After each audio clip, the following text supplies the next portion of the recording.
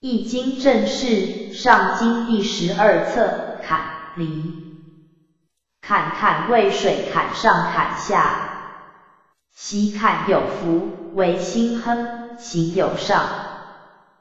彖曰喜坎，重险也。水流而不盈，行险而不失其性，为心亨，乃以刚中也。行有上，往有功也。天险不可生也，得险山川丘陵也。王公涉险以守其国，险之时用大矣哉！象曰：水见至，其坎。君子以常德行，其教事。初六，其坎入于坎旦，凶。象曰：其坎入坎，失道凶也。九二，坎有限，求小得。象曰：求小的，未出中也。六三，来之坎坎，险且正，入于坎旦，勿用。象曰：来之坎坎，终无功也。六四，尊九鬼二用否？内曰自有，终无咎。象曰：尊九鬼二。刚柔济也。九五，坎不盈，只济平，无咎。象曰：坎不盈，终未大也。上六，系用灰墨，至于从吉，三岁不得，凶。象曰：上六失道，凶三岁也。坎卦坎下坎上，宣圣讲义。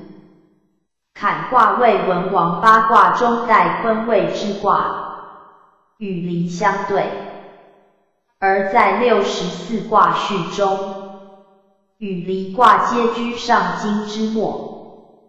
盖自乾坤至坎离，恰为一大循环数。由乾坤至此两卦，其气交，其象错。坎为阳而多阴，离为阴而多阳，以阴阳的上下正位，故也。坎上下正位皆阳，故为阳卦，不独少位贵也。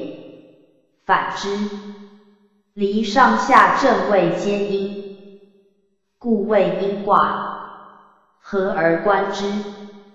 一阴一阳，一升一降，震与乾坤等。而坎离又系乾坤以交之卦，故在八卦方位。坎反带坤，离反带乾。所谓带者，非谓坎离及乾坤也，以坎离居乾坤之位。待乾坤而成其用耳。坎带坤，为阳带阴。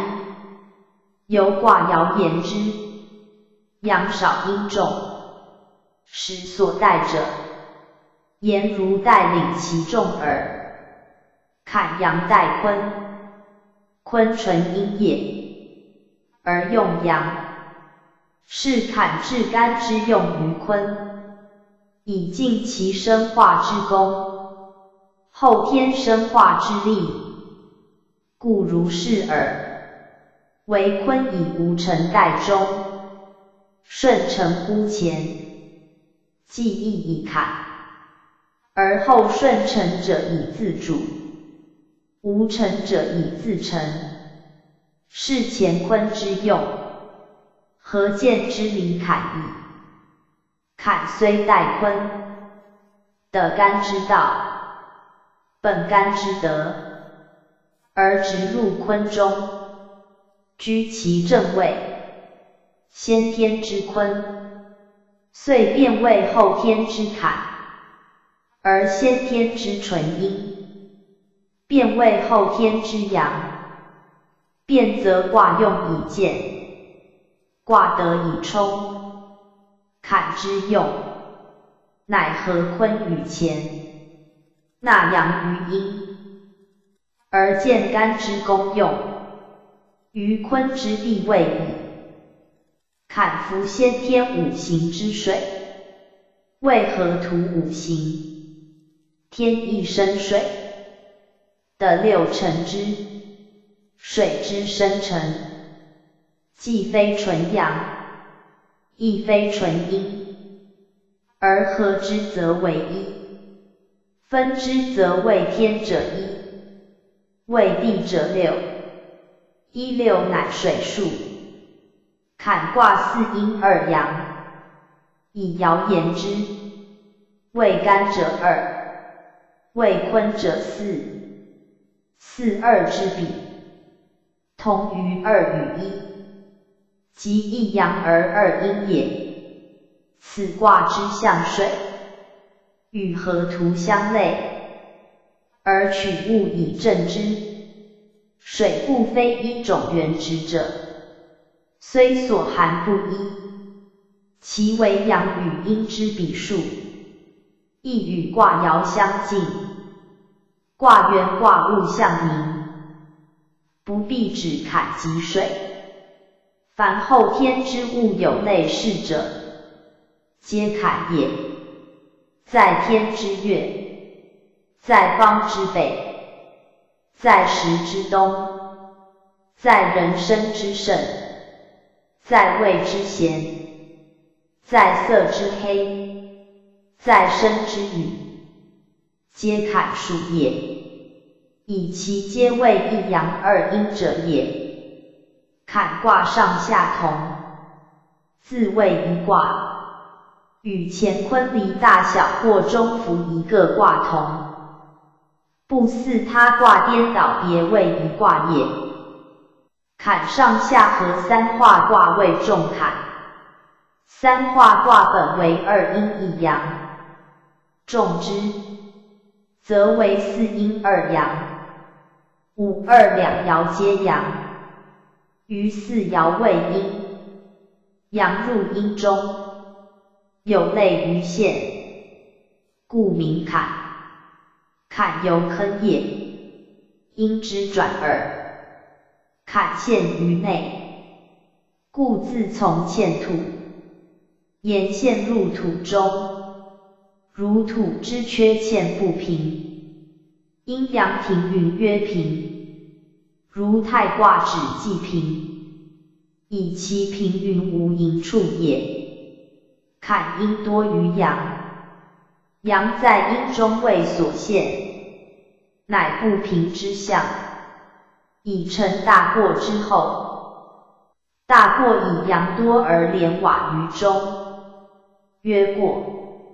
言如土之坟起也，前又坟，及后有坑，地势自然。前者隆，则后必污。前者盛，则后必衰。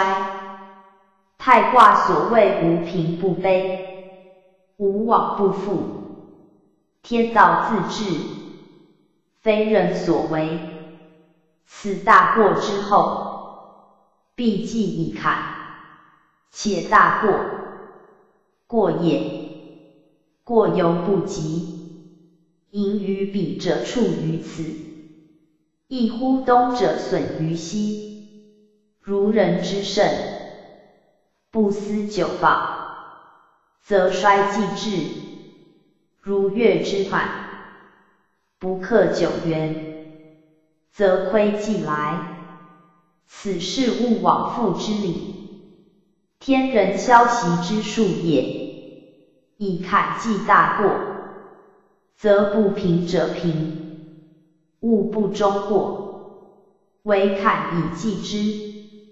坤土也，坎出于坤，故从土而名坎，不必陷于土也。凡身陷者皆坎，故坎谓之险。夫不平者，以不平平之；不齐者，以不齐齐之。此天道之妙，物理之巧。大过不平，坎亦不平，前失之多，今失之少。前因其高，今因其下，多少合而洽宜，高下并而正好。此两不平和而未平，两不齐并而未齐也。坎固显矣，而以显成用，谓其能平不平，其不齐，以归于道耳。在坤则后载，而坎则为薄线；在坤则周行，而坎则为阻险。以坤之柔，于干之健，故坎得不类坤也。坎似阴或分或合，以包裹阳，与离正反，阳居重围之中。而能拒之不败者，谓有险可守也。守险以自固，则陷而不害；阴下以自藏，即生而不伤。所得在上下正位故也。二五爻位，内外之枢机，守之不失，此所以克成其大用。辟之水也，能浮能沉，流而不合，能方能圆，波而不泄，则以其有方案，谓之护固也。大者海洋，小者沟渠，必有判岸，必有堵塞，使之不犯不漏。不至于何或泄者，是坎之功用也。为其地屋下，而居深潭，外不可测，内不可竭，故能成其大。汪洋万顷，腾蔚云两，沛蔚润泽，此水之代用也。故流无尽，灌于田野，行于舟渠，此水之大利也。推其志，则生化之德；言其细，则滋如之功。而合诸离火，以为天下造化主宰，是坎之神通。有不可尽矣，而皆系于坎之有手，深入不犯，因于有险，防固不泄。此坎卦取二阳陷入阴中未象也。坎以阳入阴中，阴包乎阳，内刚外柔，以成显现之象。由卦爻言之，上下二卦皆坎，是重险也。而分别言之，则四阴内含二阳，阳虽陷而得正位，有其守也；阴虽包乎外，而若拱护，有其位也。上下相应。以刚中，内外相接，以见正。被刚见中正之德，有其道也。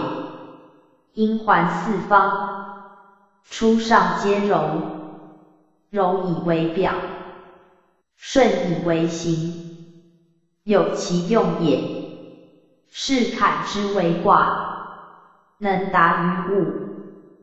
而通于道，故于内，而应于四维，以智为本，而行之以仁，以义为方，而施之以和。事虽局促于中，而有推宏之志；承前于下，而有升腾之思。则有藏宝玉于身，外有光润之美，怀明珠于腹，表有文采之华，其德可比于成形之事，出处不同，而为一则一，又如守贞之女，刚柔不同，而间节及无殊。为其有守善藏，因势利导也，故坎取向于水，水外柔训，而其力可以溃石垒，清间房，水性流下，而其基业可上于山峰，可飞于陆地，则其中之阳。自成刚健之用也。水可虾而不可狭，能利于物，而害亦随之。唯在知其性，明其用耳。故水称其至焉。人之德行，为人之用权，而必有志以辅益之。传曰显诸人。藏诸用，为外见其人，中藏其志也。吾得以治居中，仁义礼信配于四方。志虽藏，而用则凭四德以行。故仁者必有志，礼义信义必有智。无志则德不立。为不可显诸外耳。水之称志，正以其善藏，藏而不竭，乃能成其用，而被夫四德。四德推人为首，故与人并称。外柔人也，中刚志也，志亦人也。藏谓之志。见谓之人，礼义信亦然。藏谓之志，见谓之礼义信，德虽众名，而出不二元。人与智皆此阳也。善藏善用，则人智备矣。水之善用，乃以上至称。亦以其克该人也。老士曰：上善若水，人智具智，谓之上善。大学之至善，亦指此。其德无名，其相无形，其去无影，其止无停，纯亦不已。辟之至诚，称之至神，此君子之所上，道之所成也。则此于太极，欲于太一，泛于至中，而通乎天地之精，乃清浊自分，流止自平，润泽万物，灌溉生成。其善也，何可名？今坎卦乃取象焉，是坎之德用，足为后天之尊，先天之源。河图天一生水，是其源也。洛书一位居北，是其尊也。如天之北辰。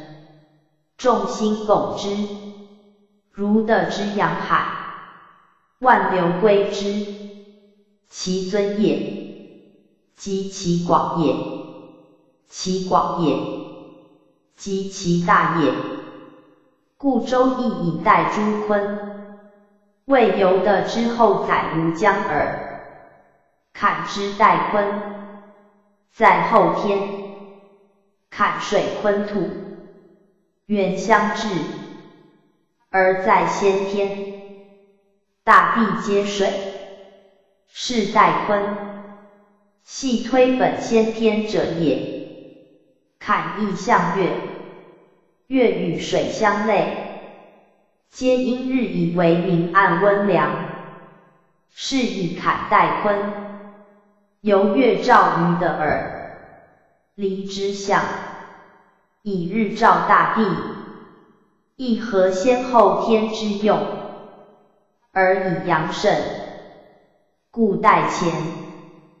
肝虽纯阳，在后天无生辰之功，必及日之光照，而后见其生辰，是以离代乾，不独易卦之意，使本天日之用，坎之代坤，故有水月之象，亦以后天纯阴不用。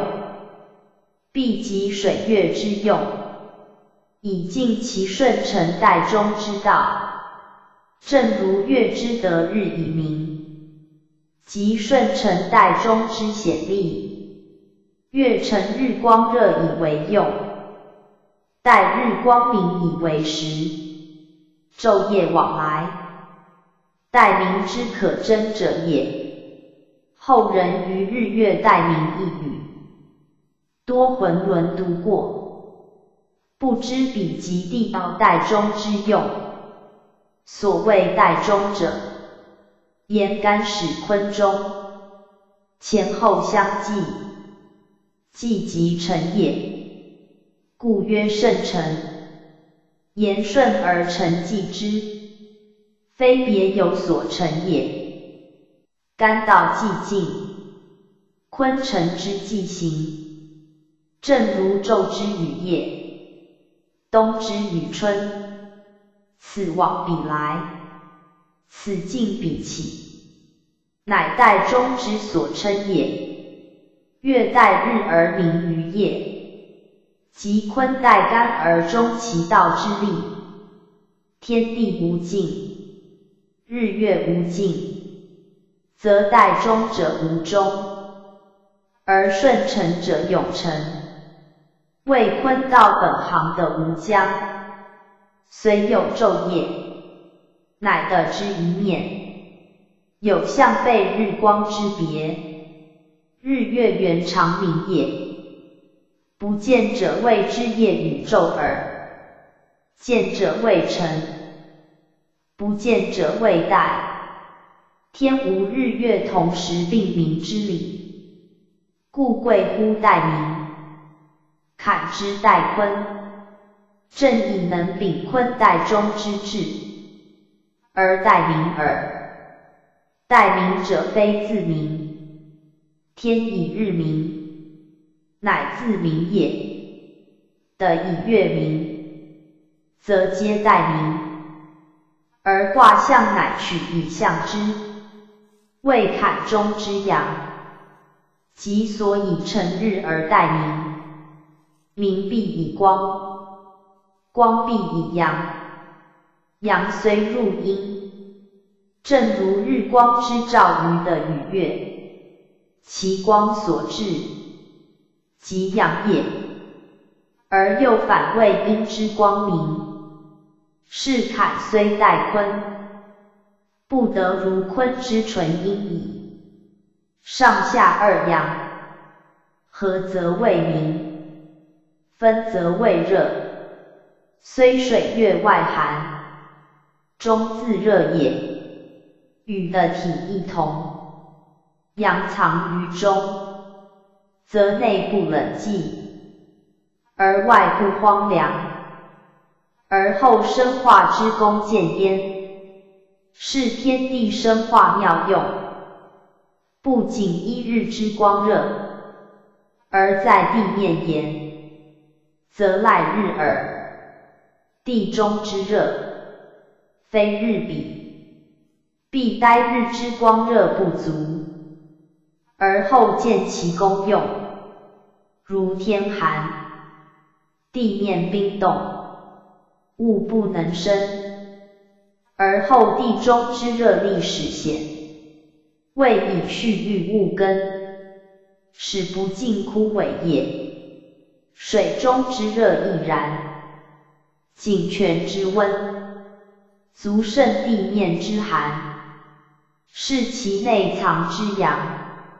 至此招其功用，人不异于坤道袋中之术，谓天穹，得必济之，阳尽，阴必济之，是坎之代坤，不独待其位以也，实以待其德用，待坤之顺承待中也，先天五行。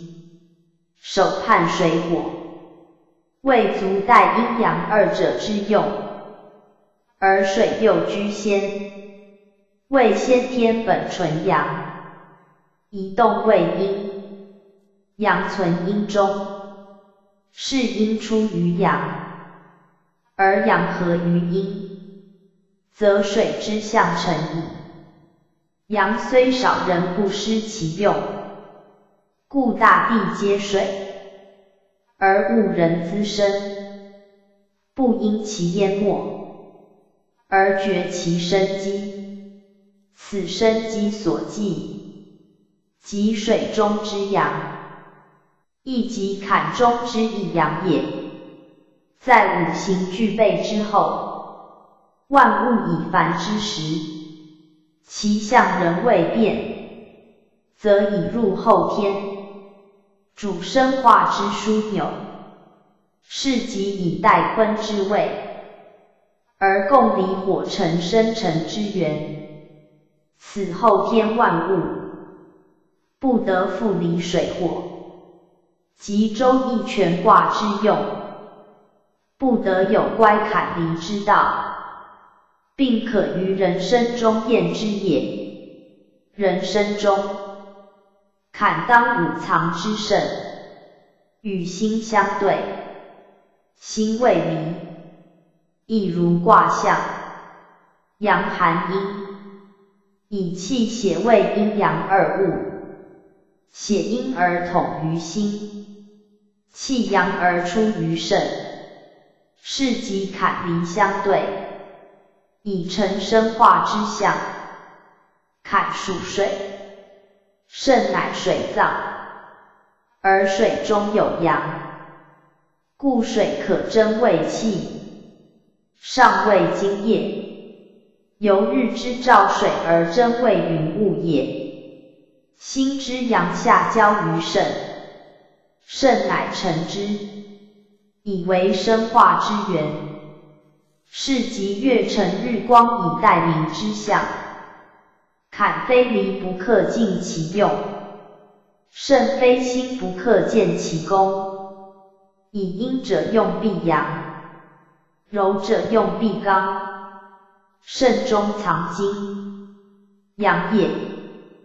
动而为热，行而为力，化而为呼吸之气，蓄而为脑骨之髓，存于身。则保命强身，意志充沛；泄于阴，则生殖之功；泄于外，则损败之害；养于巧，则承担劫财；化佛登仙，是皆坎之一阳，为人命之根源，生死之枢纽。而必及夫心以欲之发之，合之益之，充实之，大化之，而后生尽其年，晨登乎天，魂神系焉，体魄脱焉，幼者以壮，愚者以贤，弱者以强，偏者以权。是皆生生之本，化育之源，而莫不归于后天之坎，先天之前。盖人生有生，生必有养；人心有神，神必有欲，智慧在内，精力在外，上接于脑，周行全体，为思虑之主，为运动之载，为脏序之府，为公益之库，为阴应之官，为推波之钮，是皆圣之执掌。而本于坎之功用也，在其以身之主为心，实则心共圣也。心由其华，圣则根本；心由其表，圣则终极之境。如世界天虽在上，人物必平于地；日月在空。光明必照于下，以虚者必及夫实，兵者必依乎主。心也脑也，虚灵之处，而溯其源，为圣世祖，在先天本天意生水之意，在后天为万物平一之主，故水可以济火。可以沃土，可以相金，可以盖木，乃后天生化，不可虚于理者，亦本卦象之坎，而足待坤的之德用也。夫坎亦如坑，因亦从之转，而自旁有土，明其用之所在。以水之用必赖土，非土无以尽其功能。如泛滥无堤防，则反利未害；汪洋无崖岸，则反生未败。是水之用以土显，而人生之盛，亦与脾胃相制相成也。人身心盛为生命之源。不知者，以为一藏之用而已。实则胜在身中，上通于脑，中应于心，而外合脾胃，以为至诚，内服肝肺，以同生化。是如木之本，水之源，其重要已可见。而其最有关者，则与心相连，为一体二用。盖即卦象坎与离，分之为两，合之则一。坎四阴二阳，离四阳二阴，合而复分，则为一干一坤。坎的干之用。离的坤之功，上下流行，周乎无垠，正如日月待明的天成平，故心不得离肾，肾不得为心，一本一末，两者原一。如人有所作为，心主其思谋。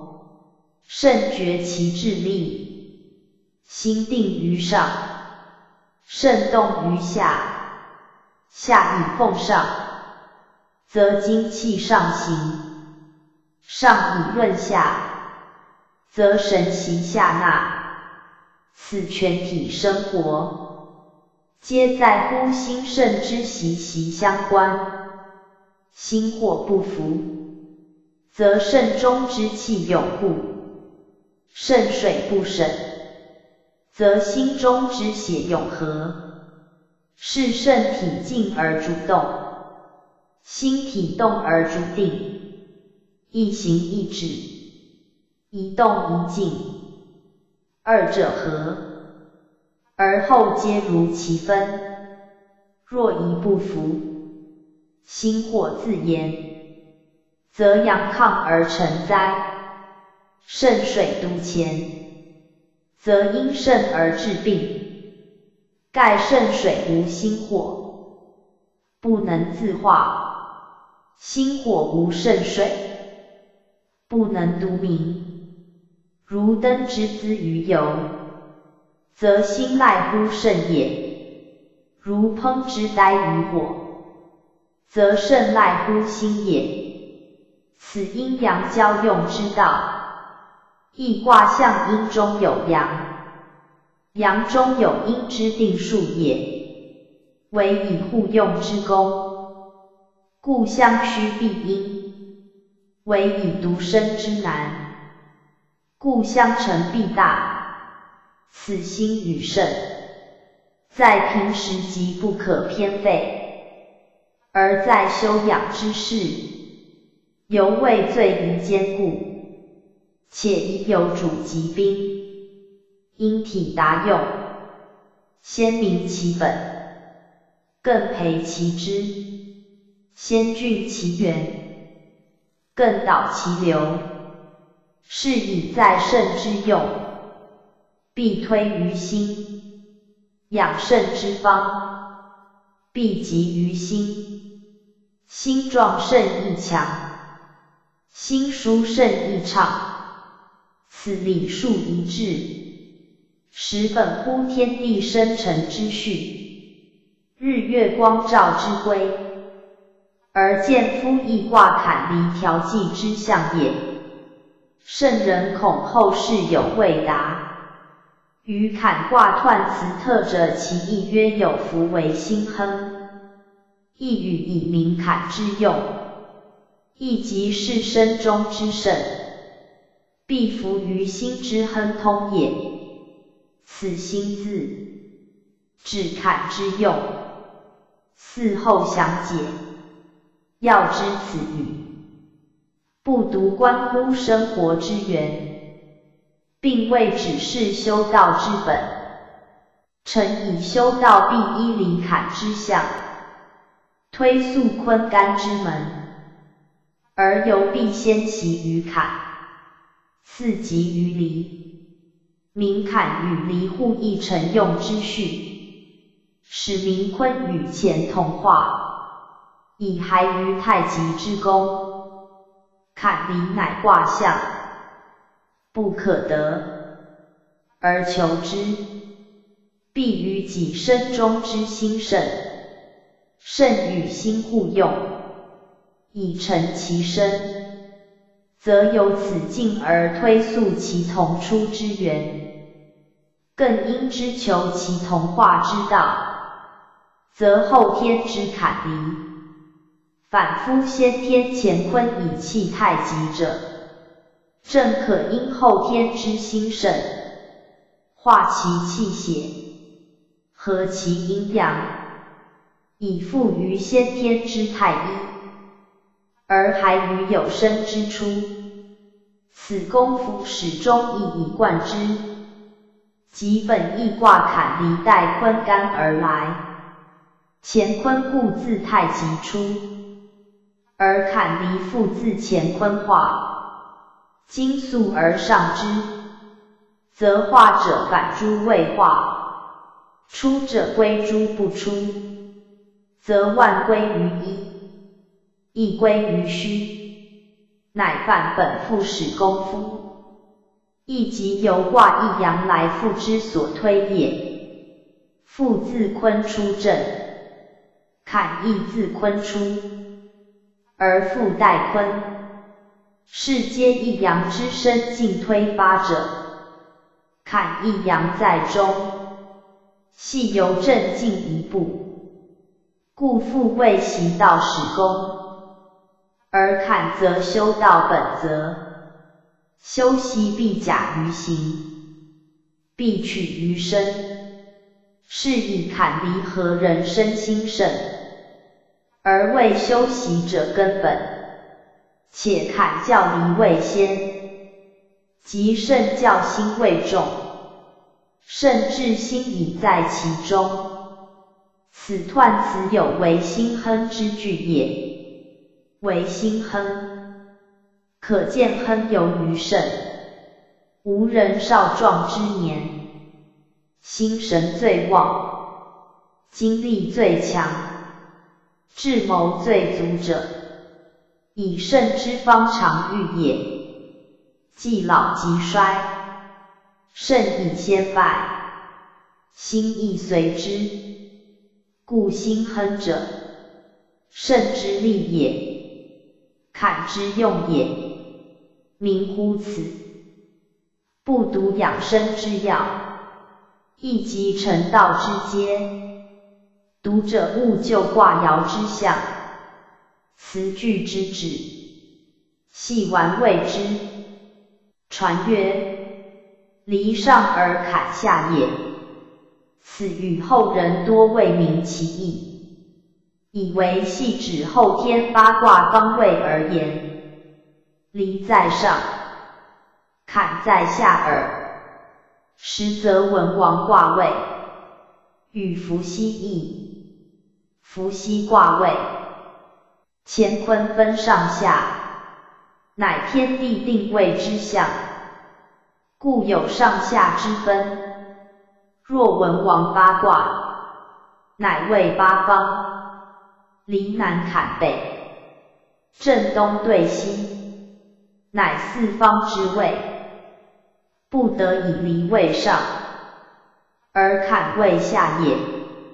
且以地势与天体言，北方在上，坎居北位，高于离。更不得称离位上坎位下也，而传闻此语，乃至二卦之体用，及其升降往来之道。盖坎为阳，阳主升，离为阴，阴主降，而体阳者用阴，体阴者用阳。即以二卦所属象言，坎为水，离为火，火性炎上，水性润下，不问在何的也。高山之泉，必流于海；积星之火，必扬于空。此不问所居。而其升降之道必然也。离虽阴体，其用反阳，故向日与火。坎虽阳卦，其德反阴，故象月与水。此传文未明其用，即所自治也。坎自上而下，离自下而上。乃理数自然，而魁诸二卦所出，亦与世相合。坎出于前，而下与坤位，以待的之德用；离出于坤，而上居前位，以待天之生成。是以坎称中男，而待母直。离称中女，而待父公，斯皆离上坎下之所分也。水火者，阴阳之标准；寒暑者，刚柔之形表。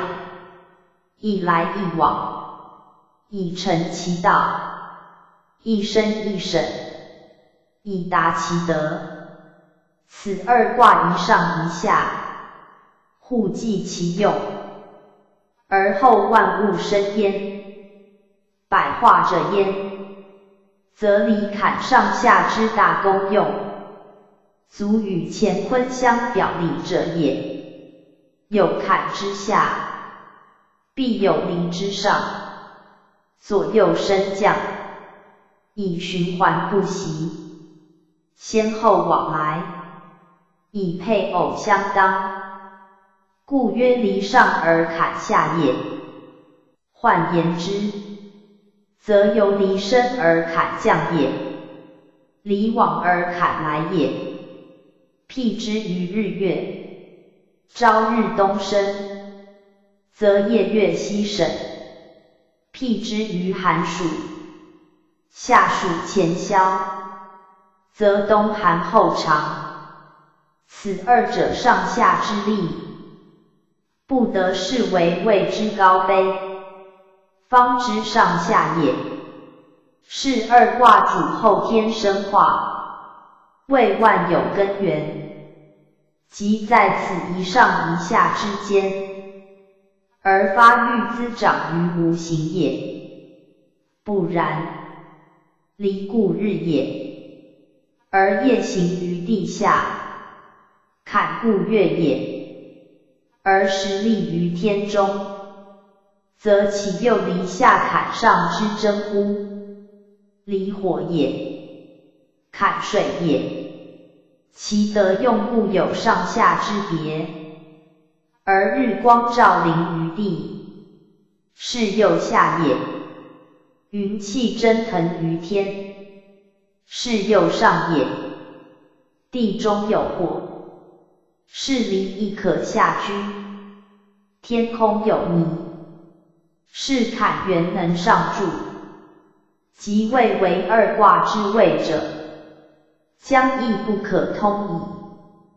故你之先天乾坤定位本已不同，即传续后天八卦，只曰地出乎震云云，亦不似天地定位一张明指其位次也。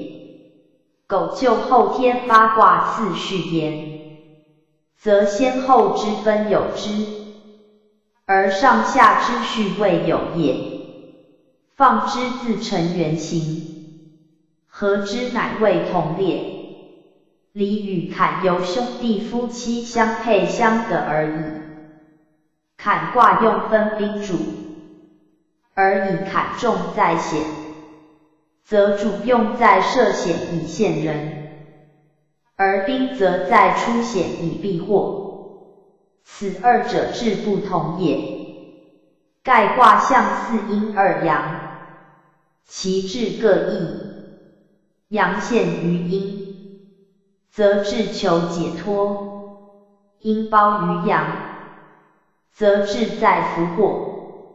是主兵勾心斗角之象，故重志，而在善葬。用险者不以险示人，虑险者不为险所困，总赖有其志耳。如设陷阱待受，人之志也。受越井而不陷，入而能出，则受之至也。所谓不至，则中庸屈而纳诸蛊惑陷阱，而不知必之谓也。故涉险之至易，脱险之至难。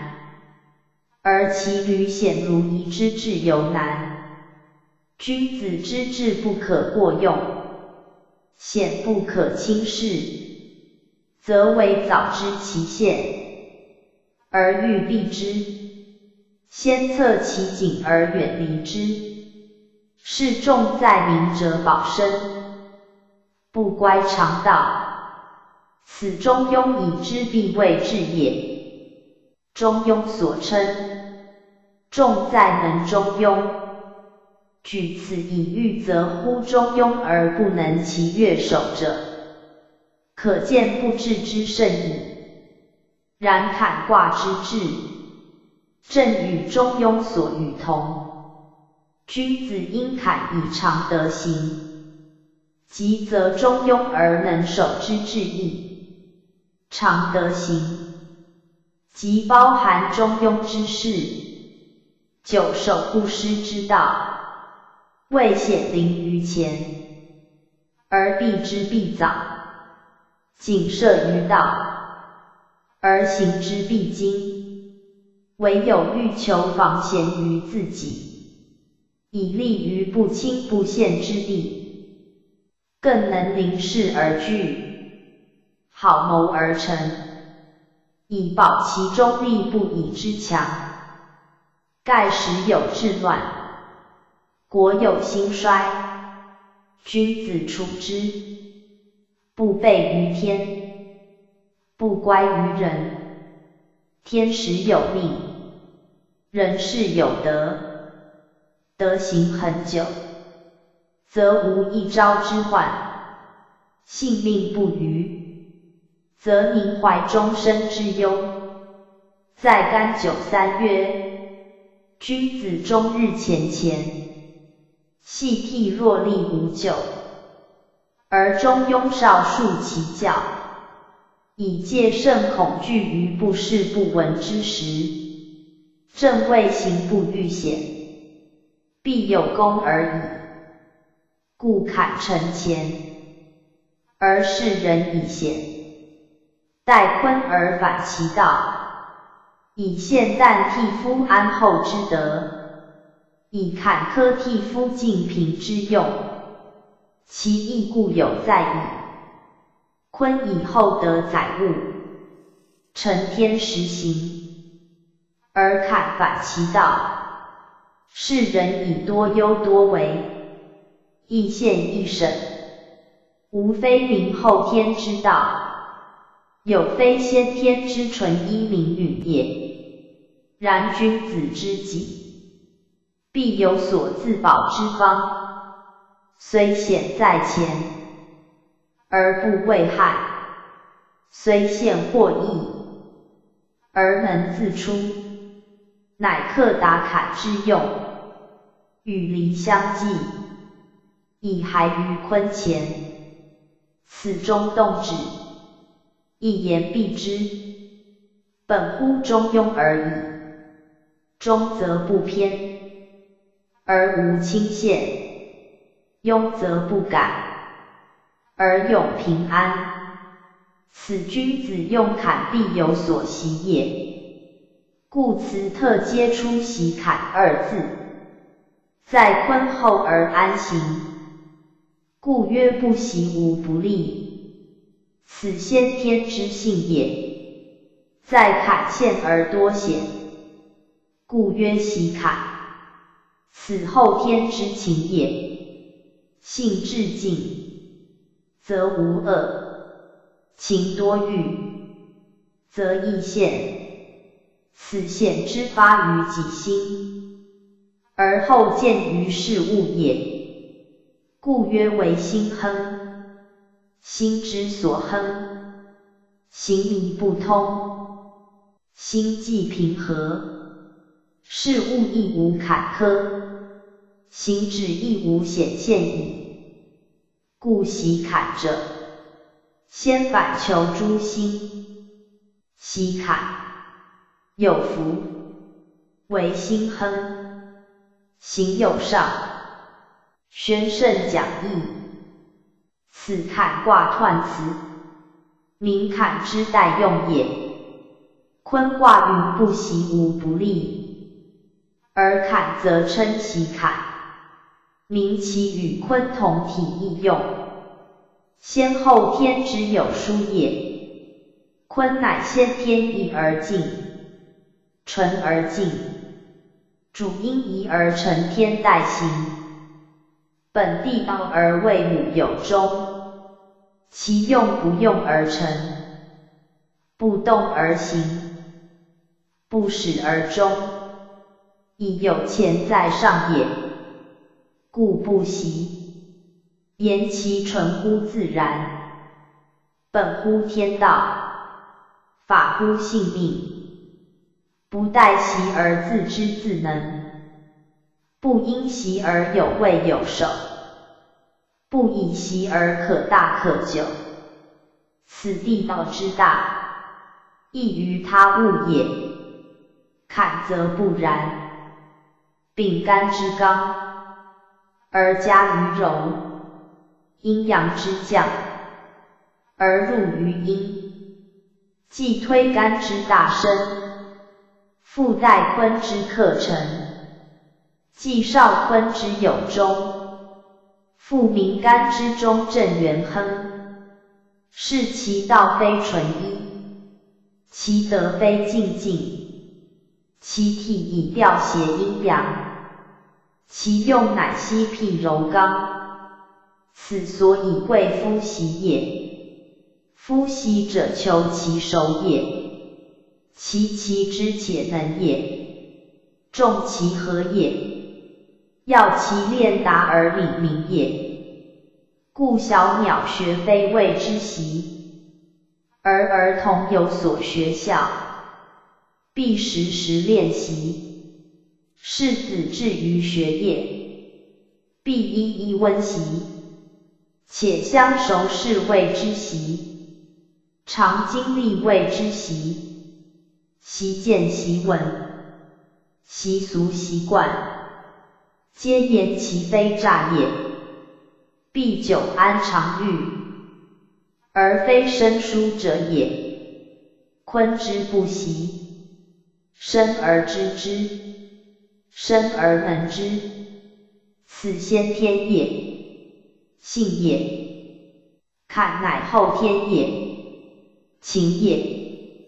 既非生之良能，则必待夫习。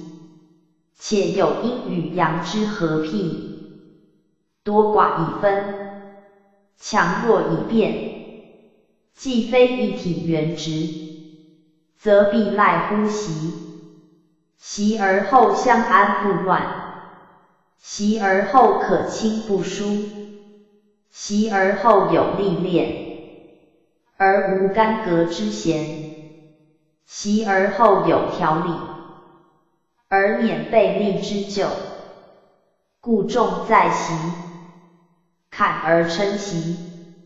未坎在后天待坤位，人或以其与坤同。乃加一习字，是其正与坤异也。坤不习，坎则必习焉。他卦凡在后天勿事君宜习，而以坎位代坤，特皆出之，足见先后天卦位同，而卦用不同也。卦以象物。坎故地上之水，水非得之全体，水中有阳，非如坤之纯阴，故坎以习而后有福，福者何也？阴与阳相合也，且本中福之意，未坎其矣。二者安矣？其用以大。其功可弘，是其福也。言如鸟之孵雏，可见其生成之力也。坎代坤以成天，而生成万物，则其有福之功也。人之坎为水，上下重坎皆水也，而不知坎中物更与正。二者皆阳，合之则三阳俱备。山雷以养也，养必以福。反之谓雷山小过，小过与中孚。一正一反，穷则必变。是有福乃取卦象也。坎与离合用？一上一下。天一生水之功，先见于坎，然必服于离，而后至其生成之功。苟未服，水火备行，则反既既未未既，生成乃习，功用乃灭，故必有福，而后能尽其待坤之道。完其有终之德，此去卦用也。为心亨，以卦上下中位皆阳，中心相通故也。且坎为水，以阳而见其大用，如日照海而为云雨，是其功在德阳也。日在中天。即离照坎之象，亦由心也。在人心甚相生，心之所欲，肾以强壮，肾之所养，心以灵明。此体用互相生成也，是以离坎二卦用不可离。阳与阴必相合，水与火必相济，故曰为心亨，为亦有维系之意。心通于肾，肾乃尽其功用也。行有上者，以坎象水，水利于行，而功用甚大，利济诸物，必赖于水。上者上也，家业、高业、大业，以坎之用，足称高大，而重在能上也。水上于火，乃为济济；云腾至雨，乃成润泽。世皆有上之意，不独一至加上，立既有功矣也。其坎之德，重在以坎交离，为其孤行不达，必与离合而后亨。此为心二句之为义，亦即人生生存之妙理。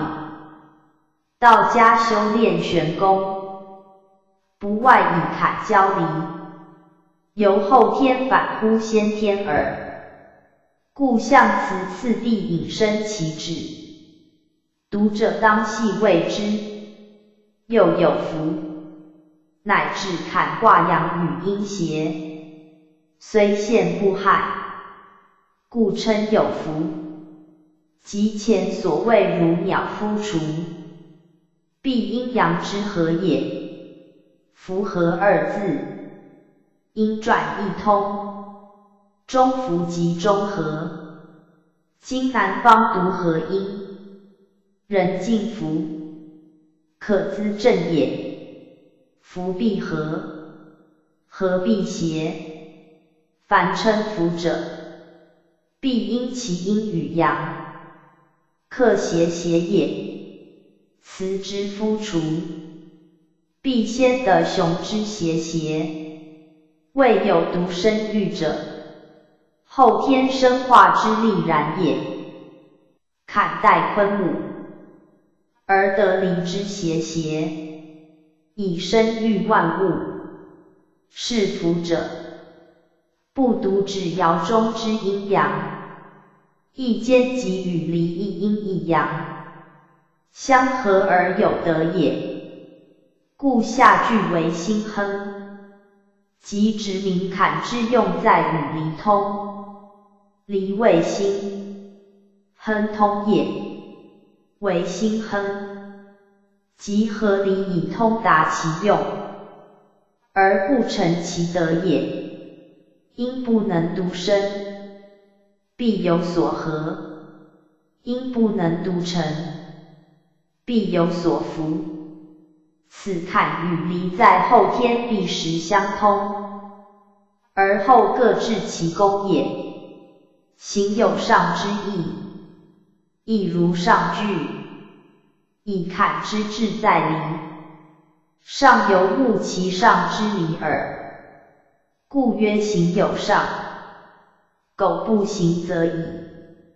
行必上乎离，如人之肾，不用则已，用则通乎心。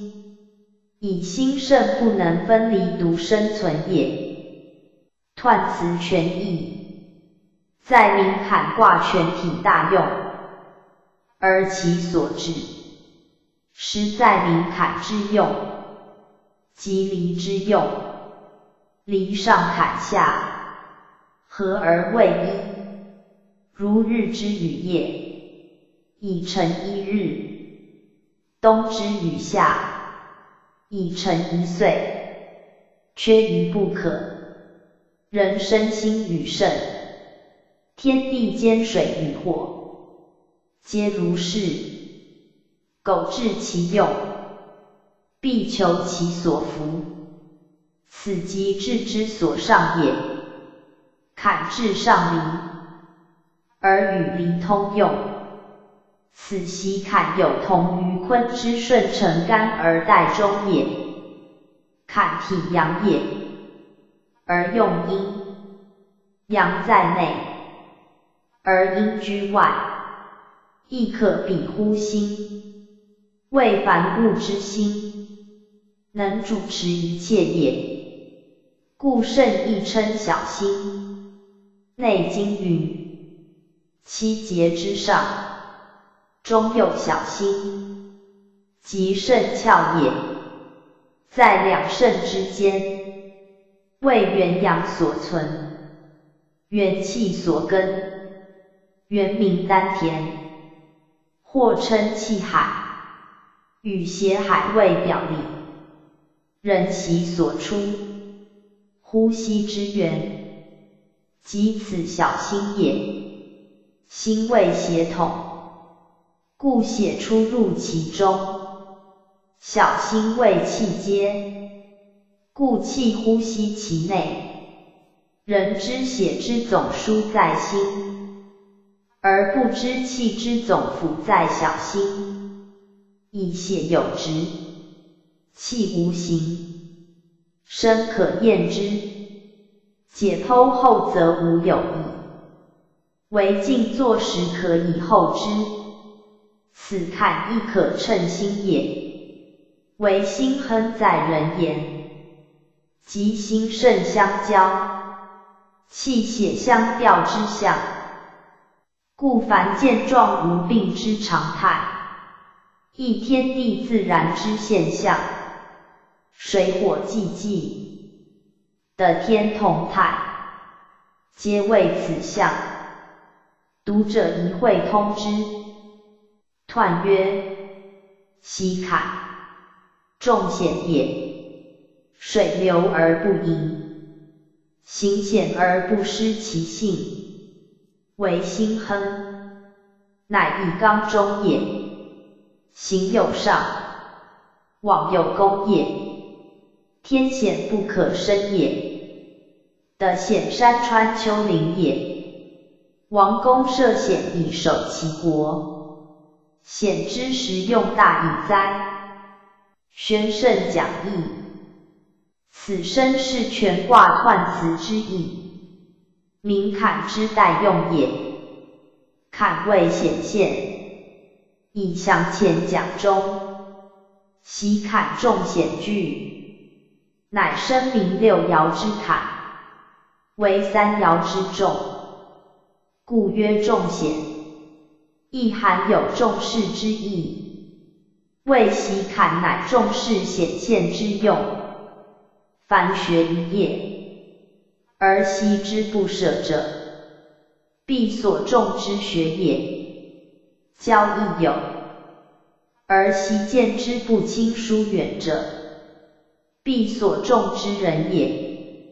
坎而曰习，正重之业，以显故可畏，而足以畏畏，故敬害。而足以避祸，故多忧于；而足以保平安，故设坚阻；而足以资固守，此乃害中有利，祸中有福，乃可以借重，而尽其长，略其短，故曰重险。然一词象包多义，而必有主义。以文言，则主义乃重负，非重轻，为六爻重三爻也。三爻之坎以未显，今重之为六爻卦，是重显也。所谓喜坎，亦含有重负之意。书读之又读曰习，有见之又见曰习。事物经历至再三曰习，风俗传模以长久曰习，谓其非诈也，非偶尔也，必重叠有加，众复所致，是谓之习，故卦谓重，而名则称习也。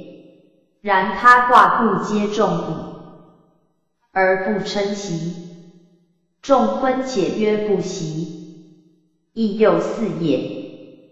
盖一此取义，必因于象，为坎位重显，以卦上下同位显现之象，如离上下同位黎明之象，故在坎曰习坎。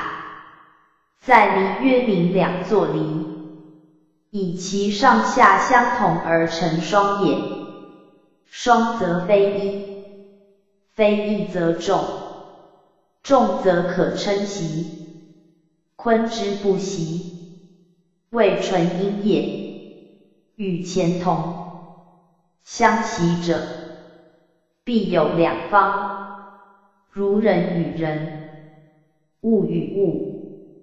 今与昨，近与远之类，坎以阳入阴中，而至上乎离，心有所通，行有所进，则必其习也。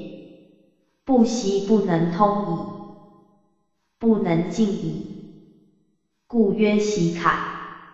且坎显也，人之所畏。谁乐尽之，是之所兼；谁好共之，而得用却有事于人，有余于事，又不得不进不共焉，则必贵夫习。如处师以卖细者，为其利而不避其害，师非不是人，以其习也。如弄蛇以受祭者，为其利而视其毒。蛇非无毒，以其习也。是坎之用在险，必习而后能用之，不习则将先受其害。此坎曰习坎，有益于他卦者矣。因害而未利。皆习坎之象，亦以习坎明其意，故曰行有上，明其志有在也。志在因祸得福，因败得功，处险不险，反亦成其安全之备；以陷不陷，反亦获其进取之机。此习坎妙用。正在重险也。夫数极则变，气偶则反。要之读者，欲独则解；物之坚者，欲坚则破。以重则相消也。坎险矣，因其重而反不险，则天地间数理自然者也。苟明乎此，又何忧乎险？何谓乎现哉？此坎在后天，以重险而待后载安平之坤，成其生化无疆之用，其意已可知矣。水流于川，足以为利；若泛于陆地，则害也。雨润以时，足以为生；若临未盈灵，则败也。此害反利，或反福，生反杀，成反败之道也。而坎离手见其利焉，故水火足以杀人，亦足生人，足以败物。亦足成物，是其用如何耳？众险不险，积水流于川，而不使泛滥之意，故曰水流而不盈，行险而不失其性者，谓坎象水。水之行也，即险之所在；人之涉水也，即行险之事。然水险矣，有堤防之，则不犯；有洼地蓄之，则不泄；有舟筏渡之，则不审；有沟快以之，则不流。其性就下，无地方之意；其德润物，无时日之书。今日光真而未云，则能治矣；阴风冷凝而未冰，则可度人。皆其性也。故涉水深必以舟，浅则自接。取水多必以器，少则自居。过冬则解冻，而不可视险。行路则设桥，而不至中阻。此人依其性，可免其害，以收其利也。推之运输远近，灌溉南亩。假其利以为功，因其润以作引，何亦非水之有性，足为人物之利哉？是水火之险，乃成其用，实由其有性也。心亨者，一阳在中得正位，故曰乃以刚中。乃以二字指其用也。言坎之主用，因其刚中，水之力能负重，能溃坚，皆刚中之所见。外固柔弱，若无能者，而力不可量，非以其刚中而合。刚者前也。天意生水，坎之刚中，乃天地之定数，而称夫心亨焉。前所讲为心亨，因肾与心通一意，心由前也。心之经入肾中，肾乃的刚阳居其内，此生气所自。生机所存也，设无此刚中，坎不克制其用矣，故为心亨，实刚中之所见也。推之真云化雨，被冷成冰，亦刚中之德，见于外者焉。行有上往有工具。明坎之志有所为，而其行有所成，坤之代成，即此有上也。故水不动则已，动必有用，无大小异也。因功未害，是用之者过也，非水之咎。水故大险所在。而大利乃存焉，天险不可生也。明水之险不及天，天险不可生，以其高也；水险不可省，以其深也。得之有险，山川丘陵，水亦属焉。是险在地。必因山川丘陵，必平乎水，坎固水也。而山川丘陵，凡地上不平者，皆坎也。无低不见其高，无平不见其限。是坎之危险。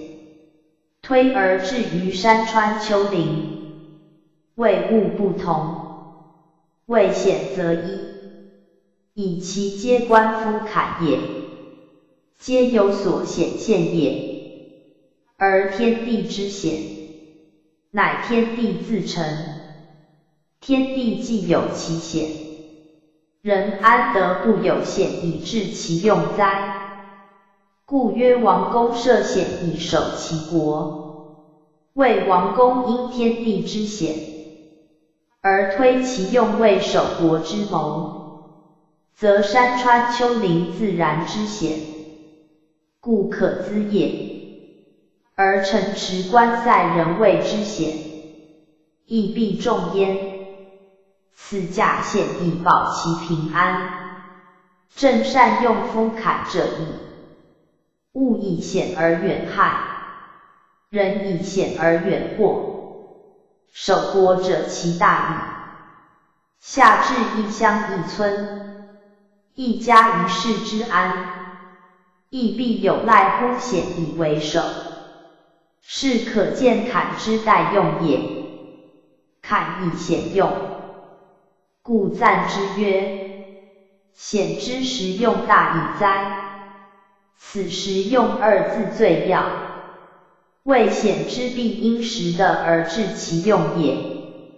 舟车未通，偏的皆险；及其通也，则非险矣。草毛不剪，行路多险，及其简易，则非险也。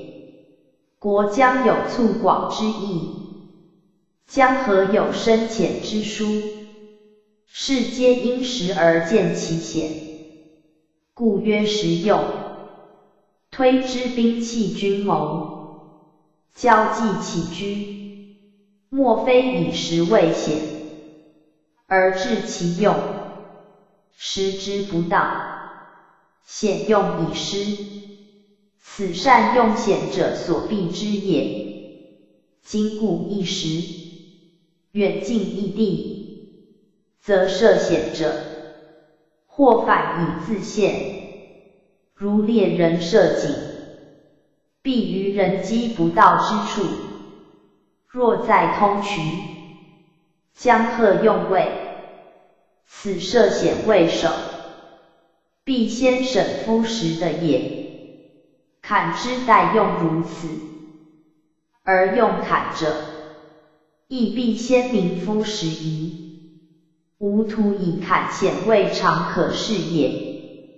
象曰：水见至，西坎。君子以常德行。习教士，宣圣讲义。此坎卦象辞，明是坎卦大用，即人道之所先也。见由尽也，尽论见极之意，或作尽，或作见，其音亦皆相近，以水之流泛。出天降淋雨，山泉瀑布，自上到泻，如倾盆外。虽长江大河，亦必连续漫溢而流，以其性然也。见智者，静营见字，前后贯注也，乃长流不断之象。以上下卦皆坎，有事象耳。水流不盈，则成其用，得其利；水泄不断，则普其德，大其功，则水之见智，正坎之功用所见也。夫沟块之水，非不流也。一泻即合，池沼之水，非不积也；一决即前，谓其源不远，而来不永也。为河江之水，万古不竭，海洋之水，大地同润，以其有源有序，不断不绝也。看乃象之，而见其永久不败之道，永自从水，即愿其能久也。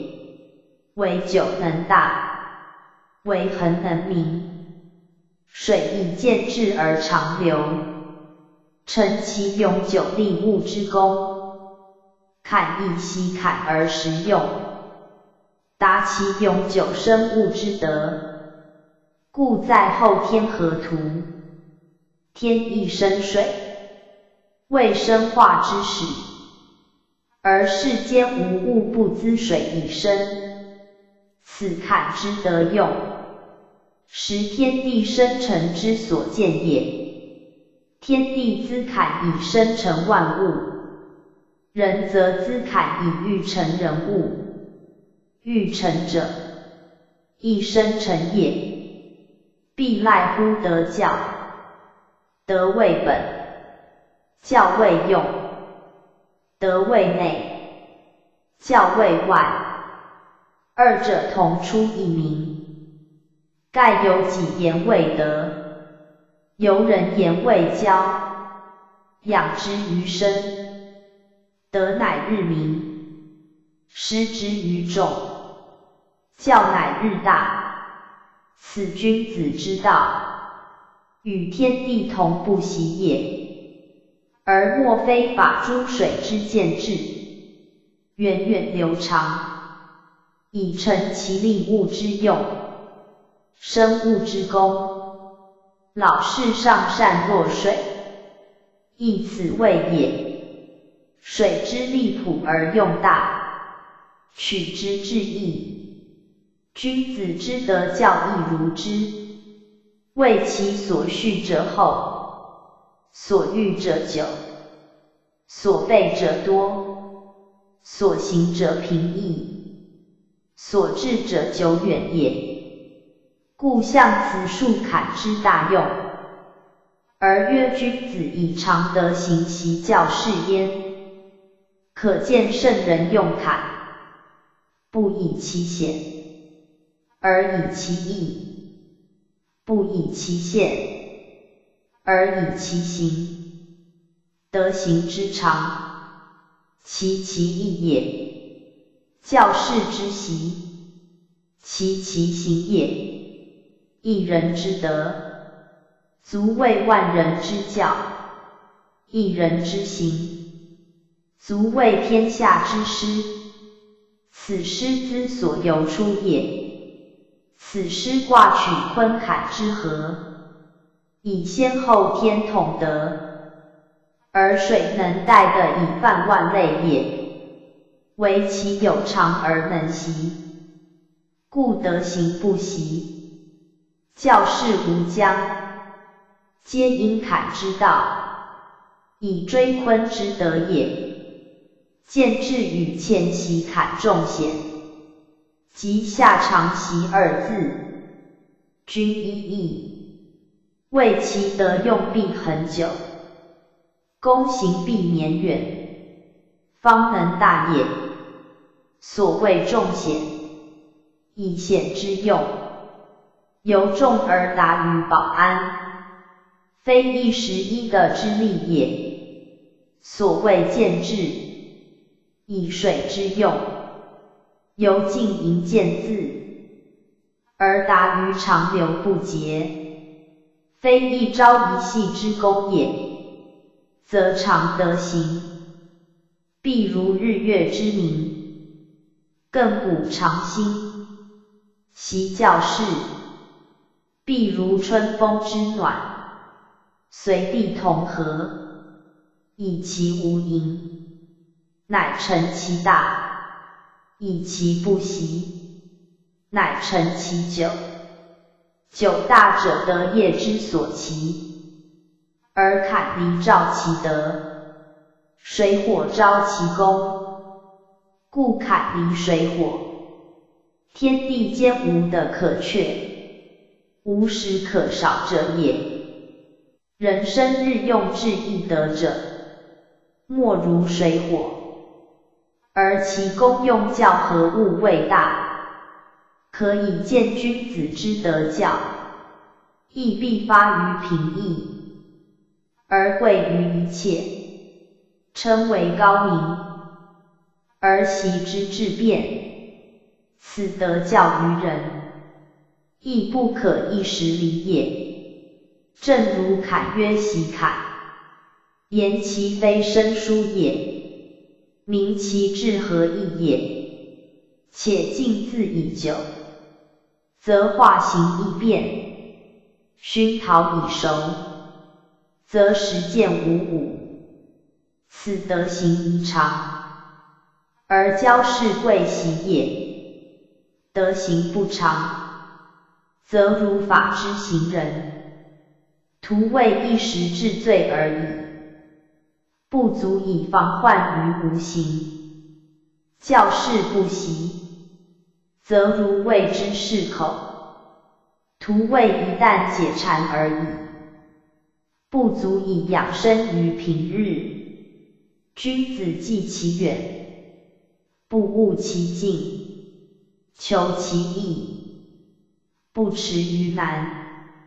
因势而利导之，即若饮江湖以灌田亩，虽敲得亦可有秋。泛难而故未之，即若破孺子以没深渊，虽智者亦难免祸，故显可用，而必用于当用之时。水有功而必在于得利之际。此皆贵乎常习也。坤以先天不用，故不习无不利。坎则必赖于习，为习使能。天下事皆然。虽生之之甚，或不习而安而能，然未尝够也。坎以后天，教人以习。亦足见圣人教民必有度矣。志远自耳，志高自卑。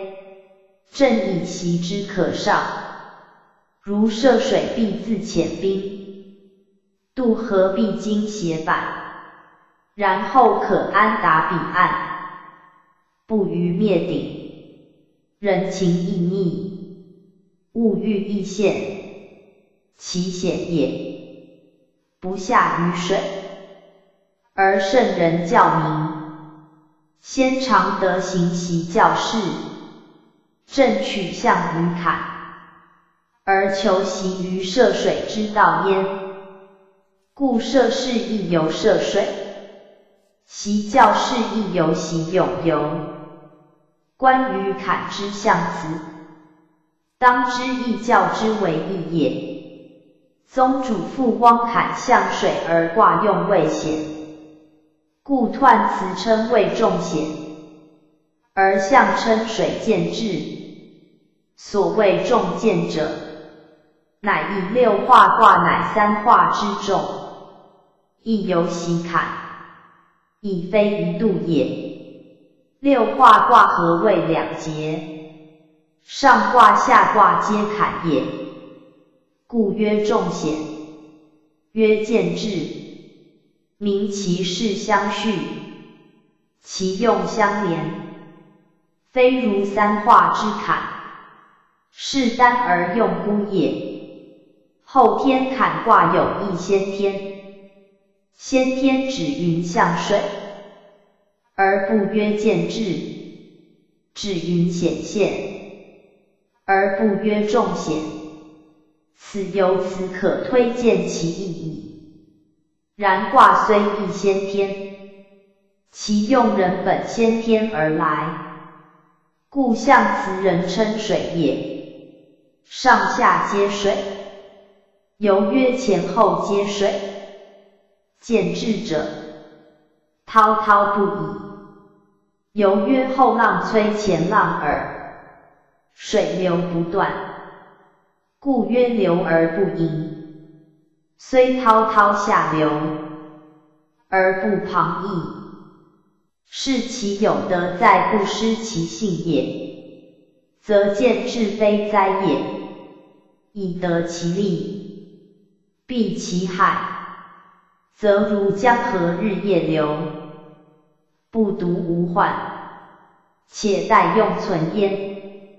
此坎卦之德用如水也，而人之用坎者，亦当失水之德用，勿远其害，而取其利，则其功莫大矣。又曰，坎卦包罗甚广，而其用在阴险的安，阴清的平，即不外因害未立。因祸成福之意，卦用如此，而义教则重在德教二者。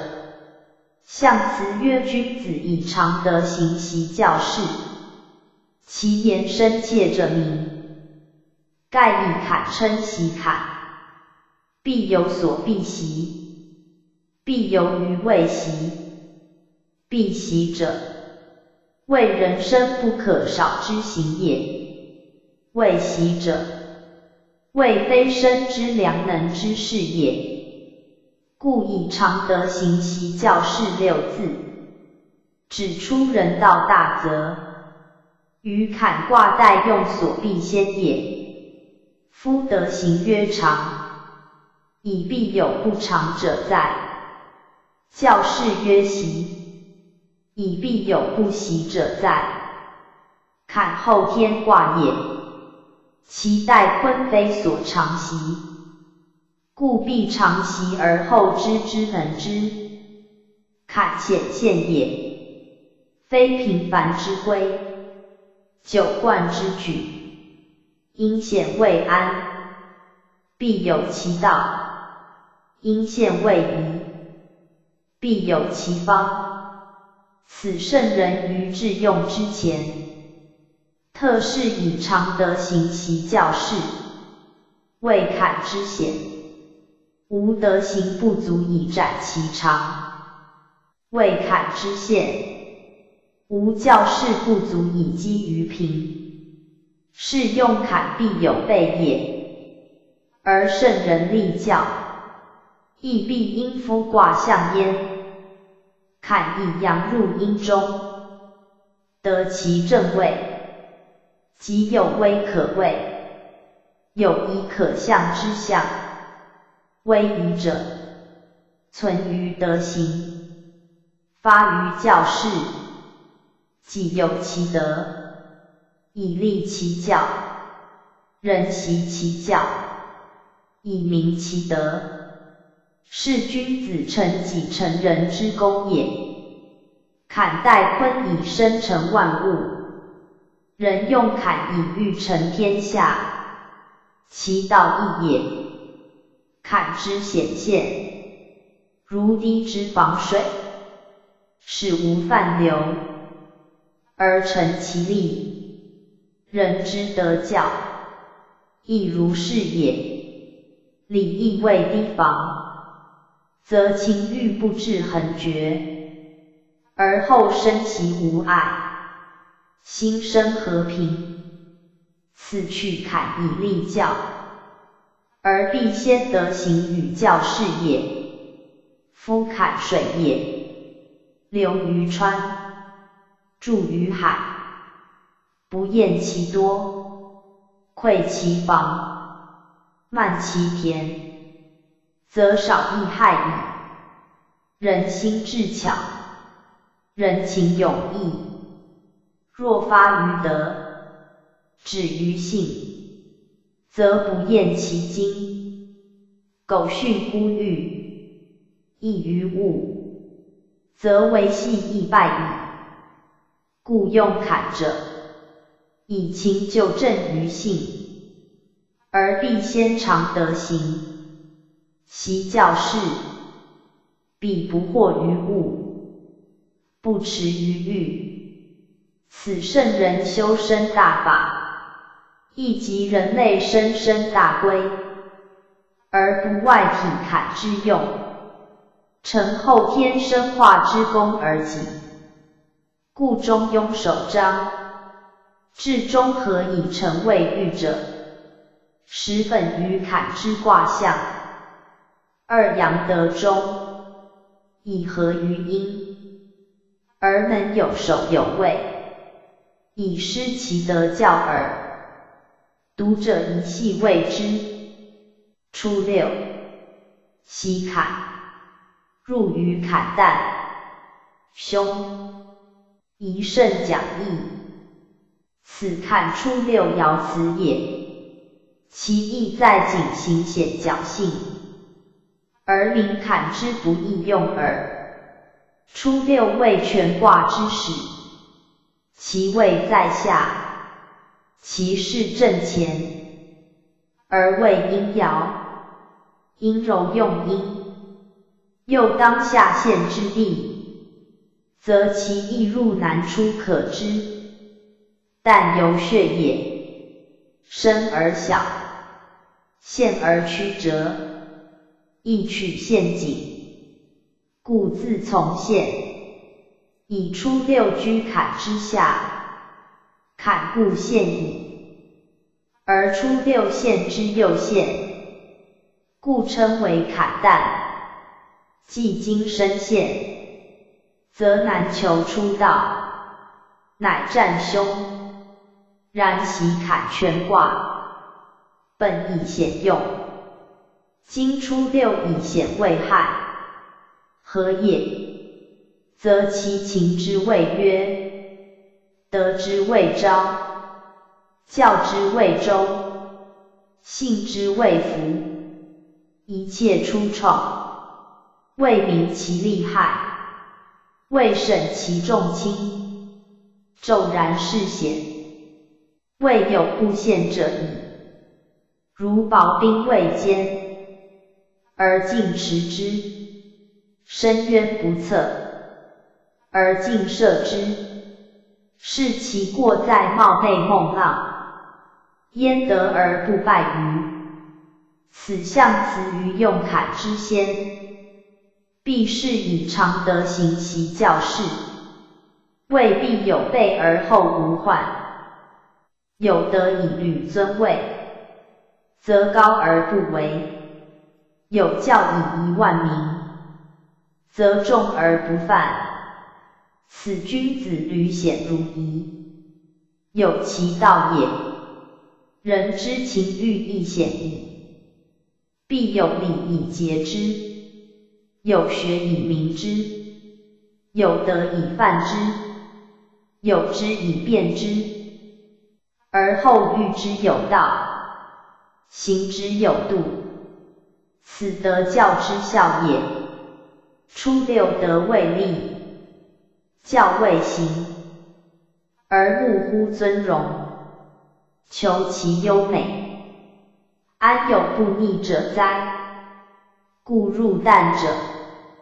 己之过也，无罪于物，为己失道，而不能审于事先，便于未发耳。象曰：西坎入坎，失道凶也。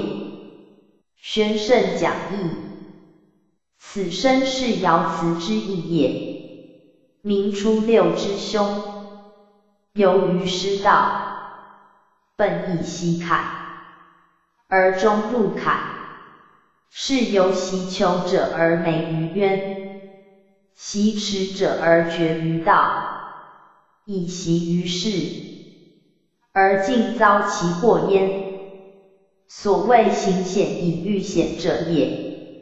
人善权谋，则败于权谋；有强力，则败于强力。此智勇可恃而不可恃也。明道则可恃，失道则不可恃。人之情欲，可用而不可用。尊信则用，背信则不可用。初六之凶，以失信道，而无得教位之先耳。纯阴柔而下陷，此犹训情纵欲之行，欲其免害的乎？故入旦之凶，非观天道，乃在人世。学者当有所审焉。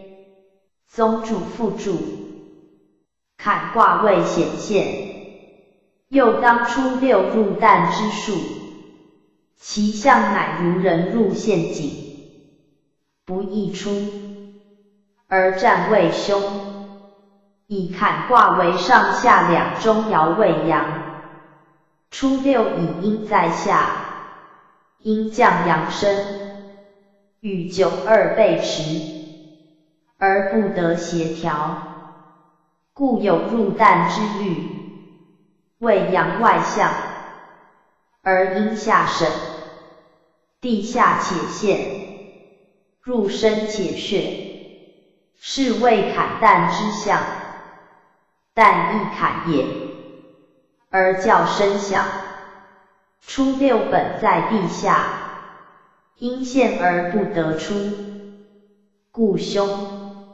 血有所藏曰旦，如今土人掘山洞以葬物之类，不图现也，有生避之意。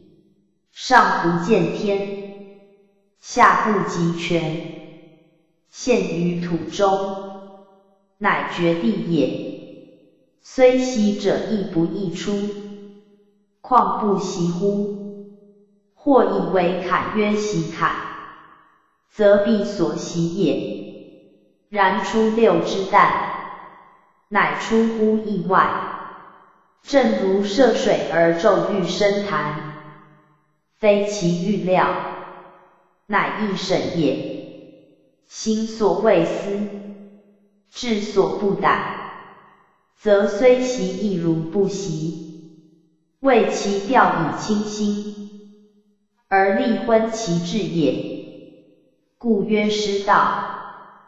道即路也，荒野不险，为识途也；大径不显，为识水也。若失所从，焉得不为害乎？是出六之凶，乃由失道。失道者，即陷于未习，而遭其不义耳。大哉习乎！非时时习之。尚有百密一疏之师，况不习乎？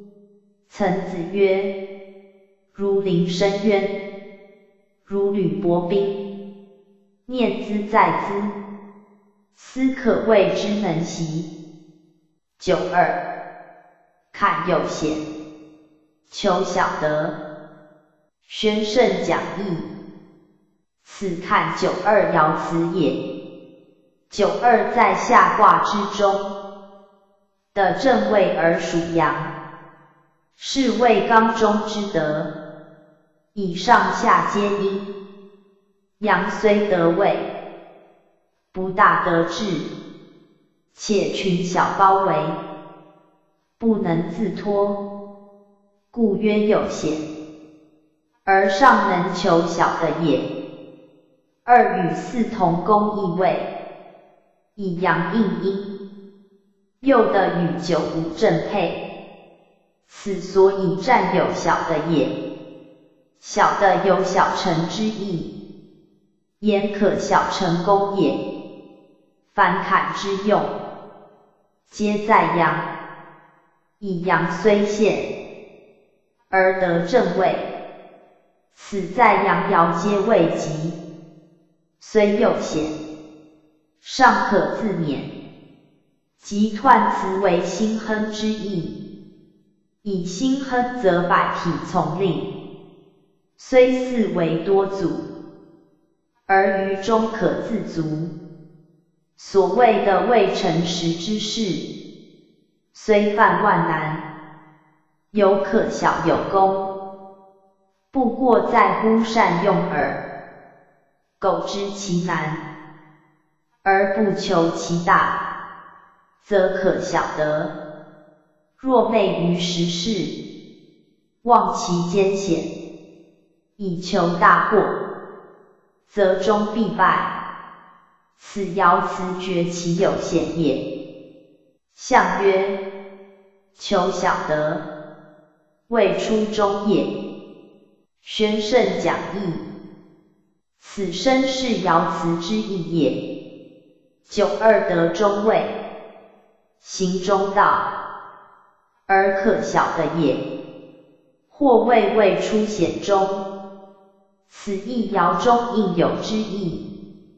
然一爻辞小的句，未出中时指其未月中道，出又月也。言九二本纲中之德，行中和之道，虽在坎陷之中，仍能保其中行，以求小的耳。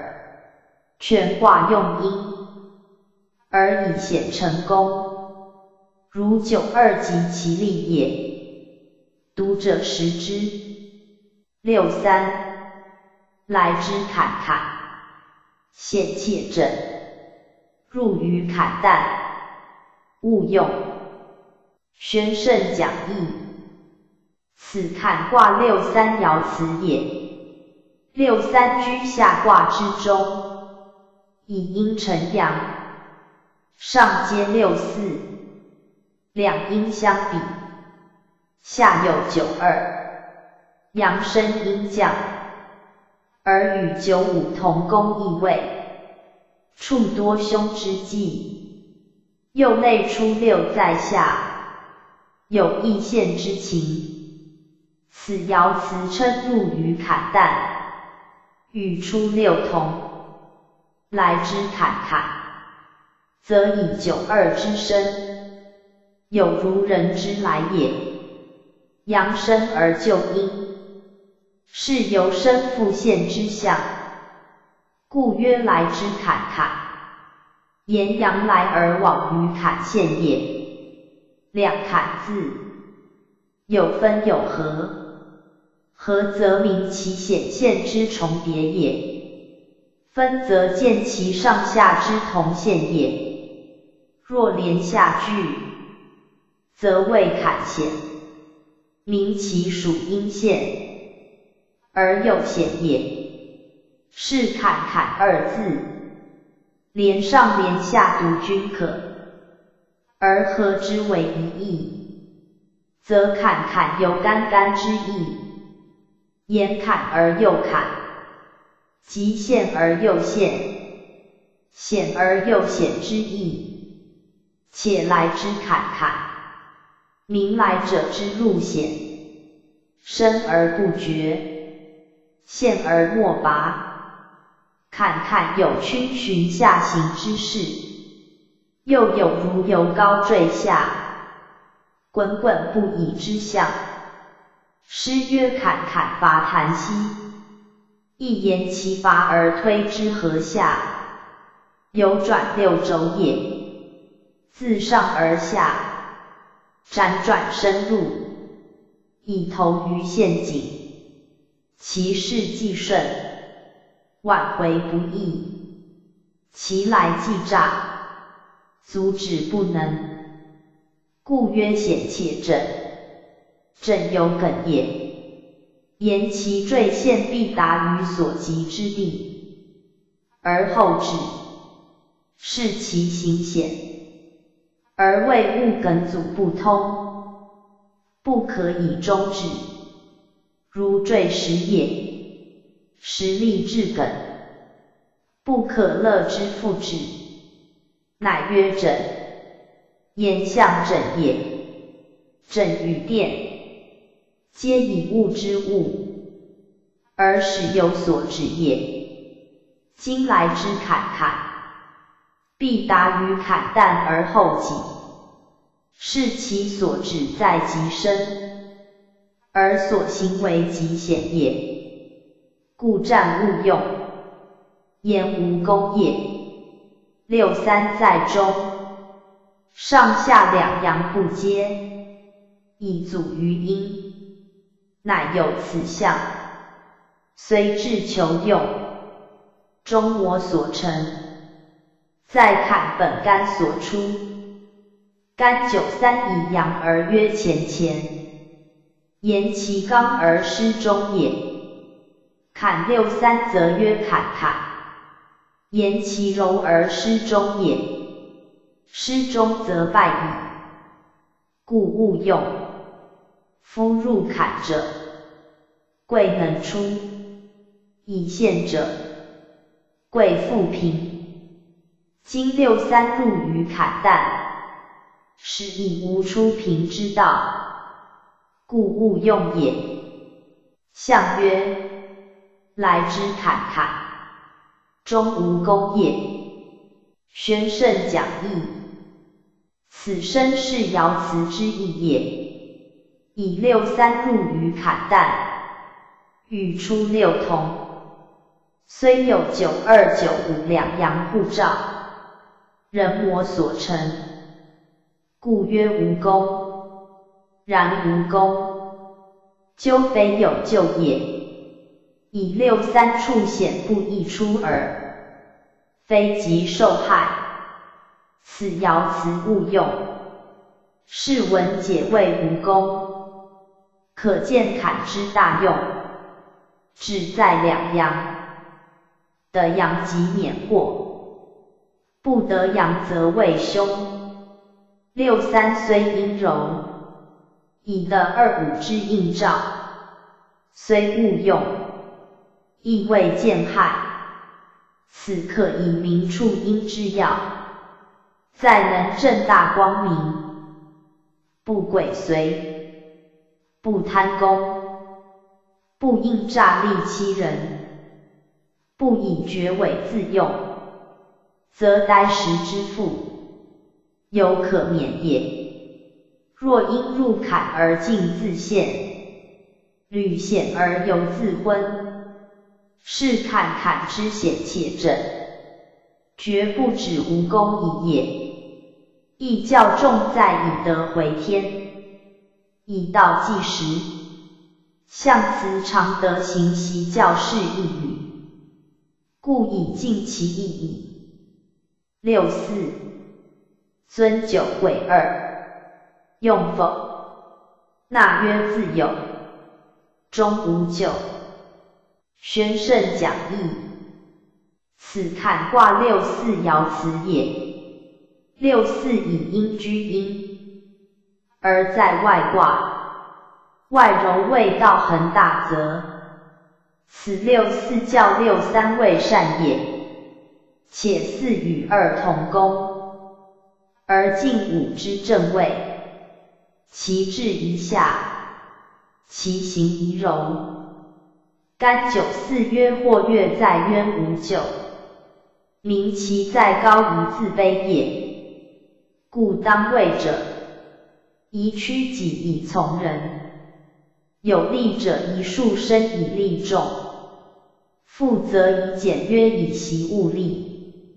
风则以审节以保天命，暴施有度，登降有格，广狭以实，损益以吉，思物得其平，而是不利于道也。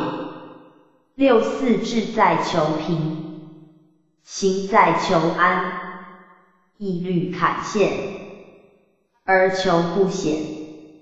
以处为困，而求解脱，故爻辞如此。且言其中免于就业，尊就鬼二用否？明其简也。那曰自有，明其困也。既呆以礼，而不丰于仪，谓其在险中。的免饥可足矣，既溃以食，而不进以振，为其有所困，苟言其身以耳。此爻辞所至，名九十不迁，行止倍数，虽得干宝，却难自由。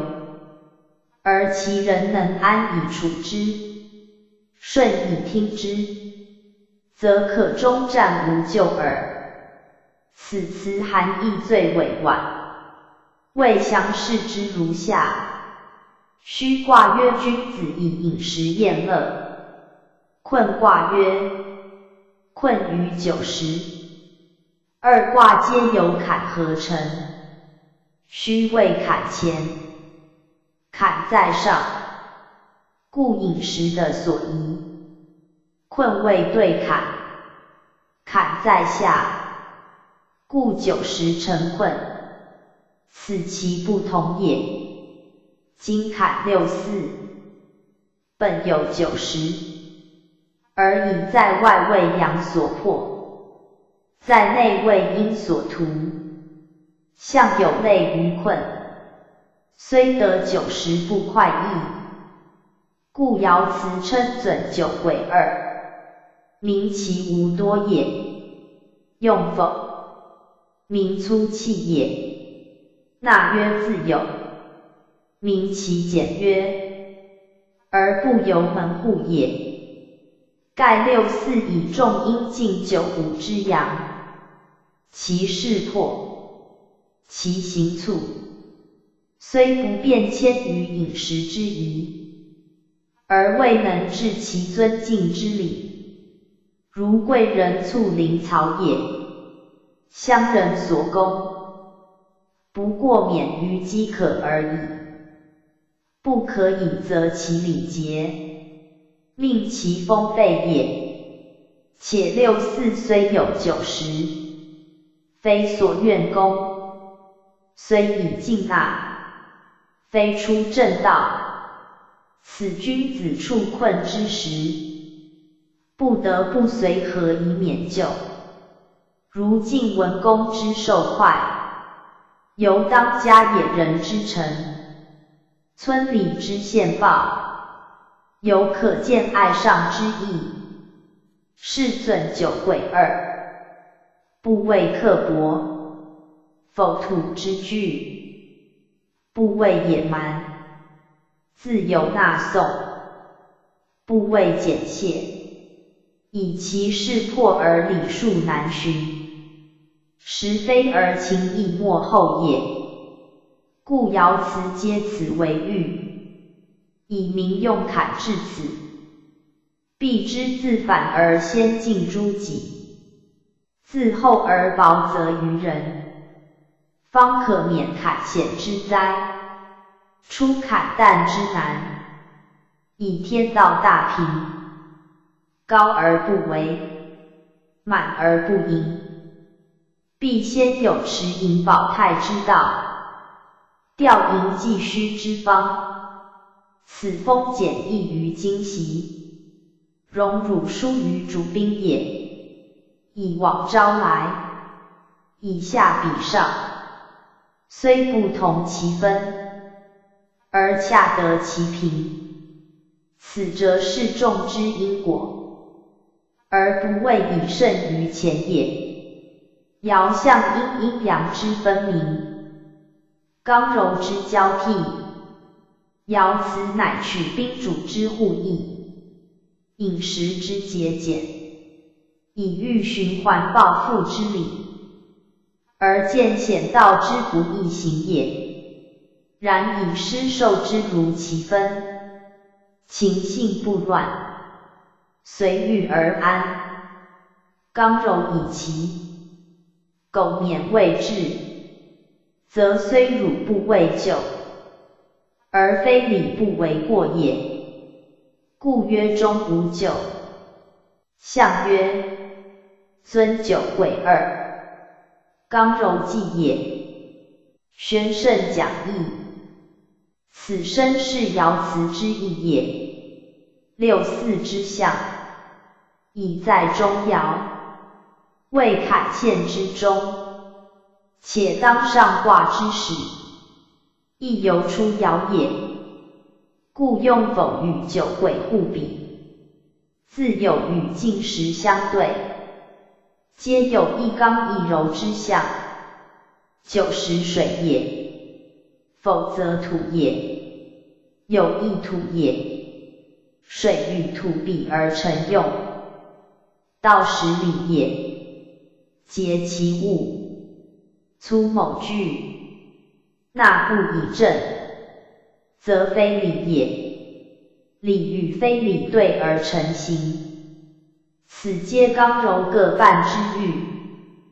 坎以在中，是入土以生，土中之固有者。非土即水，则用否自有，由其原物，寄居坎穴，自不得由正道出入，而不可以求全于一节。此也俗语里文，有并行不悖之意，既由血入，刚柔相交，出入所会。一文一直，一静一慢，原无足奇，而以数言之，尊九其也。鬼二偶也，纳曰主也，自有兵也。一主一兵，一其一偶，亦可见刚柔之交，阴阳之际，互相配也。故世文称为刚柔济也，济交也。两者之交曰济。以六四虽求平，而犹未得平，其志在平也，故称为济。言济在其交，自有至平之望。若至九五，则以平矣。故九五爻曰止既平，此可见易道重在平，而坎用犹贵能平，平即无限矣。读者当会通各爻辞以示之。宗主附注：六四已在刚柔之交，具有和平之象，虽若陷于求欲。而得宾主之和谐，虽接待不能致敬敬礼，而见尊贵之情。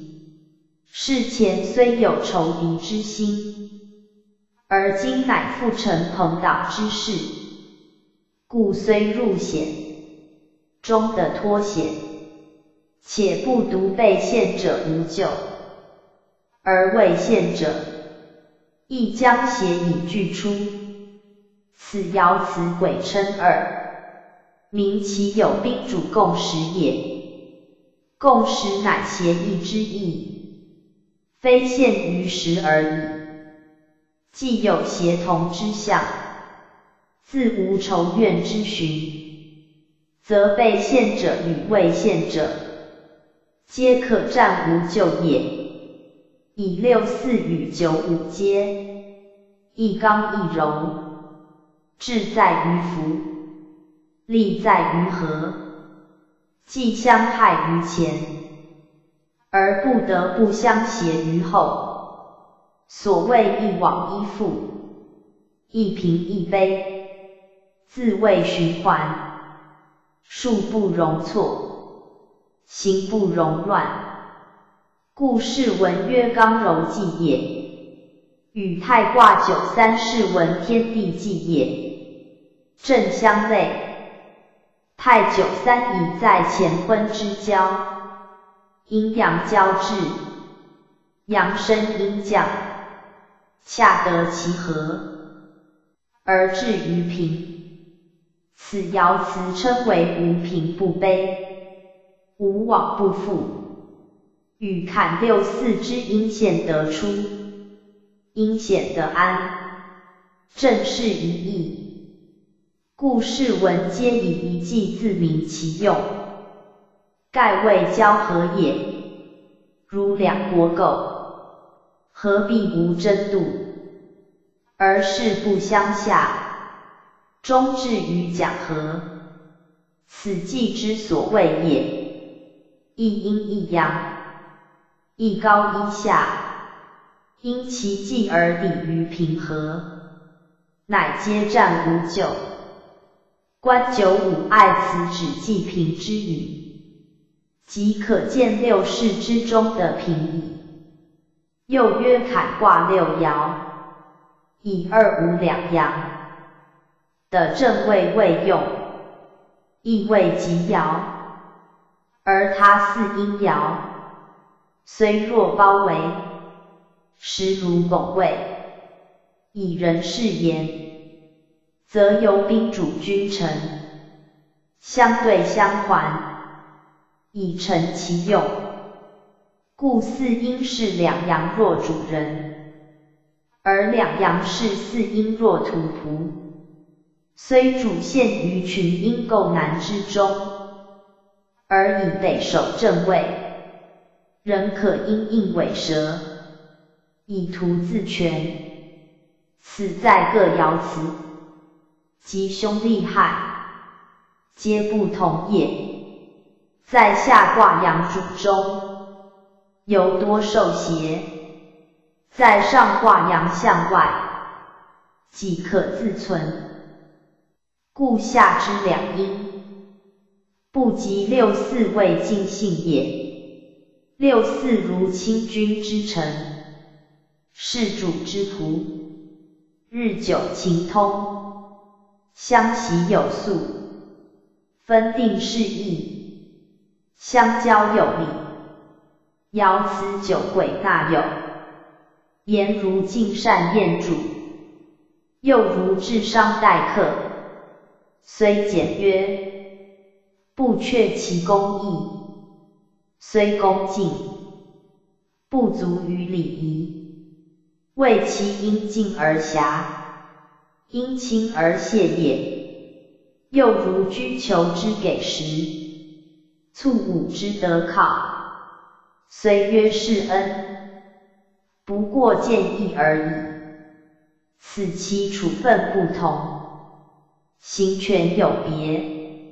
阴虽见而得势，阳虽尊而失时，故虽受供奉。不足以快意也，而以尊卑早定，权力优分，亦使因不得不暂致敬敬礼，以图不陷于相违之嫌、相害之意，则是文所称刚柔济也。济指分济，亦含交际之意，以六四九五分际固定。交际必行，此如客已在门，不得不接以礼，是以备戏，不得不会以恩，此为坎险之用，而达于得教之源，可以由六四爻辞证其为义也。九五，坎不盈，止既平。五九，宣圣讲义，此坎卦九五爻辞也。坎卦以阳入阴中，而阳未贵，卦以二五为中位，而九五为主，以的位成实也。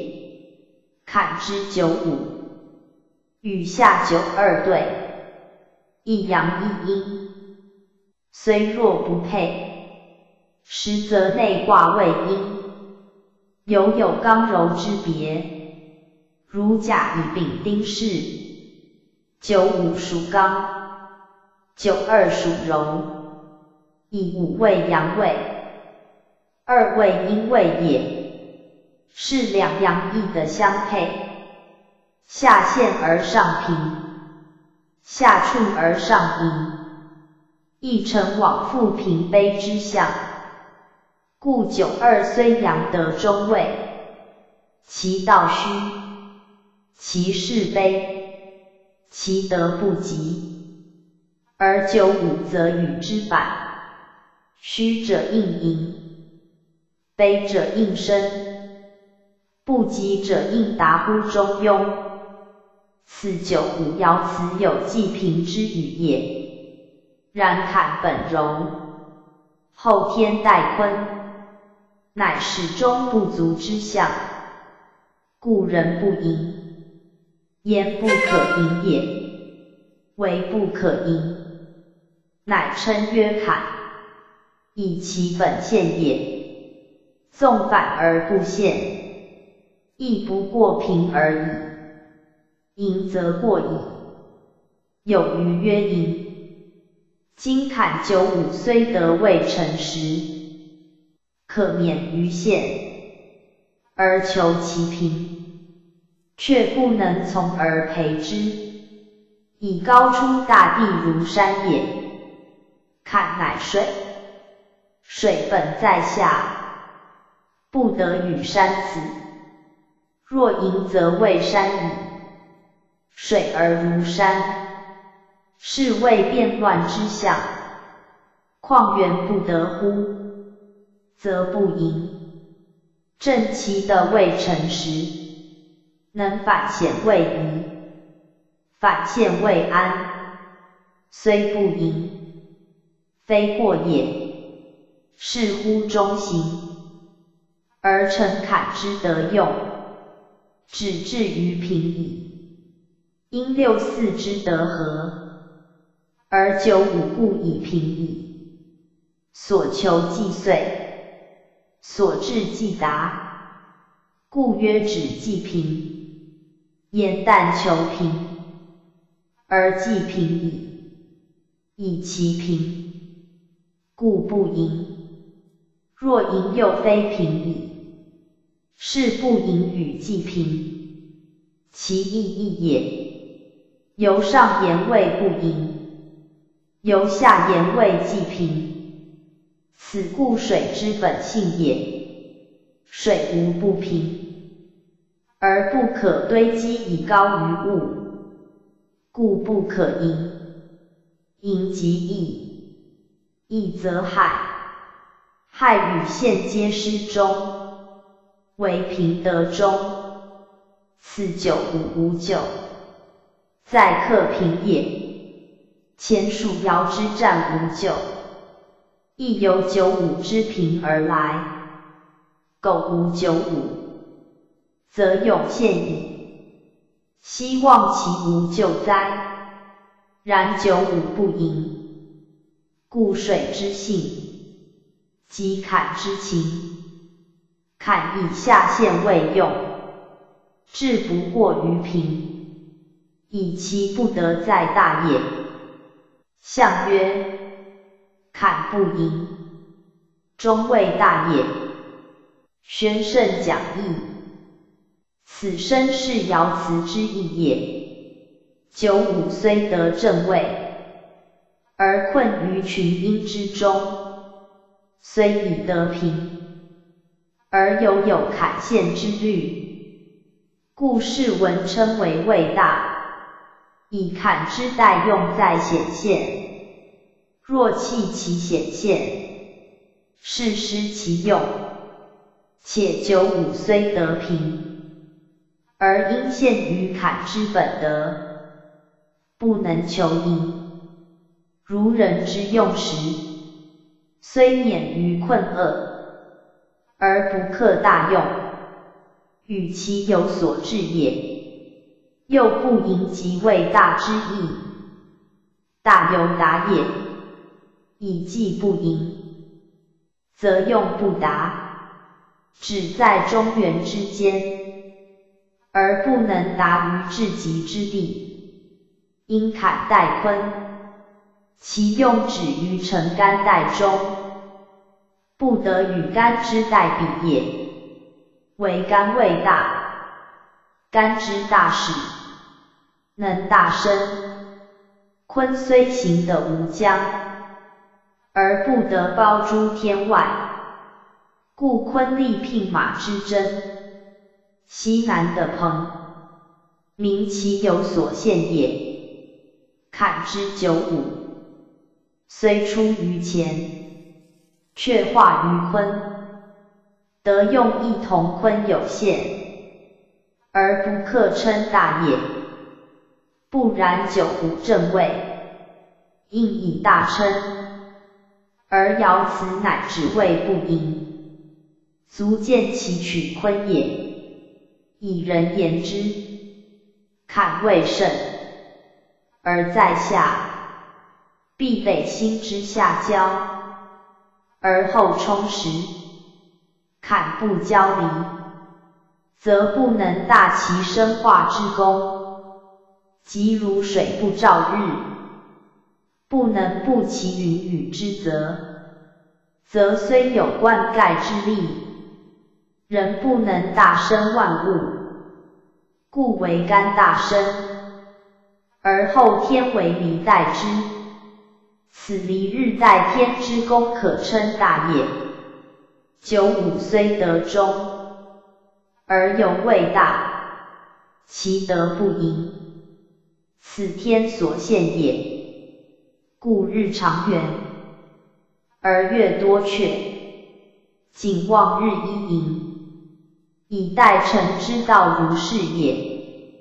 坎待坤而向水与月，虽九五不能盈，此数所定，理所致，天道之常也。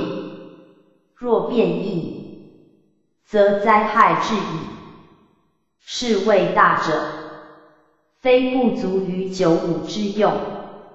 乃名九五之用原谓大耳，不当大而故大之，则不独无功，且失其平，终不免于坎险之祸，故至上六又逢凶矣。此爻为坎主用所存，亦为生化所系，顺以成用，逆以成道。苟名不盈为大之意，则立身处世，皆不为乎道矣。道本常虚，德本自小，待与淫为道德之害，虽失之于物，求其备至，而欲之于我，即勿去其大矣。老氏道德经。昔昭示义，而其要人不外平卑往复之理。小者大之，大者小之。盈者虚之，虚者盈之。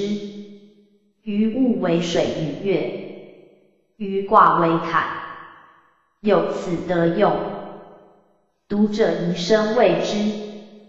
上六，细用灰墨。至于从疾，三岁不得。兄，宣圣讲义。此坎卦上六爻辞也。上居极地，当变之时，而未坎险已过之后，因变而反入险，以安而又逢难，即有坎用之所必至也。然在前之险，未下陷，未沉没，未不得出，而上六之险则非也。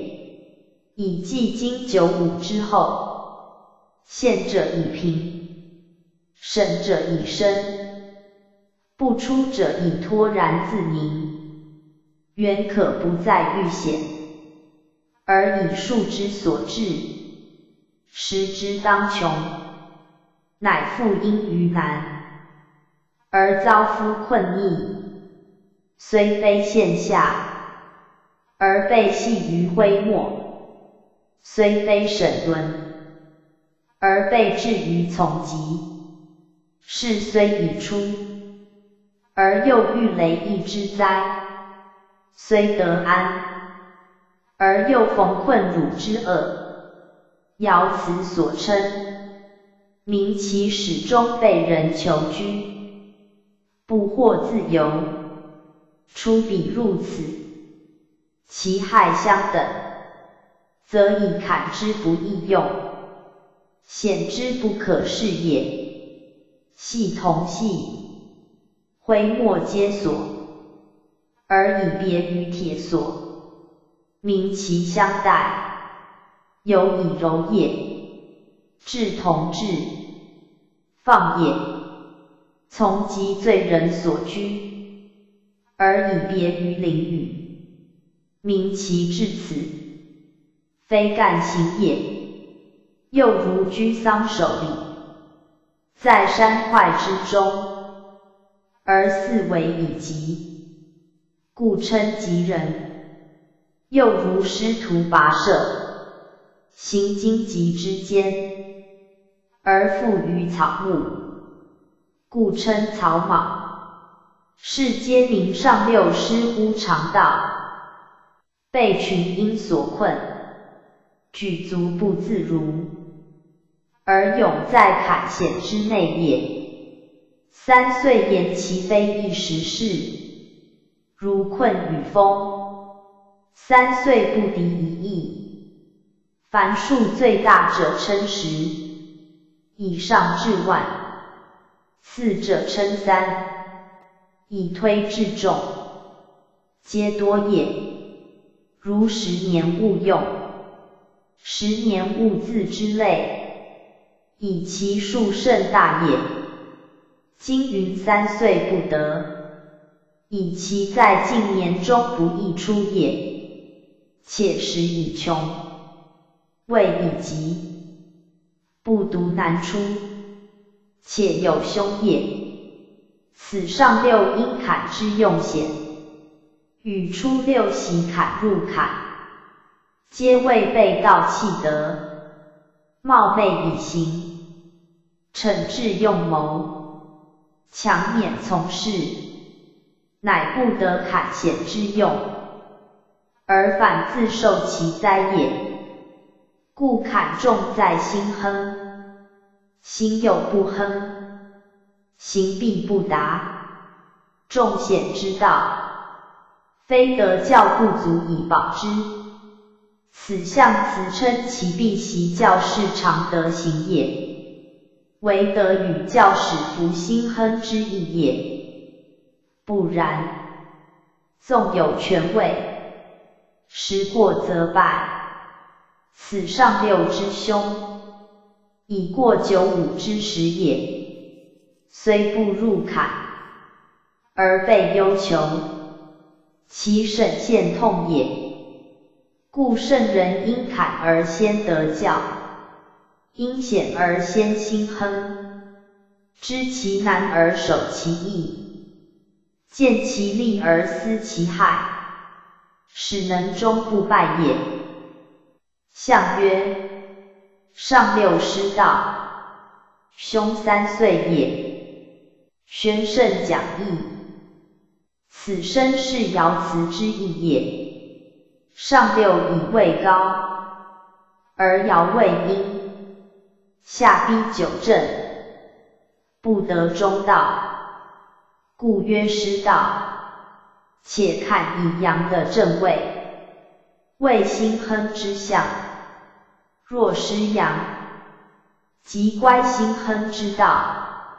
因审阳生，乃成未济，既不能济，则西有以利射乎？故曰失道。言如人失度射之道，而欲行于水，安往而不逆哉？亦卦取阳以涉水，凡言利射者，皆本夫阳。若阳失势，则不利射矣。坎卦两阳中线，以不利射，况上六阴极。而不得复于阳乎？事虽不赦，尚难免救。况已在坎卦，时已入水中，既无周一之资，复乏力皆之术，则其失道，不免于凶，礼数所必至也。然兄以三岁者。为上六居穷极之地，虽变必须三岁之久，气数故如是也。由吉转凶，由凶转吉，皆非一蹴而起。一岁由寒而暑，必经春温；由暑而寒，必经秋凉。此变之数理有定也。三岁故言其其之久，亦以卦元三位，遇三必变。如坎三变则未离，是显现变而光明，则凶易变而吉矣。此可于八宫卦序正之。干三变交坤，坎三变交离，其变必至三，使交对宫，而卦得益与本卦反，故凶三岁。明其必灾交离，方免于凶耳。爻辞不得的字，即寒变字义。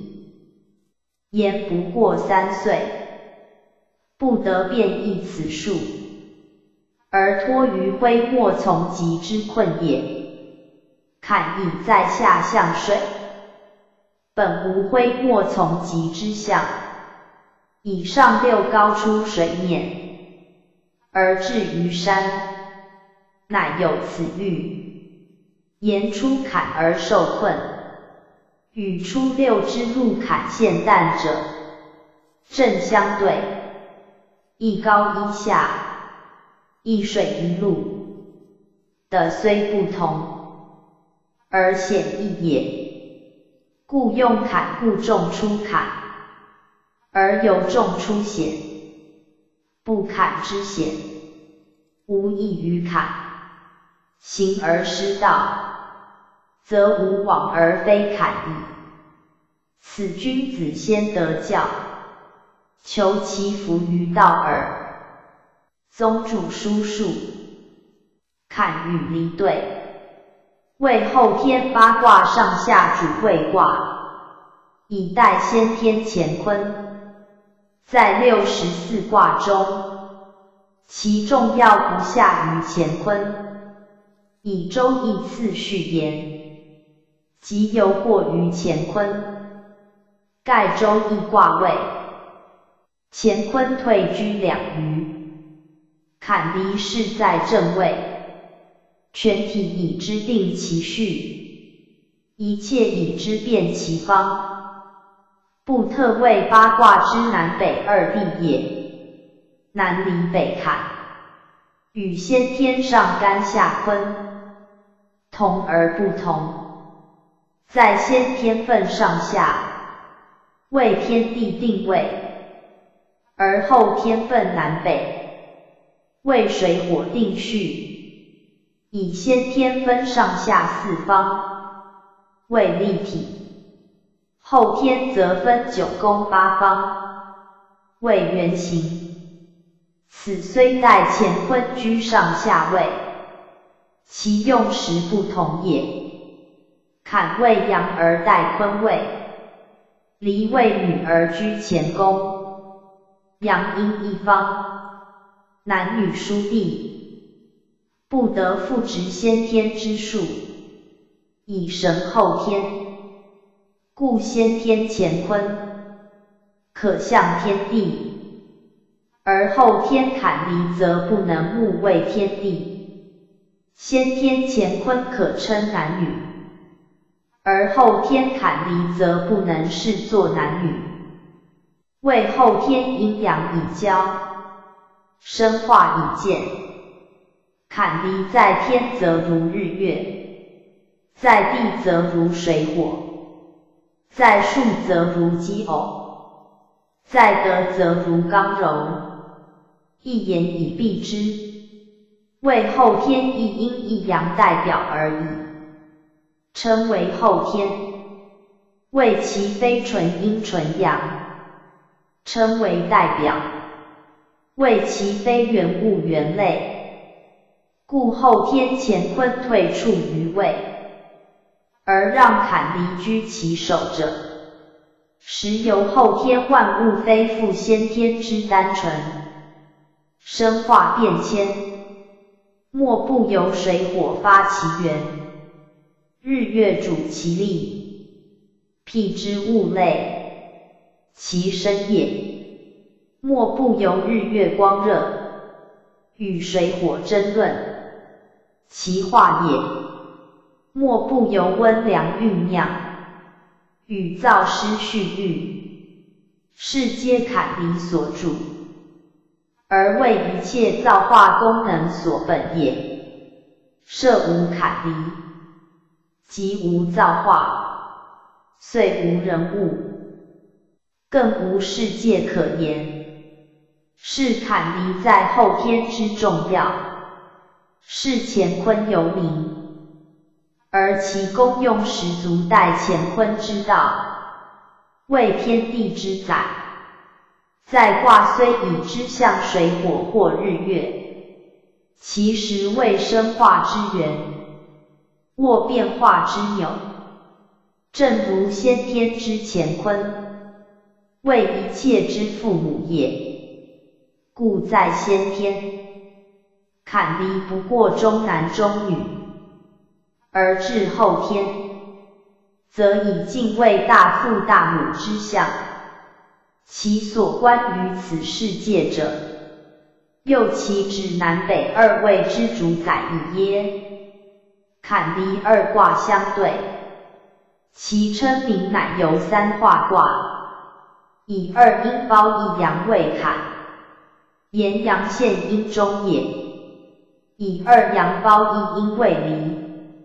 炎阳自离而复立于阴也，是二卦之称名，皆本阳言，而皆本三化卦言者也。若众之为六，则名虽是，实已不然。如坎上下二阳在中位，反阴现而得续藏屏蔽之用。离以初上及中爻，四爻分合连接，反阴离而得配偶消长之功，是六化卦有益于三化者也。就三化言，则六化者谓之重，坎谓重险，离谓重明，重则反其德用。积积则必反之理，重险者，险之极；反则为安固之用，重明者，明之极；反则为下诏之用，以其重而用乃殊。故周易因之，以坎代坤，取其有坤土后载之德。以离代乾，取其有干元大生之功，是以坎阳也；而代阴，离阴也；而代阳，中男也；而代母，中女也；而代父，其体原异，其用则同。盖后天阴阳既交，阳以阴用，阴以阳用，理数故如是也。此一人多乎之，遂故名闻望卦谓之奥妙。而后天卦用，亦因之不通。今讲及坎离二卦用，皆出其意。以为读者告耳。坎离二卦，在天为日月，在物为水火，在时为寒暑，在人生为心肾，实则后天阴阳之代表。称后天者，已非先天之纯阳纯阴，乃阴以交阳，阳以合阴。如日月寒暑之类，非纯也。阳中有阴，阴中有阳，虽名阳而异乎纯阳，虽名阴而异乎纯阴，则所谓阳者，不过阳得势耳；所谓阴者，不过阴的时耳。后天生化之源，本在交合之后，坎乃阳的位以主阴，离则阴德中以主阳，两者互配以成其用。如人生心与肾是也，心合乎离，为阳之长；肾合乎坎，为阴之帅。而心非纯阳，故血统于心；肾非纯阴，故气源于肾。气阳物，血阴物，阴阳对行，而自分主客，故肾之精，心能发之；心之神，肾能御之。发育之机，非一藏所著，而心肾实共思之，此为生者所最重视也。亦凡修道者所必先知。道书所称取坎田离，炼精化气，莫不以心肾为本。心有明之光明。肾有坎之论则，二者合则长生久世，分则病衰老死。此即天地生化之机，一拳一消长之术。今讲坎卦，有关道要，及人生受腰健病之处，实最重要。望读者细玩味之。坎卦自象及自阴，居与坑近似，在俗乎坑，在文未坎，而后世不知坎即坑也，坎陷即坑陷也。俗乎社稷害人为坑陷，即社井陷受之意，井亦坑也，未掘土成井。上盖以草棘之类，使受不绝，而落入其中，故称井。名其为土井，中无水也。一作井，名其为穴也。井陷即坎淡之意。坎淡者，土生下陷。入不易出，入坎淡者，犹坠于深穴，因不知而坠焉。是在射者谓不仁，而坠者谓不智。此坎之用近乎忍，而用坎者，则利其忍也。故用坎谓之智，言以治武不治也。志在深藏，若露于外，则非志。如以力胁人投井，乃暴也。武力以胁人，非智者所为。盖用智则持用力，坎之用险，即以智代力，明示人以不愚。而使之自陷于淡，非智过人而合。此坎虽险，而用称智。中庸曰：人皆曰于智，屈而纳之蛊惑陷阱之中，而莫知之必也。可见陷于淡者，乃智不逮，非力不足也。然智有大小，小智犹不智，大智若愚，为其善造，乃若愚。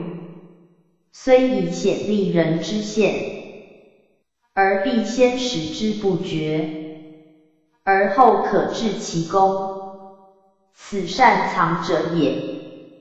苟明事有险，人将避之，唯恐不及，尚敢以身试之哉？故大智必愚，至刚必柔，至勇必下，坎亦柔成其刚，下成其高，而达夫于成其志之用，故坎坑也。坑乃土抗二字，抗言其过高过刚，而其实则至柔至下。此坎之代用有异乎他卦者也。人但知其显现，而不明其高明，则未得圣人治卦之意。其能治夫易用，而达于大道乎？坎卦取向于水，而自从欠土，名其为地之低洼处，土所不足，水乃助焉。海洋湖沼江河沟井，无一非低洼之地，卑深之处，故土多而隆起者为山，土少而洼下者为水。此地面两大异形也。在卦更为山，一阳在上，名其高出地面，其下二阴，即坤也。而坎乃向水，一阳居中，名其身住地中，其上下二阴，亦坤也。不居下爻者，以水源在地中，非地下也。即海洋江河之水，似在地面。若河高岸山复平均言之，人居其中，此一阳在中，名水一阳也。虽五行火阳水阴。而气实互根，火根于阴，水根于阳，后天体用如是耳。以坎为水，故凡卦言既设者，皆关乎坎。如既未既，其名正也。即除二卦之外，他卦中所称立设不立设者。亦指坎焉，如虚宋之类，亦皆有坎也。其无坎者，则或因互，或因对，或因变，或因用，有关乎坎，故亦称设。而大过上六则称过设，则以大过之后即坎。因过而设，因急而变，名以由大过变而交于坎矣。非坎本卦之用，且系大过之余，乃占位凶，以用乎前无爻也。大过本非坎，而类坎之大象，亦称叠象。以中孚本离大象，或叠象，大过与之反，故有类坎，然非真坎也。为上六以及，由变而交坎，遂有过设之凶，为其设夫坎险也。坎亦险称，而象于水。是凡水皆险，而险亦多资于水，如江河海洋，实大险所在。古之舟楫无论矣，及经纶帛器机，似可履险如夷，而一遇天变，亦不免有倾覆之虑。以其本未显的也。坎虽不仅以水治其险，而水之险，使首屈一指，故言坎之用，则借水未遇，而凡类乎水者亦同，为其能清现也。如俗所称祸水流言之类，其险正不减于江海也。人生中甚属水，智慧所出，神光所生，人之目珠如水，即肾之精也。肾衰则目不明，思不敏，在体直，小胃痰胃饮胃湿，大胃肿胃喘胃汗脱，皆病之所成。易水之危害，此即坎之见于人生中者，利害各异，祸福不同，是在善治其用，而后可收其功，故一辞心亨云云，使以治坎之力，在心亨也，亨通也，通则不治。水之用在流，而害在蓄而不泄；水之功在润，而病在泛而无涯。皆由不能亨也。不能亨，非水之罪，乃心之咎。故曰为心亨，言其用重在心也。看一九五罪的中道，前以言之矣。至上六，则又入于显现之中，与初六相似。以急则变，变则反时。礼数故如是，而全坎各爻，与困卦吉相类，因困位对合坎。对位则易水也，且则为水归宿处，水聚成泽，有则即无水，故因称则无水困，以则即水也。故困与坎相类，因各爻所占，与坎亦相近，如困初六。困于诸木，三岁不敌。上六困于格类，六三困于时，入于吉里等语，皆与坎上六词意近似。又加坎出六入于坎旦，亦痛困之困于诸木之意，而坎六四所称。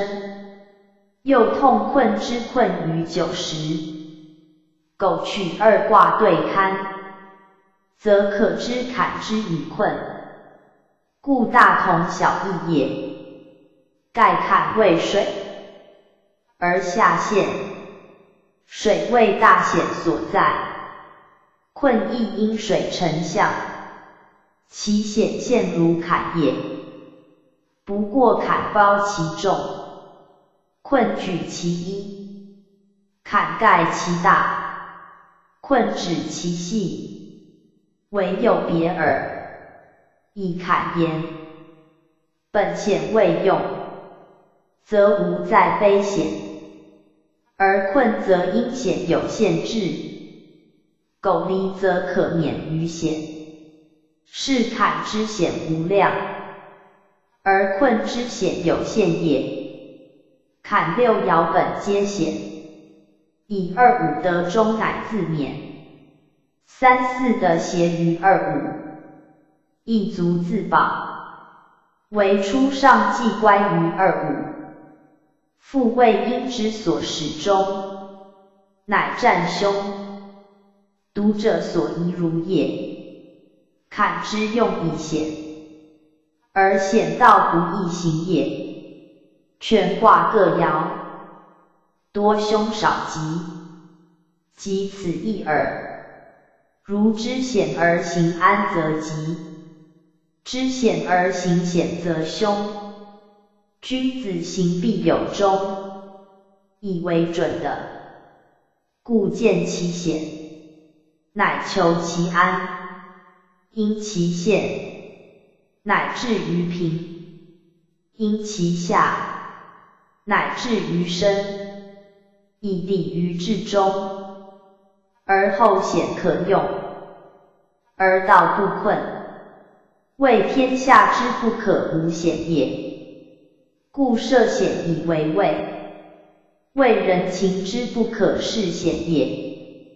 故至险以为戒，无过不及，始至中和。此用坎之大要，而重在能合乎离。离为光明，谓生平，谓高尚，谓宽大，皆与坎相反相应。得其合，则谓道用。此即一阴一阳之谓也。知雄守雌，知黑守白，道之为妙，不外一中字。若图偏于一，未有不为道而害身者。故圣人续卦以明记坎，明二者之不可离也。离则不祥莫大焉。离离为火，离上离下。离利贞亨，畜聘牛吉。彖曰离立也。日月立乎天，百谷草木立乎土，众民以立乎政，乃化成天下。柔立乎中正，故亨。是以畜聘牛吉也。象曰：明两作离，大人以记明照于四方。初九，履错然，进之无咎。象曰：履错之进，以必就也。六二黄鹂原吉，象曰黄鹂原吉的中道也。九三日昃之离，不鼓否而歌，则大蝶之皆凶。象曰日昃之离，何可久也？九四突如其来如，焚如，死如，弃如。象曰：突如其来，如魔所容也。六五出涕沱若，七皆若，吉。象曰：六五之吉，离王宫也。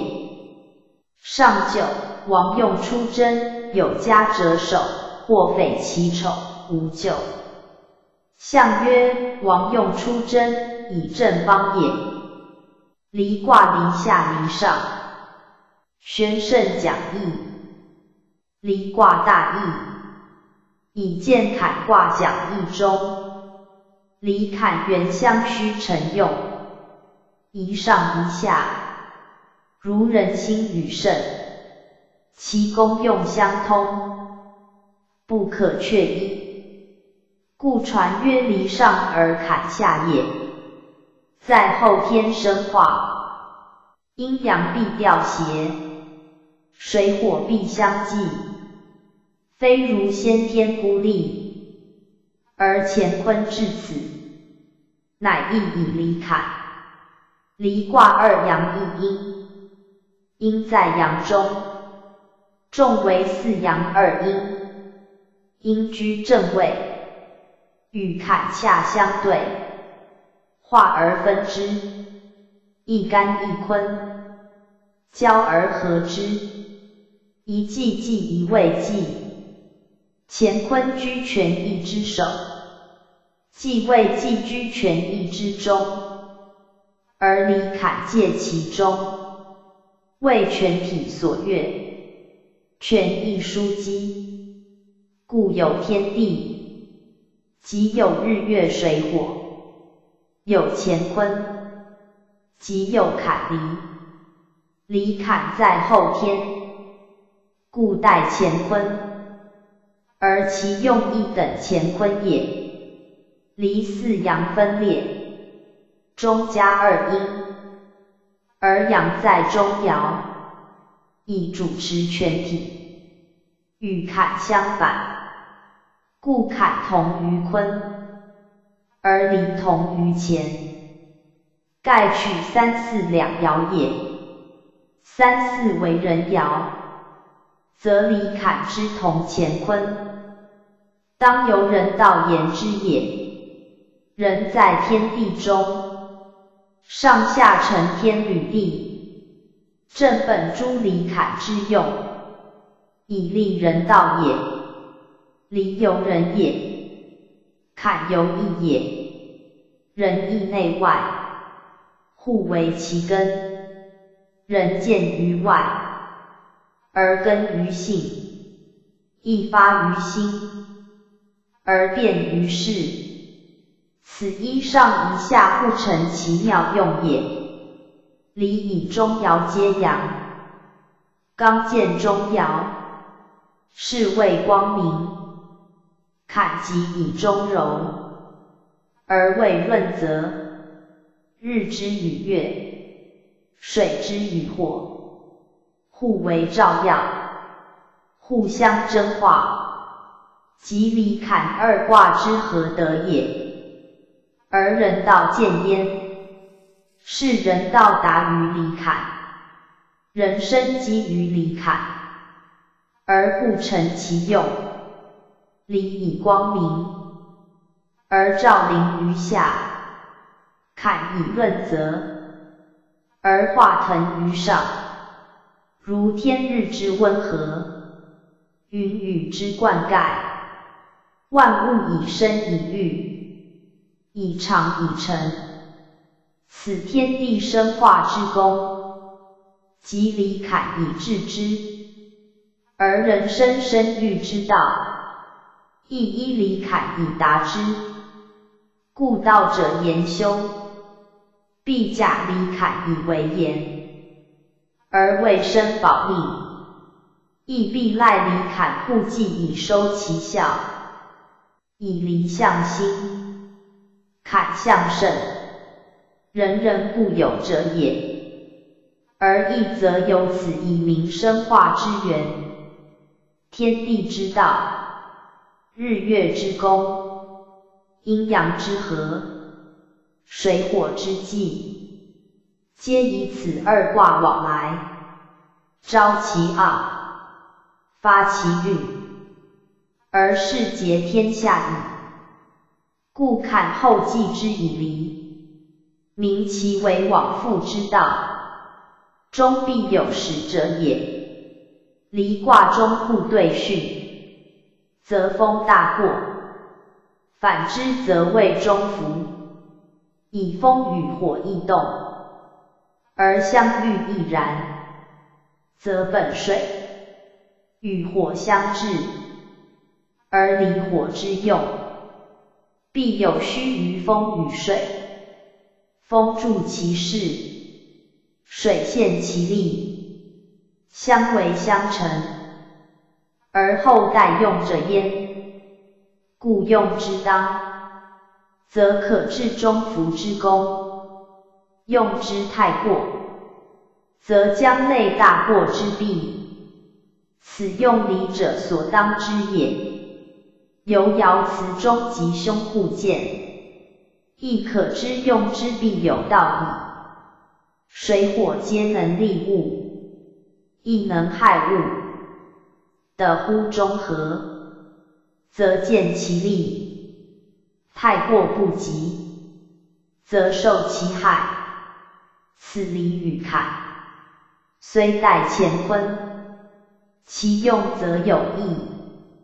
以计交合后，非纯一者可比。离取其光明而不过，坎取其阴险而得中。故二阴在中，乃至离于中行。二阳得正，足托坎于显现，其道义也。为至中，乃至道。过与不及，皆非道也。他物尚然，况离坎乎？离坎在天地未生化之源，在人未生存之根，在物未生育之门，故无时可离者也。因其不可离，而名曰离，足见命名之意。要人之物过，而守其分耳。离之用，即合于坎，而未往来。与坎之用，在于的离，而治平邪，皆太所谓无平不卑。无往不复之意，唯离能合，因离乃有合。辟之男女，故以离而合，而后成夫妇。生者取诸别类，化者从于一种，而后生化以繁，发育以健。男女以异性为夫妇。则子孙甚昌，果木以异类皆根苗，则花实茂盛。此皆离而后合之意。而卦象两阳中分，中爻反连，正此道也。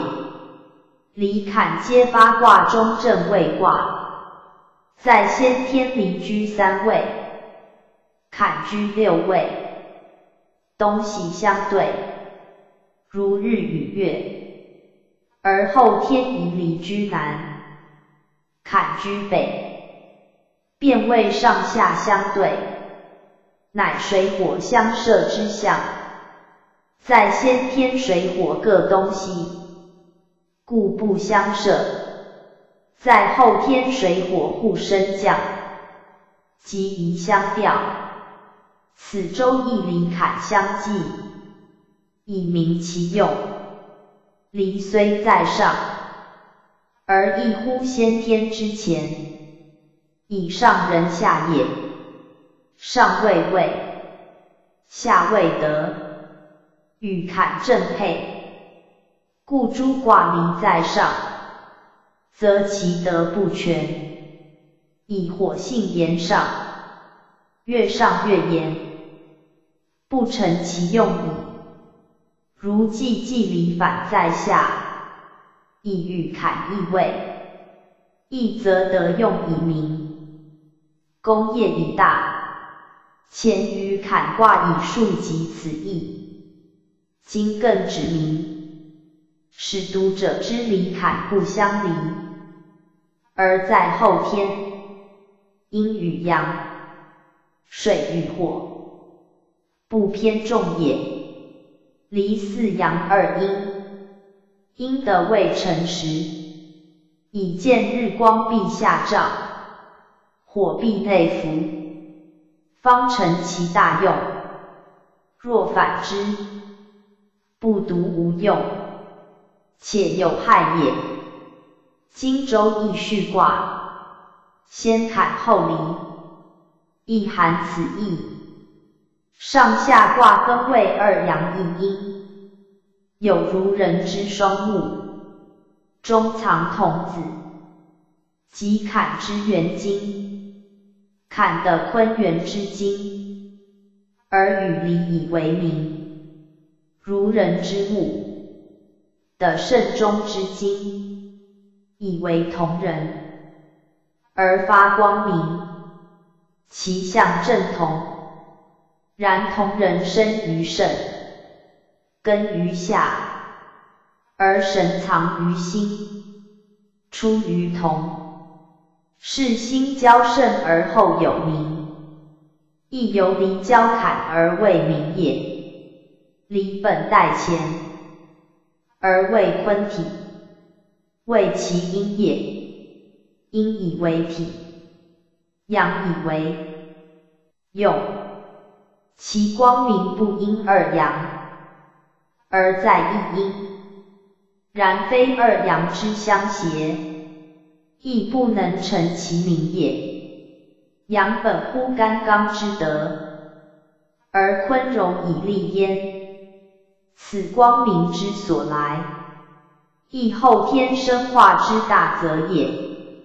若先天，则为纯阳为光明，故道者不复假目以为是。而明彻一切，以其非后天之气，乃依先天之道也。修者调离和坎，化而为乾坤，益而还于纯阳，乃不用木而自明。若无人，则赖木以明。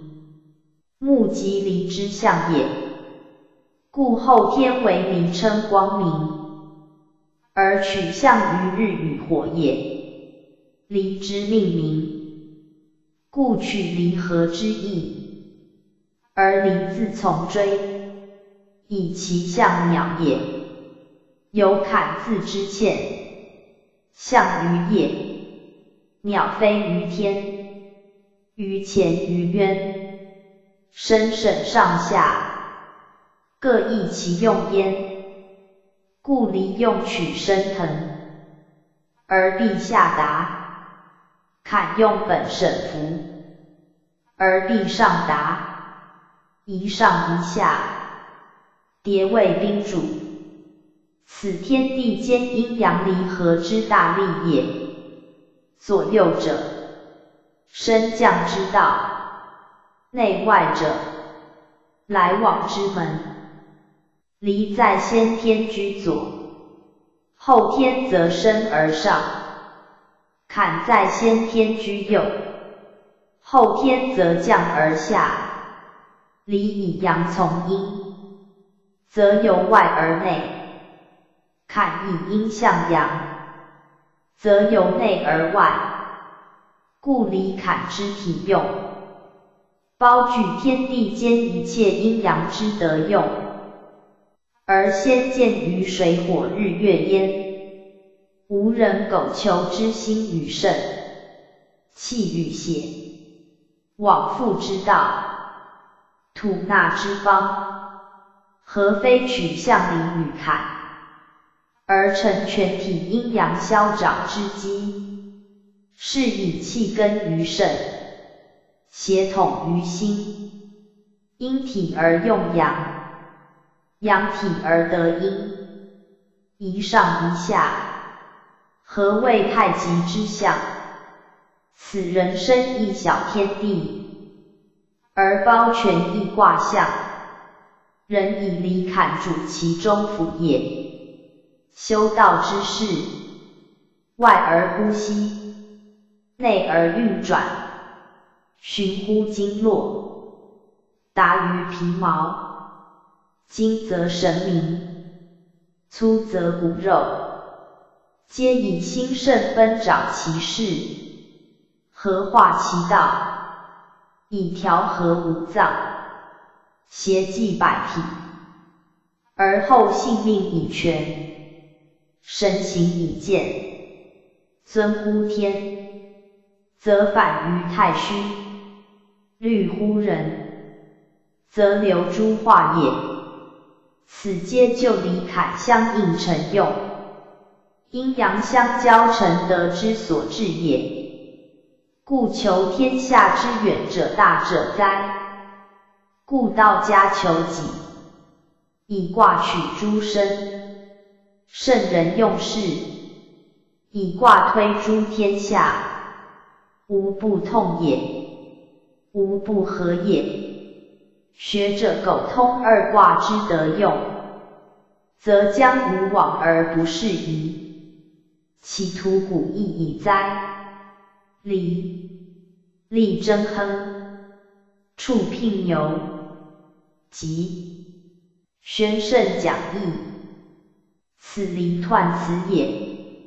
离出于坤，而成于乾，以女代父。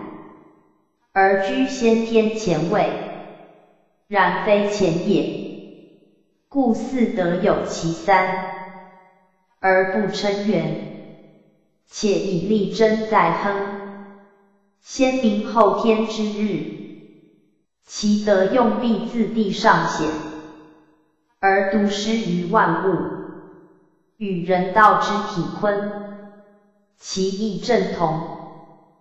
盖离虽代前，而非先天天道，天以日明，未将者其用于物也。故先立真而后亨，亦以离之出乎坤也。阴以阳用，阳以阴用，此天地定力，牛坤象也。聘阴也，离干之代也，阳也。坤称利聘马之真，以取乎干而成其用也。马为前象，而坤用之；牛为坤象，而离用之。离元一前，故称聘。若干则为母牛矣。乾用母牛，坤用聘马，恰相对也。离以出乎坤，成乎乾。乃称聘牛，而得处之也。以离代乾，主天下生化之源，故有三德而战吉也。彖曰：离，立也。日月立乎天，百谷草木立乎土，众民以立乎政，乃化成天下。柔立乎中正，故亨。是以处聘牛吉也。宣圣讲义，此生是彖辞之意也。离为火，而名于天，以其在天空也，故有复利之意。为复利于天也。若就得用言。则又复利于地及诸物也，而一切有名有形者，皆托日之光明以生以化，是物又复利于日也。以日为天下中枢，近若地上诸人物，远若各宿，未有不复立于日，以生存变动者也。是日为一切所立，而又自立于天地，故离未立，名其虽离而不脱也。如地球也，诸行星也，及天地间万象也，皆自分离，而人相属。若有谓之牵系者，则皆日之力也。亦即离力之意所招者也，或以力为言其光明，发为华美之色，诸炫之文，故称力，是亦一意也。然本意，则以复属未当，不过立之真解，虽若复属，实相分离。正如天与日也，日虽属天，而与天接，其动止也，乃与天异，故名离。而义则立，正以其离而后称立。若缘一体，故魔所立也。离出于坤，而成于乾。上立于天，下立于地，天其体也，得其用也。此力之所至，不限于天空也。辟诸日之光热，必及物而后见。腾空者不觉也，登高者反见其寒。是因所立不足，则其用不显之一正也。以卦言：四阳二阴，一交相利，而阳为主，故曰柔利乎中正。以阴在正位也。日月利乎天，百谷草本利乎土。此人共见共知者也，而所要者，非图利之贵，必因利以成其德用。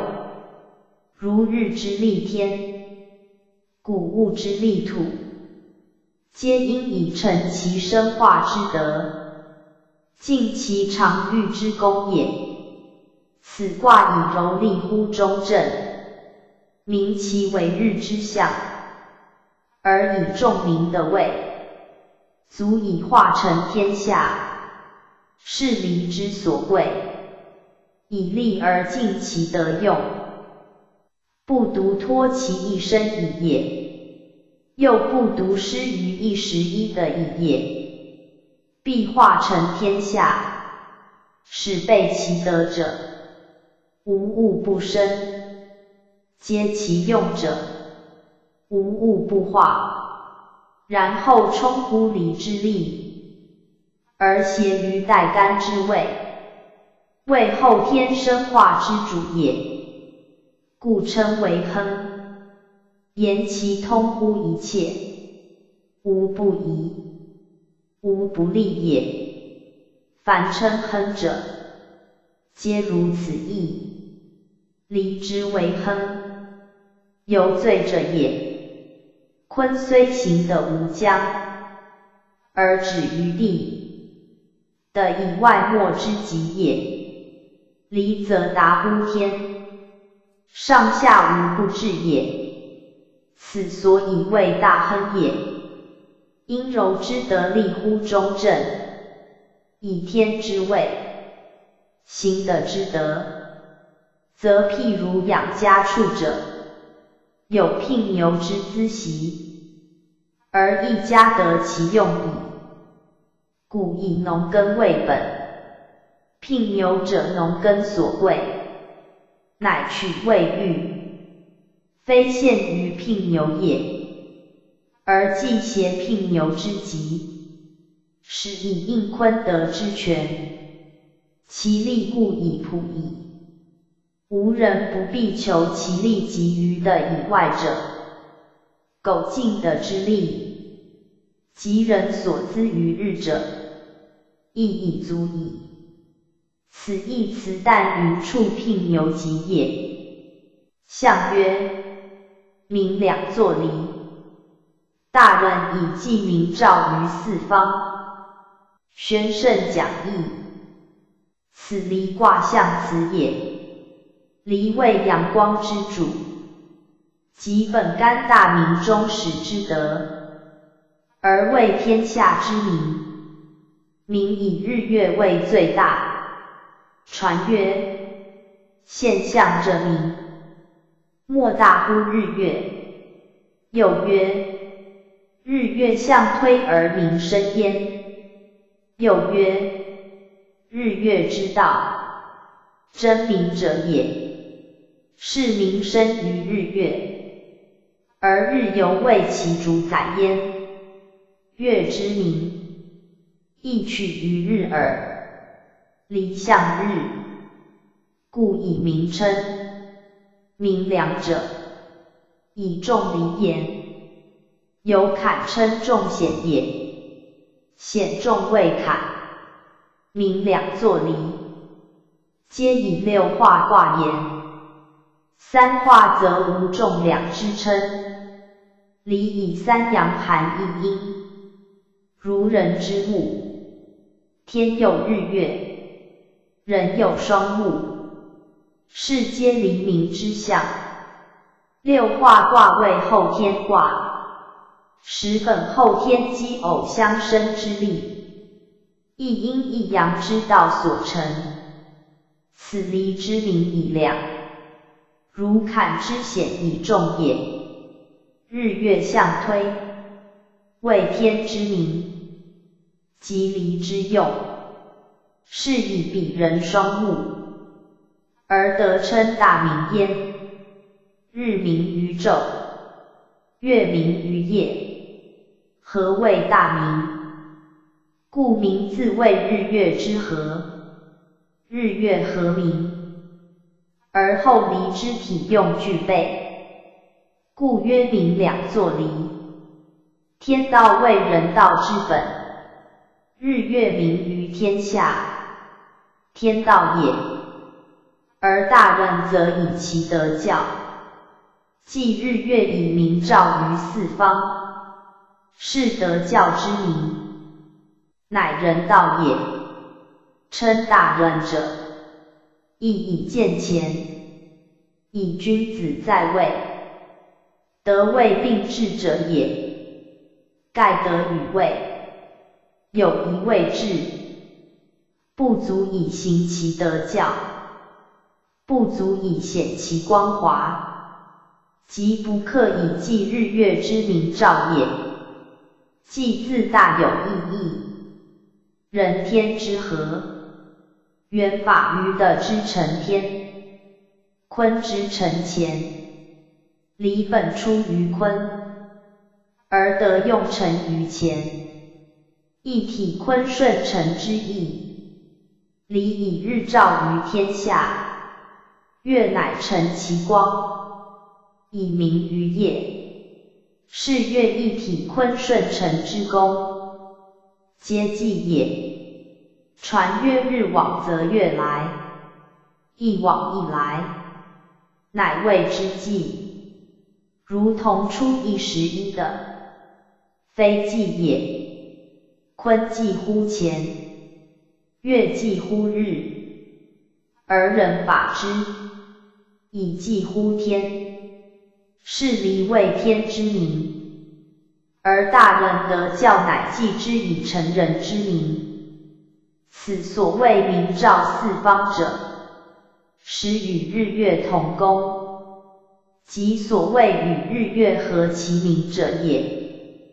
大哉明乎！非大人之得教。何足以称之乎？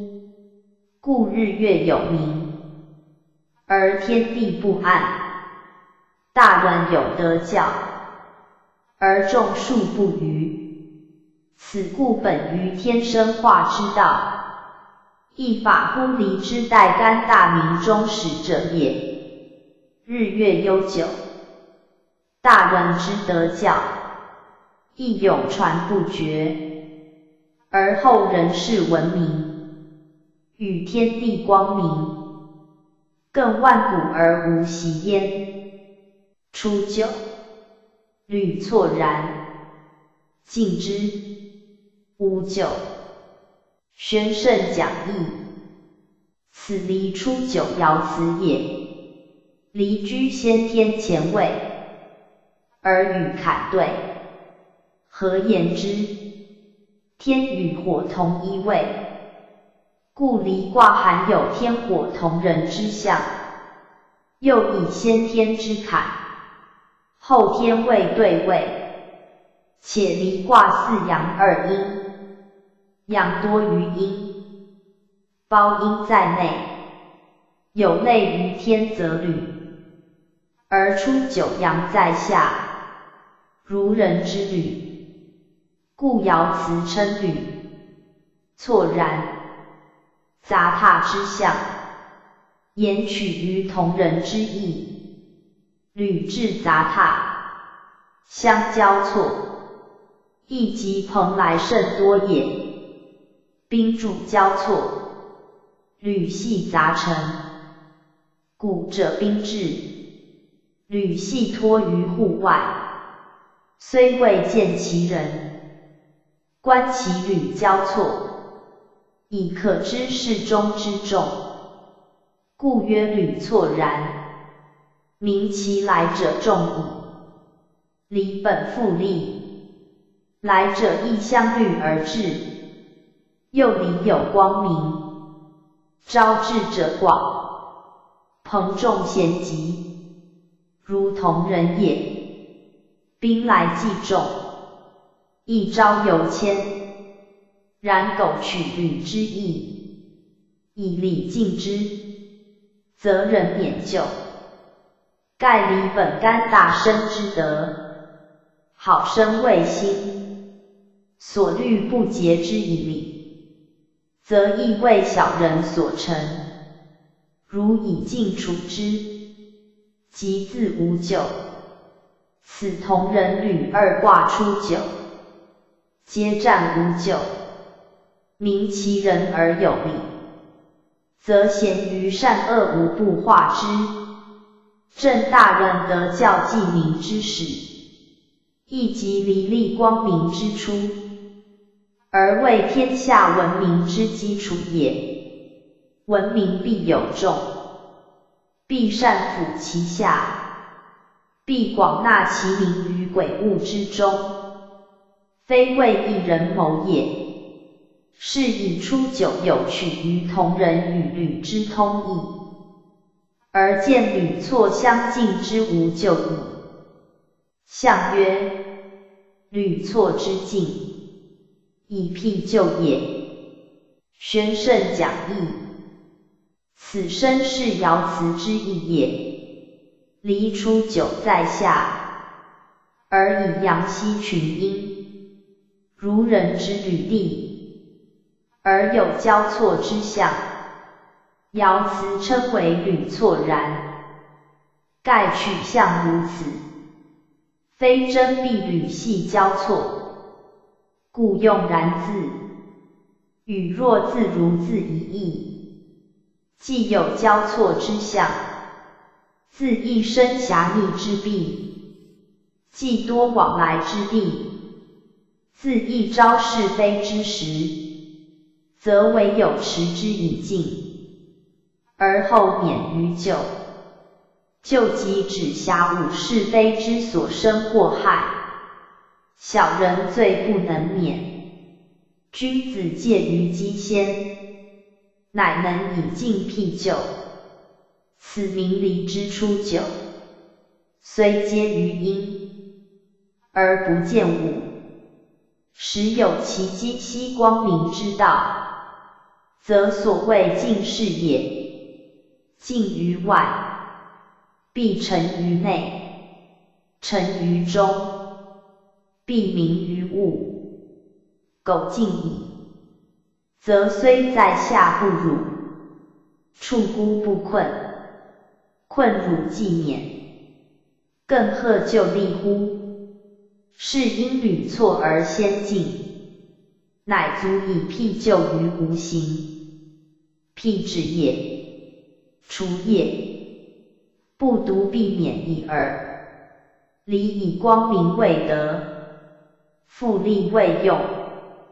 光明亦污，复利亦现。此出九之咎，故礼数不易免者。而人道则本其光明之性，兼其复利之心。不使成障有弊于外，不应托必有类于中，则为敬于其群，交之以礼。此即本敬以直内，亦以方外之道，而克常保其生化之德，永协其水火之用也。辟之于火，亦火是孤。不慎重水，则何以成蒸腾之功，而收调剂之效哉？此出九阴阳在下，处得不易，免救思难。有如正人世子，涉足狭邪，置身突促，其部位所侮辱及牵累者先矣。故爻辞以敬未训，而明人道之能济时，亦以离有日月光明之德，自克以敬保其功用也。六二，黄鹂，渊吉，宣圣讲义，此离六二爻辞也。离卦以二五两爻。因得中位，名其源出于坤，是以在六二取坤之德，而称黄鹂。由曰离合坤德而成用也。黄为坤之色，在坤卦六五，曰黄长元吉，此称黄鹂元吉，正相表里。六五在外卦，故曰黄堂，此以在内卦，故曰黄鹂。离本阳之用在上。其象为日与火，因所向者众，不及偏举，乃称黄鹂。犹曰黄日也。凡属离而为六二者，皆黄鹂也。以离又为利于民，亦可误为黄历或黄明也。因黄为色，离则其物之代名。如曰黄历，即以黄历于物之意；如曰黄名，即以名而色黄也。不可知离卦之名，谓未离之黄也。然黄离之称，正以离六二的坤之用，亦即乾坤同道，天地合德之意。盖离代乾，为天道所忌，而黄则坤也，的之色也。天地合德，即生化之根，万有之载。治世而离道以全，离用以成，而天地生化之功以者，而水火既济之效以明。故战元吉，言其无不及也。以日之代用在于生化，而生化必极的而后见，万物皆托于的故也。六二以日光下照大地，日色黄明，及地上所有，无不被其光热，欲味生成。正如春日，天气初和，万物生长，乃以地面的日之光热而蒸化而发育也。此其为极，非一方一时之宜，故称元极。名其遇此者无不及也。以日下照极地。其光中天，无不普照；其气温和，无不化育。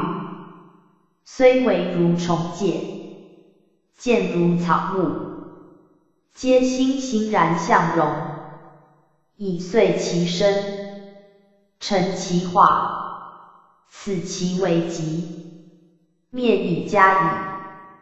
是六二元极。恰与坤六五同，坤六五以顺承天，而成其代中之功；离六二以柔体坤，而达其大生之德。皆取天地合德之意，有如太卦之象也。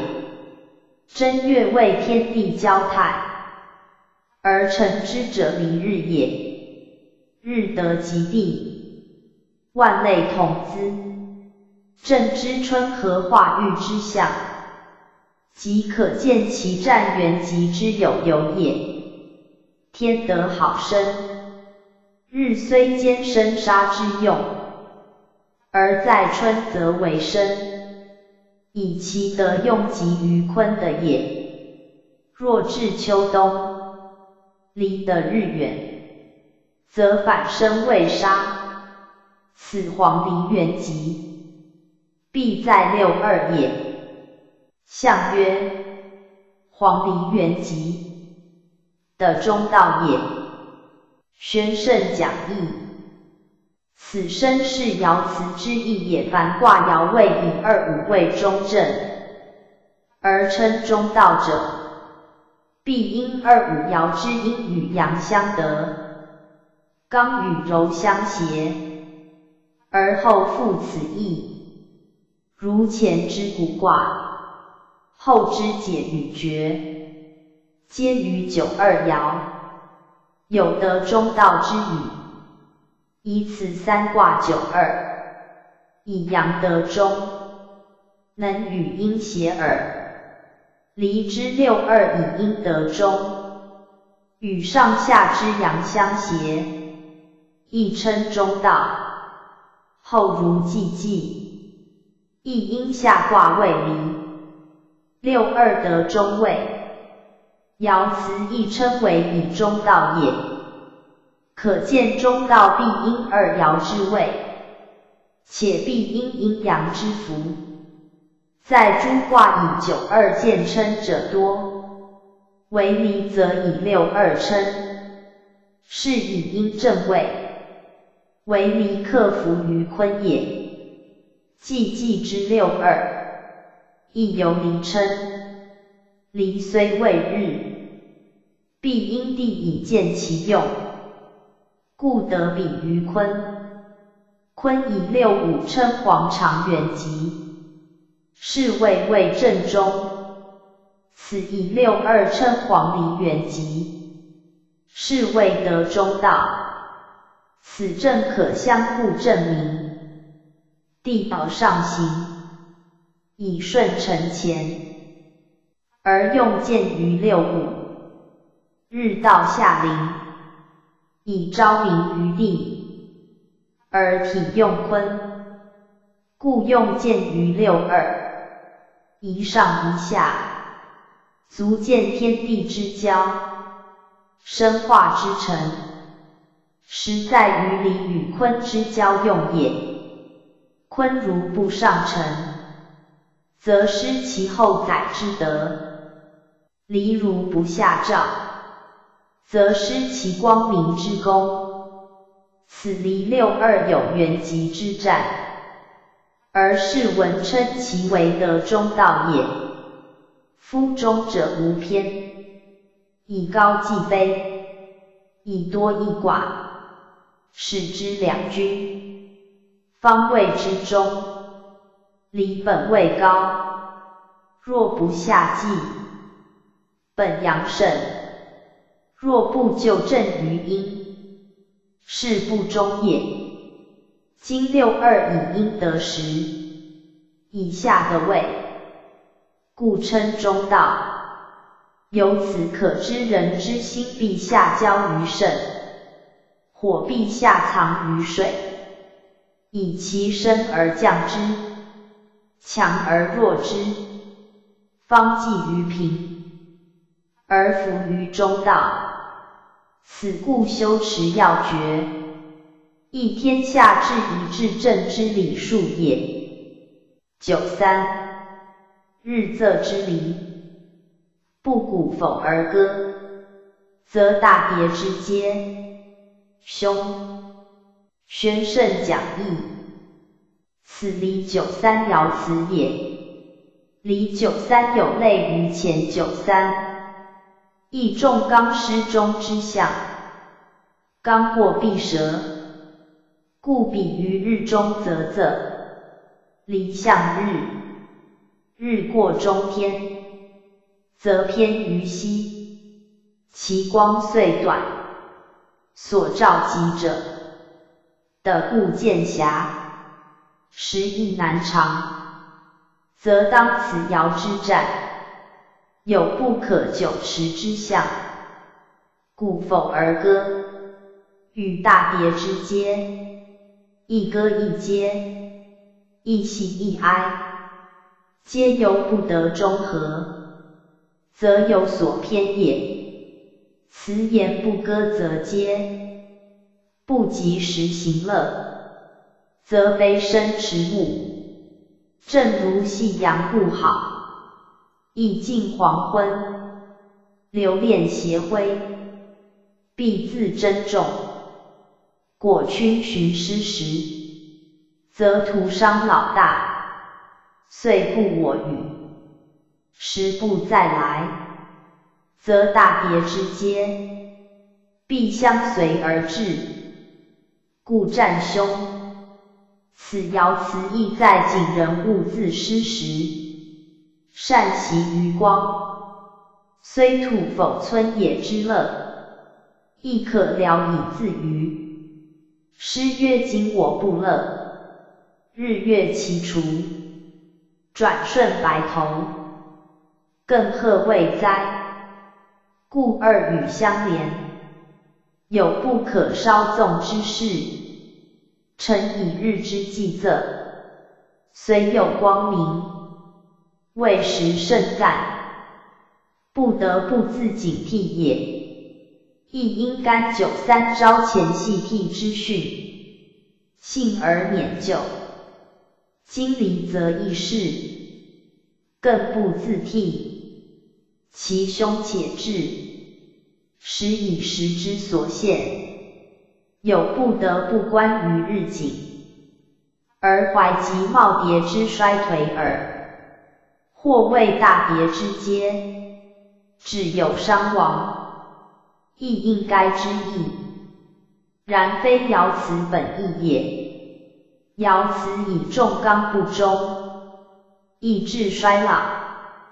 如日之过中岁色，意志昏暗，应象立辞，并非为九三有杀伤之道，故上句古否而歌，促人及时自适，亦即免人早日立德，无使空非迟误，而用一部自义则字，明其不如此。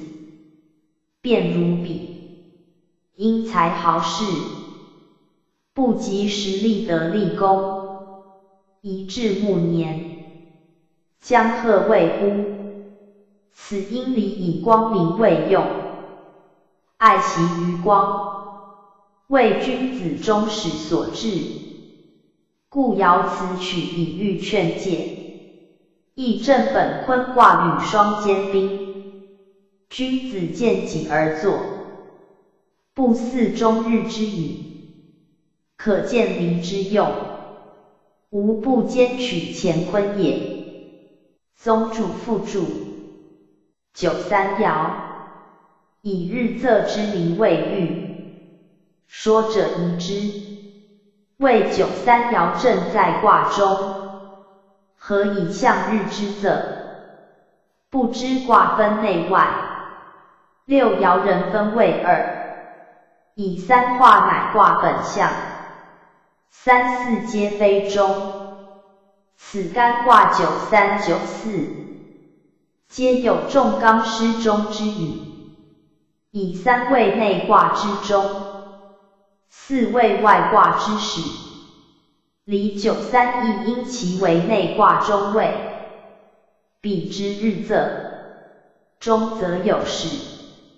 四爻又如出爻矣，而四却非出爻之比，已不得其立足处，浮于半空，亦遭轻跌，故干九四爻曰或跃在渊，即由高而下堕也。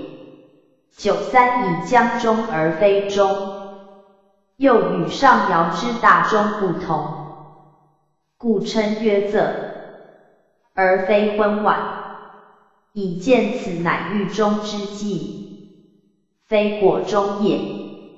爻辞免其早自奋力，及时求乐，乐者生之表，有生必乐，有乐必生，生而不乐，是生之不久；乐而不生。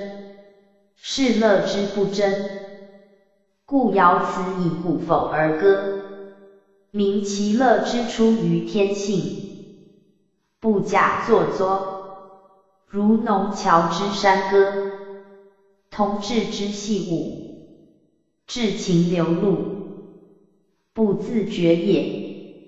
然日仄不可久持，放歌一时，非能日日为之。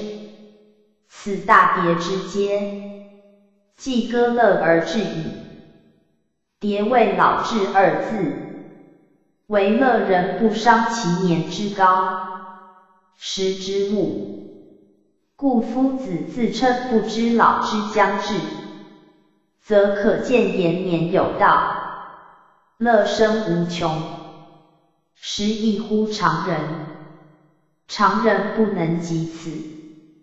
叫大蝶不堪其嗟叹，在壮年不知可乐，暮岁必加其忧，事业未成，得名不立，则徒悲老大，亦何益哉？此君子见于九三，而自招前戏替也。相曰：日仄之离。何可久也？宣圣讲义，此生是爻辞之意也。以九三爻象日之仄，虽名不久，与大过九四枯阳生华之象，有相似处。彼曰何可长也？此曰何可久也？皆由生机之所现。虽一时光荣，不可长久。此数定于天，而人道即以以得计时，以道晚数。故象辞称大人以计明照于四方，即言天之不明，人乃记之；日之不明，月乃记之。记之不绝，而民以用。天地人为三才，此时始见人道之大。辟之一事，天晚则悬灯以免其暗，此即人道祭天之穷也。推而大之，德教所及，欲为文明，礼义所加。发为光明，皆人之计明也。故德曰明德，为臣则明，得以成名，则天下无暗矣。此离九三之日仄，而免人之有以记其名，以称呼明明德于天下之训也。古来圣贤。君报此记名之志，是以德备无疆，而天下皆受其赐。此人文之所以成天文而其光，人道之所以少天道而具至矣。故中庸宋至诚无习，而乐悠久无疆，以其克配天地而有名也。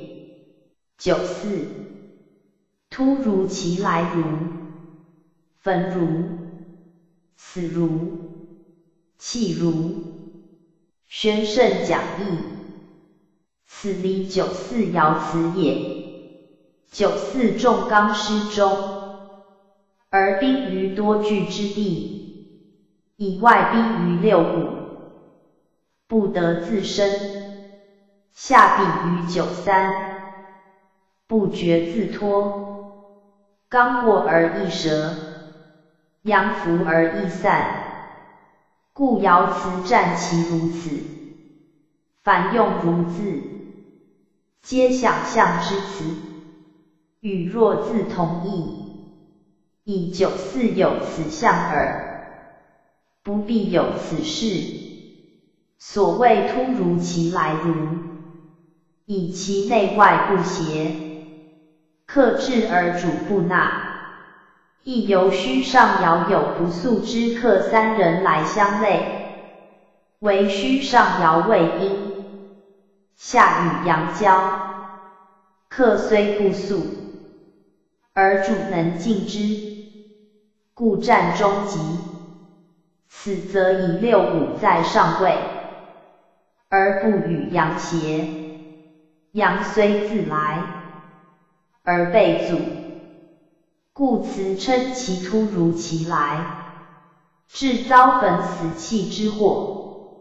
可见主客猜忌，不相容也。突如者无缘而出之意，来如者无故而至之意，焚如者欲火之意，死如者不复生之意，弃如者不屑故之意，皆言其不恰不入，而魔所习，是绝情之意。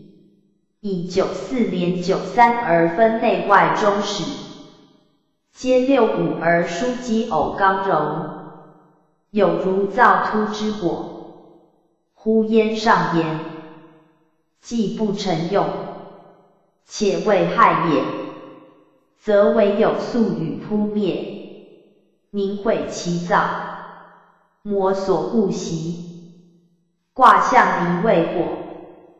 故取造突火焚之欲，非火有灾也。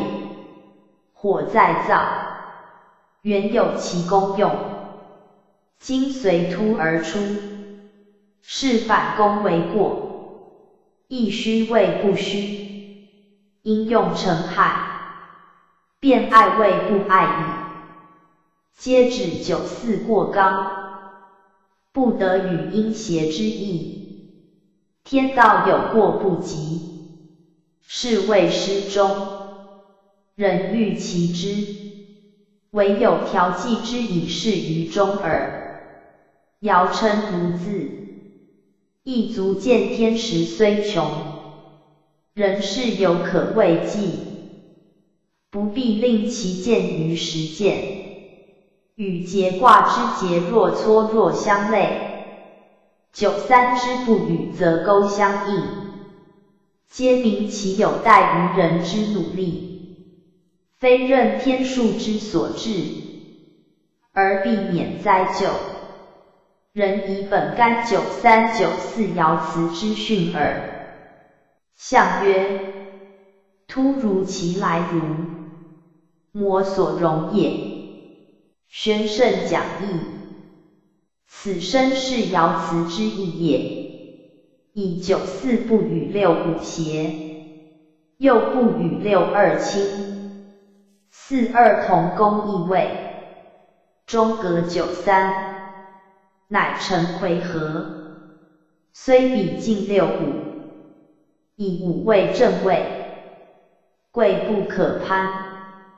与九三同位阳。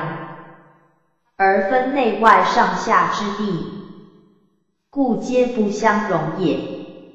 离位火，四位外卦之始，有类于地，而非地，故欲以造突出火。突字意含玄起之意，平地呼出，凭空促出，曰突。又有逆袭之意，痛前冲闯，与物忤逆，曰突。言其事先不预也。既突如而来，则其不意头恰可知；因其不恰，即遭拒斥可知。以火发而至本如，被害而遭死如。抛直不顾而成器，如此故相因而至，未必一一如是也。故事文旦称其魔所容，明其两不相协，则所生之害，皆由魔所容而来。善用时者，苟求其相容，及诸难皆可免矣。即火出于突，亦因造之不容，气与物不协，所以有溃散之害。不独火也。而此言离，假火未遇，推之日之过热，亦足招致粉死之害。如暑月并猝死，即九四之象也。过犹不及，九三不及，乃必于日昃。九四太过，乃必于火焚，皆失中之害也。且九四与九三，上下皆火，正与灶突出火之象相似。读者不可拘泥一节，而望其会通也。宗主附注：离以九三九四重刚不中。一则与二不协，一则与五不容，遂变成中离之象。以离相如人双目，中有所隔，合而为明。三四正在隔间，故有不容不协之语。且离以二无正位，一内一外，皆为阴。本柔得以兼刚用，一中道以切四方。此二五的为当时之功用，再能自卑以凌人，自屈以身重。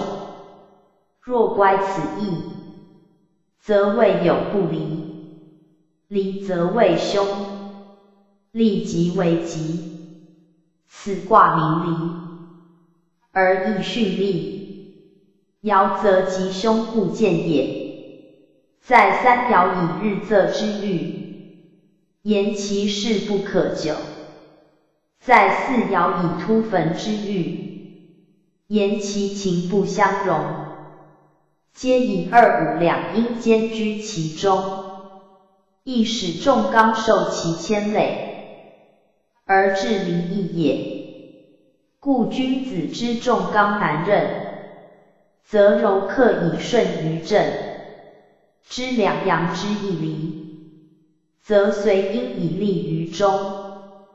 彖辞曰：柔利乎中正不亨，阴柔以行刚，则所行无不达。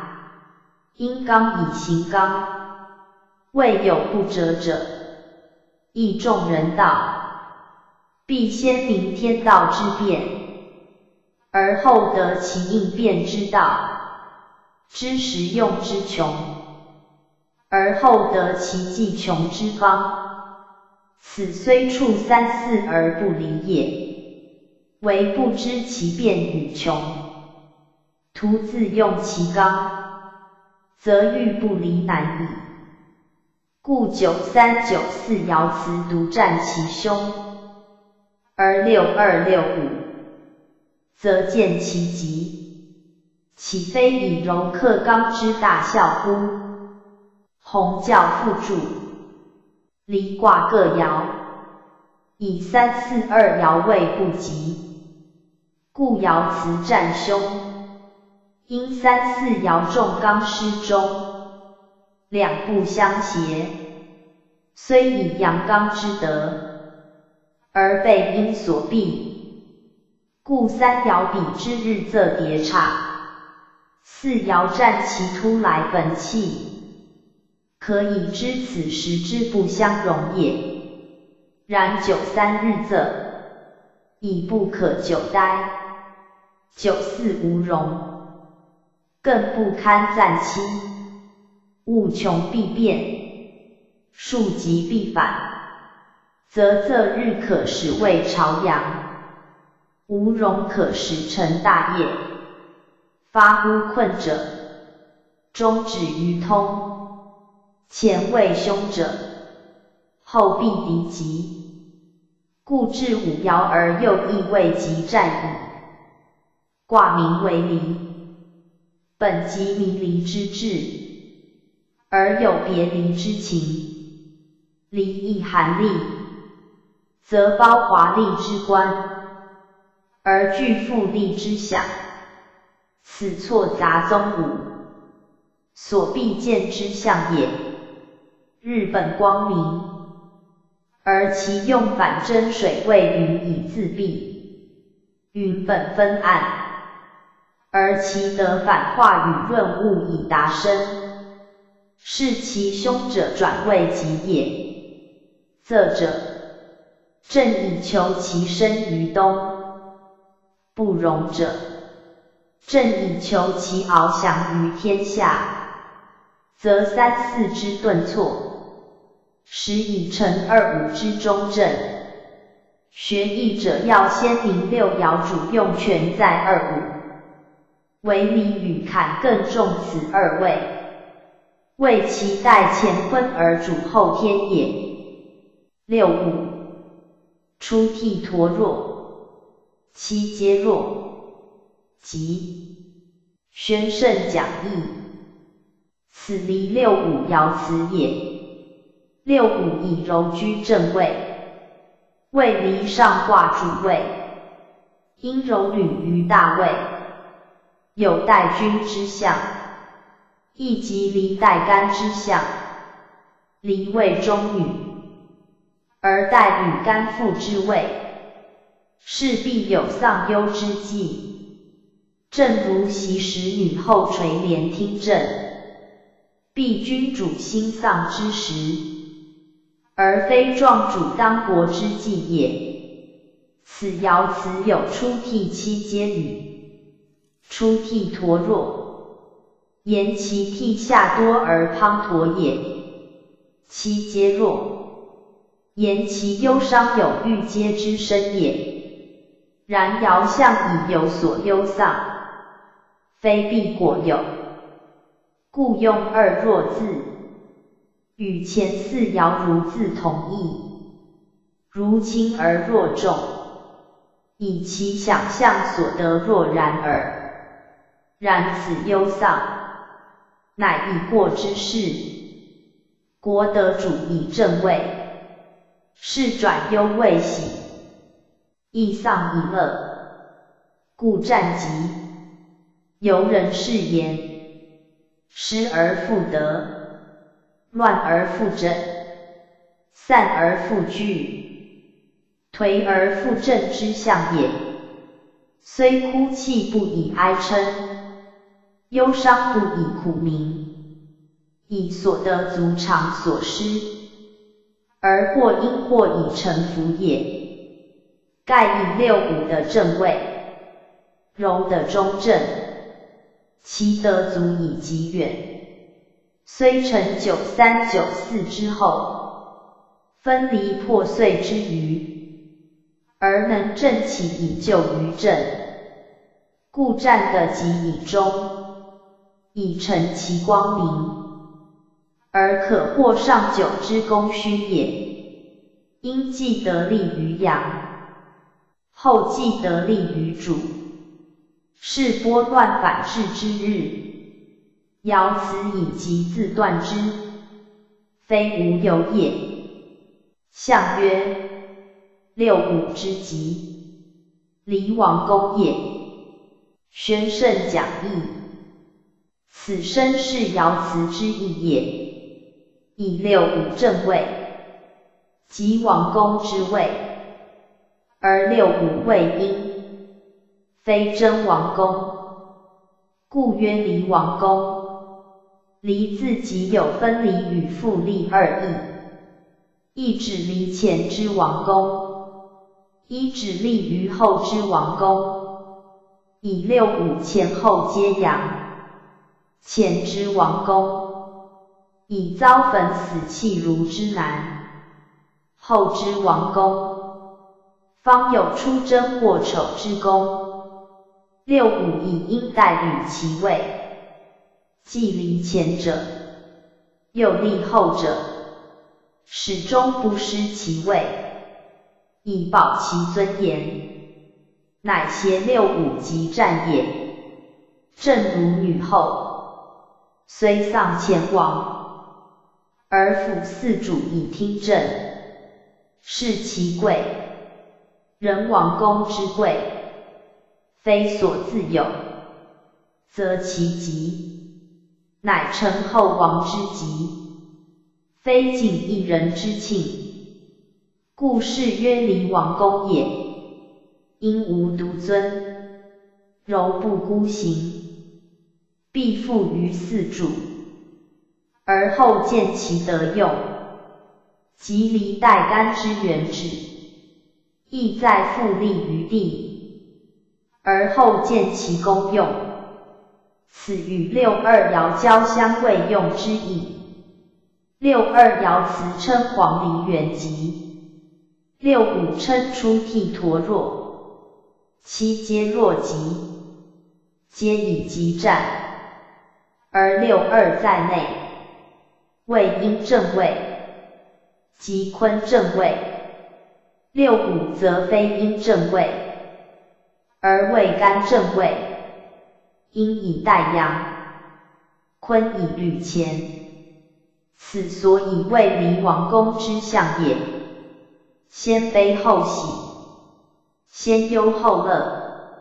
阴者善于顺承，故以复立王宫而获吉也。凡易卦重在正位，六五位正而摇飞，乃必于复立王宫。若亦以九五，则真王公矣。上九，王用出征，有家者守，或匪其丑。五九，宣圣讲义，此离上九爻辞也。上九居全卦之上，为明照下背之时。以六五正位王公，得以其实名德不正，而因上九一阳在上，成刚用武，故有出征之象。有家者守，或匪其丑，乃用兵杀敌治国之象。家者可加，即喜庆之意。则有祸也，征讨有罪，坚决取魁，是武功已告成也。或匪其丑，丑类也，又小丑之意，既得其手，胁从往至，则杀伐中，兼施仁惠，事虽用武。不干于就利也，礼以光明之象，辟之国家政行并重，威德兼夫，而后国以文明，民以安乐，此光明之业，必兼资于文武也。且离日为阳刚之德所寄，其功用被生杀之权。辟之一年，春生秋杀，莫非天道？莫非日之至用？春日初化，大地温和，万物同生；秋阳寂烈，大地枯燥，万物同杀。是皆日位之也。上九当阳极之余。正秋杀之后，故王因之用兵。秋令虽速杀，而天道好生，杀其太过，而恤其不足，故讨伐只加于魁首，而所雷役者，非尽其类也。此杀与生不备，恩与威不为。宜其战无救也。相曰：王用出征，以正邦也。宣圣讲义，此身是爻辞之意也。真者正也，不正者讨之以使复于正，故用征伐。此天子之事也。凡方国不废典刑。不撤五倍，未以法有罪，诸不服。上九之争，正以丁三四爻离乱之余，各方有邪二之志，六五之王公，至此以得生其天讨，张其踏伐，而能获其首恶，散其徒众，树乎邦国以正，人民以安。此离上九爻辞，称其出征，是闻只为以正邦也。辞虽取征讨未遇，纠包括刑罚不善，逐赤不共而言，不过征伐为最大耳。明明得于天下，有教必有行，有文事必有武备。杀之正以成其身，威之正以见其会。此离日之功用，大人所效法也。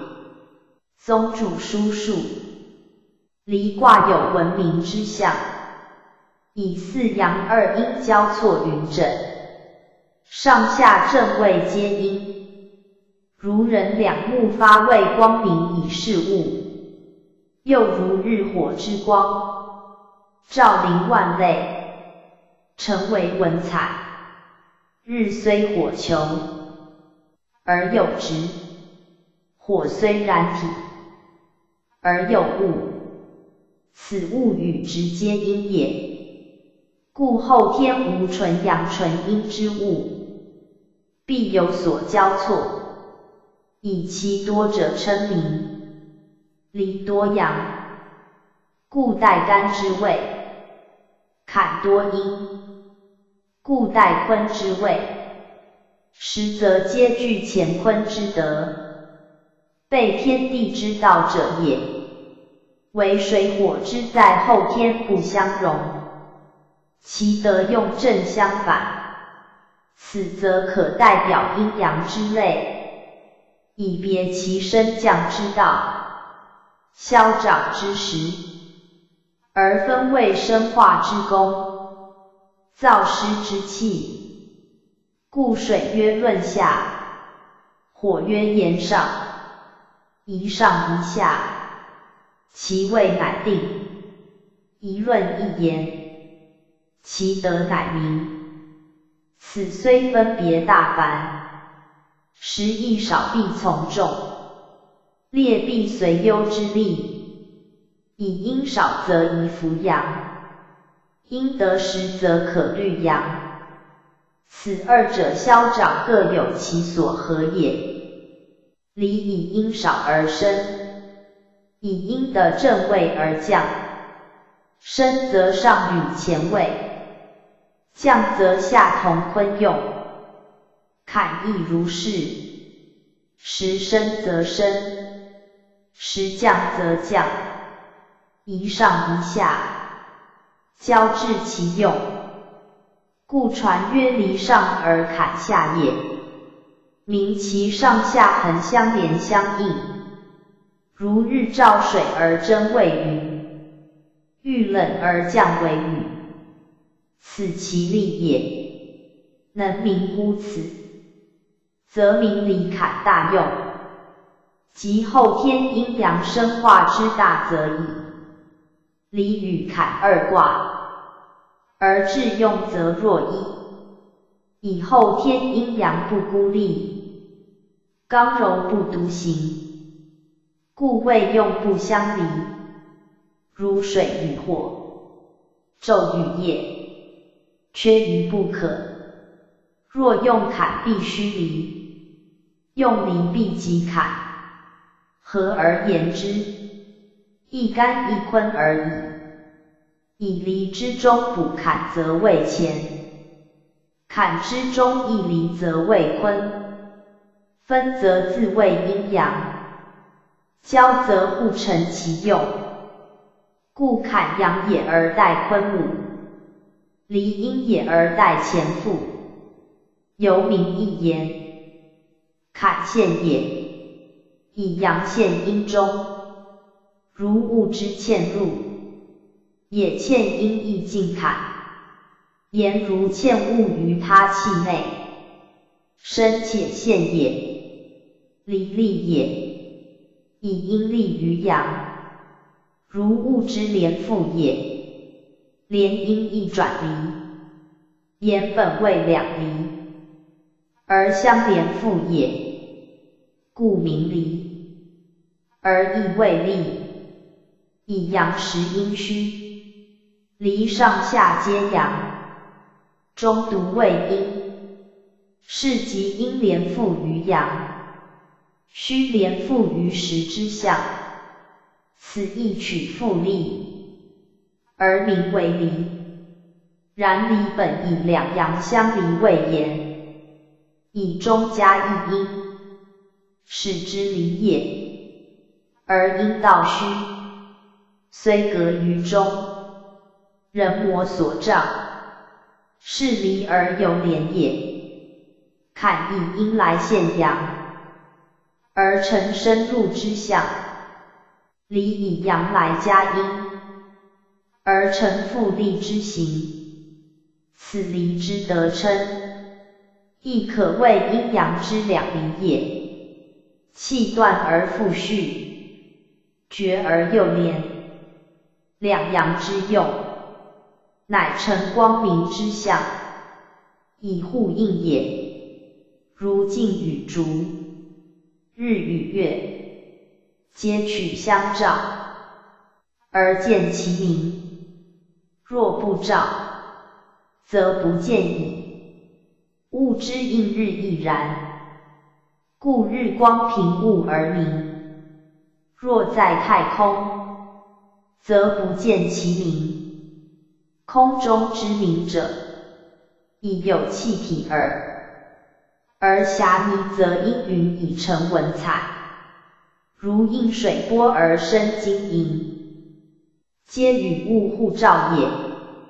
离以两阳对射，相照一阴，故其明最者，而比于天日。天日之明，天下之大明也，为干称大明中始，而在后天，为离代之，故离明也，乃代干元之光，而为生化之载。虽体阴而用阳，其道则为天日与火可象。此离取向于火，以在地上最发光者火也。火与日既有光明，复寒温热，是其用犹如纯阳之前。虽中加一阴，不足以减其力，故各卦为名能代乾，而居天位也。离虽未光明。未复利，有和平之象，而以其为气过急，味道过激，如火如日，热力破物，甚分凌人，故虽得用，不足以与于安吉也。盖天下之治安者，必先治平，治急者。必先至中，离与坎皆非平非中，一在高而自崇傲，一在下而自深省。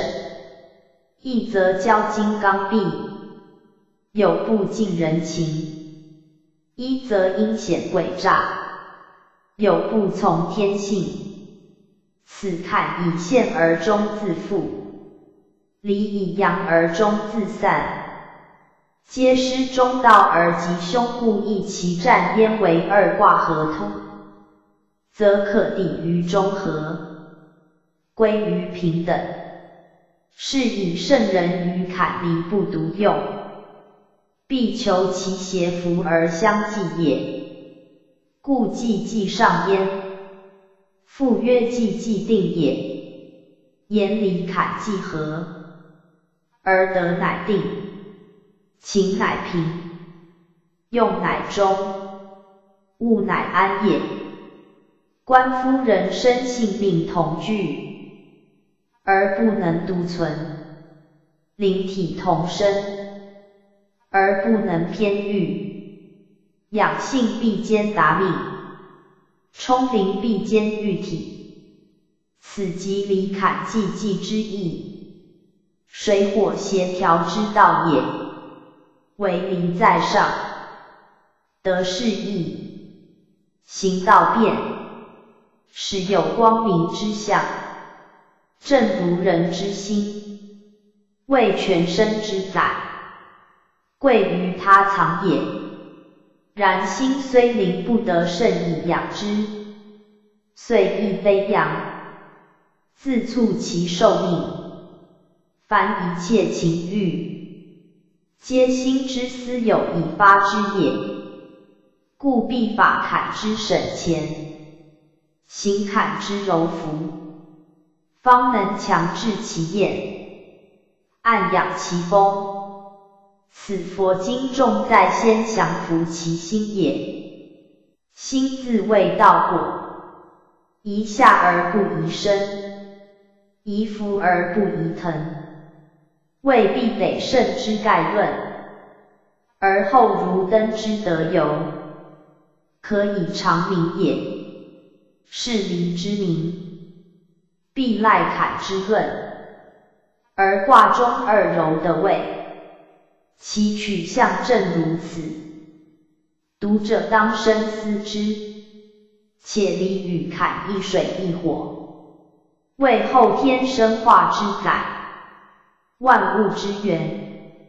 离出于坤，故两阴在中；坎出于乾。故两阳在内，以物言，水未流至，而变为气，是其属阳类，而复在地，是其成于阴也。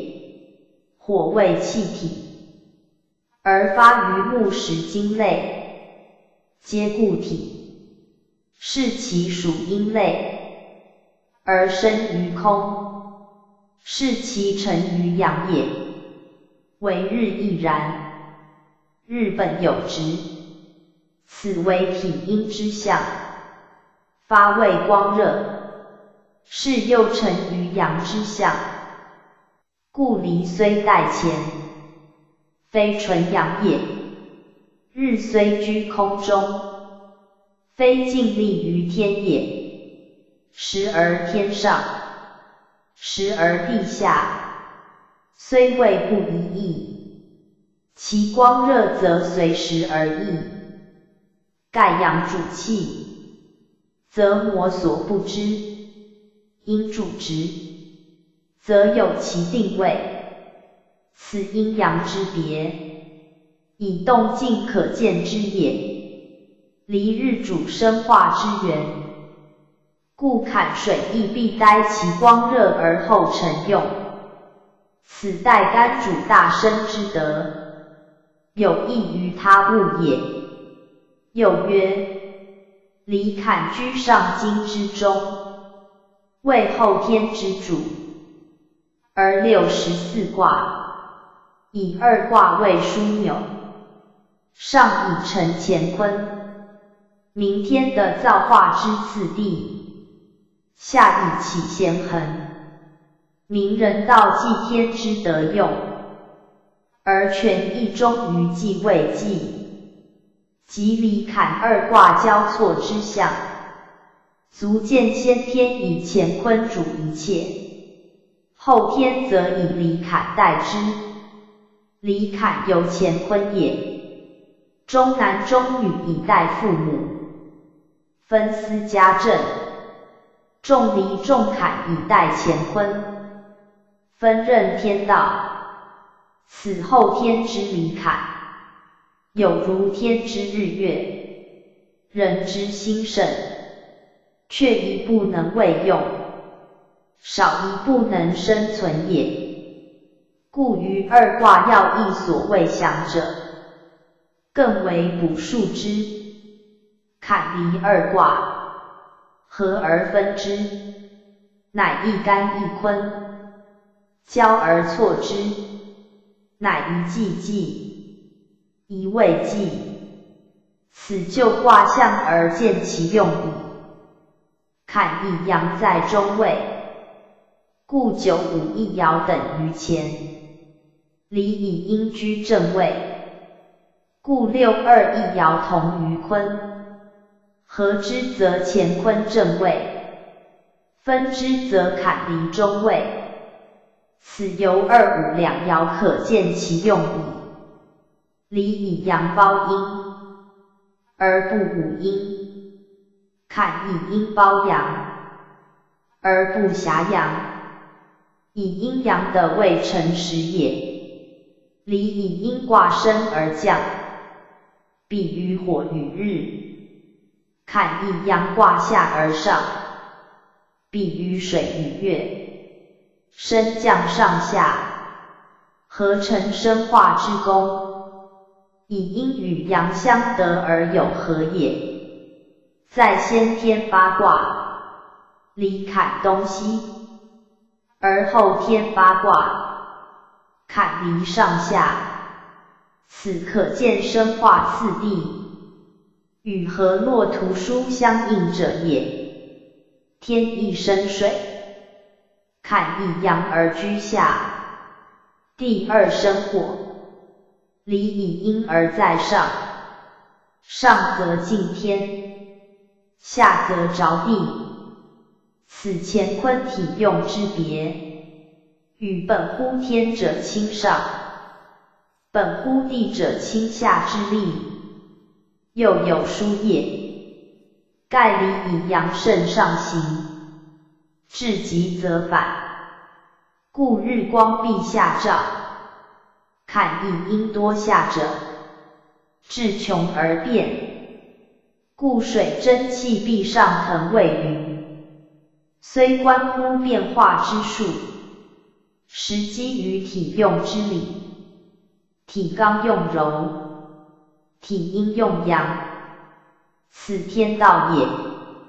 万物凭此以生以化，后天阴阳既合，其作用不得不如是也。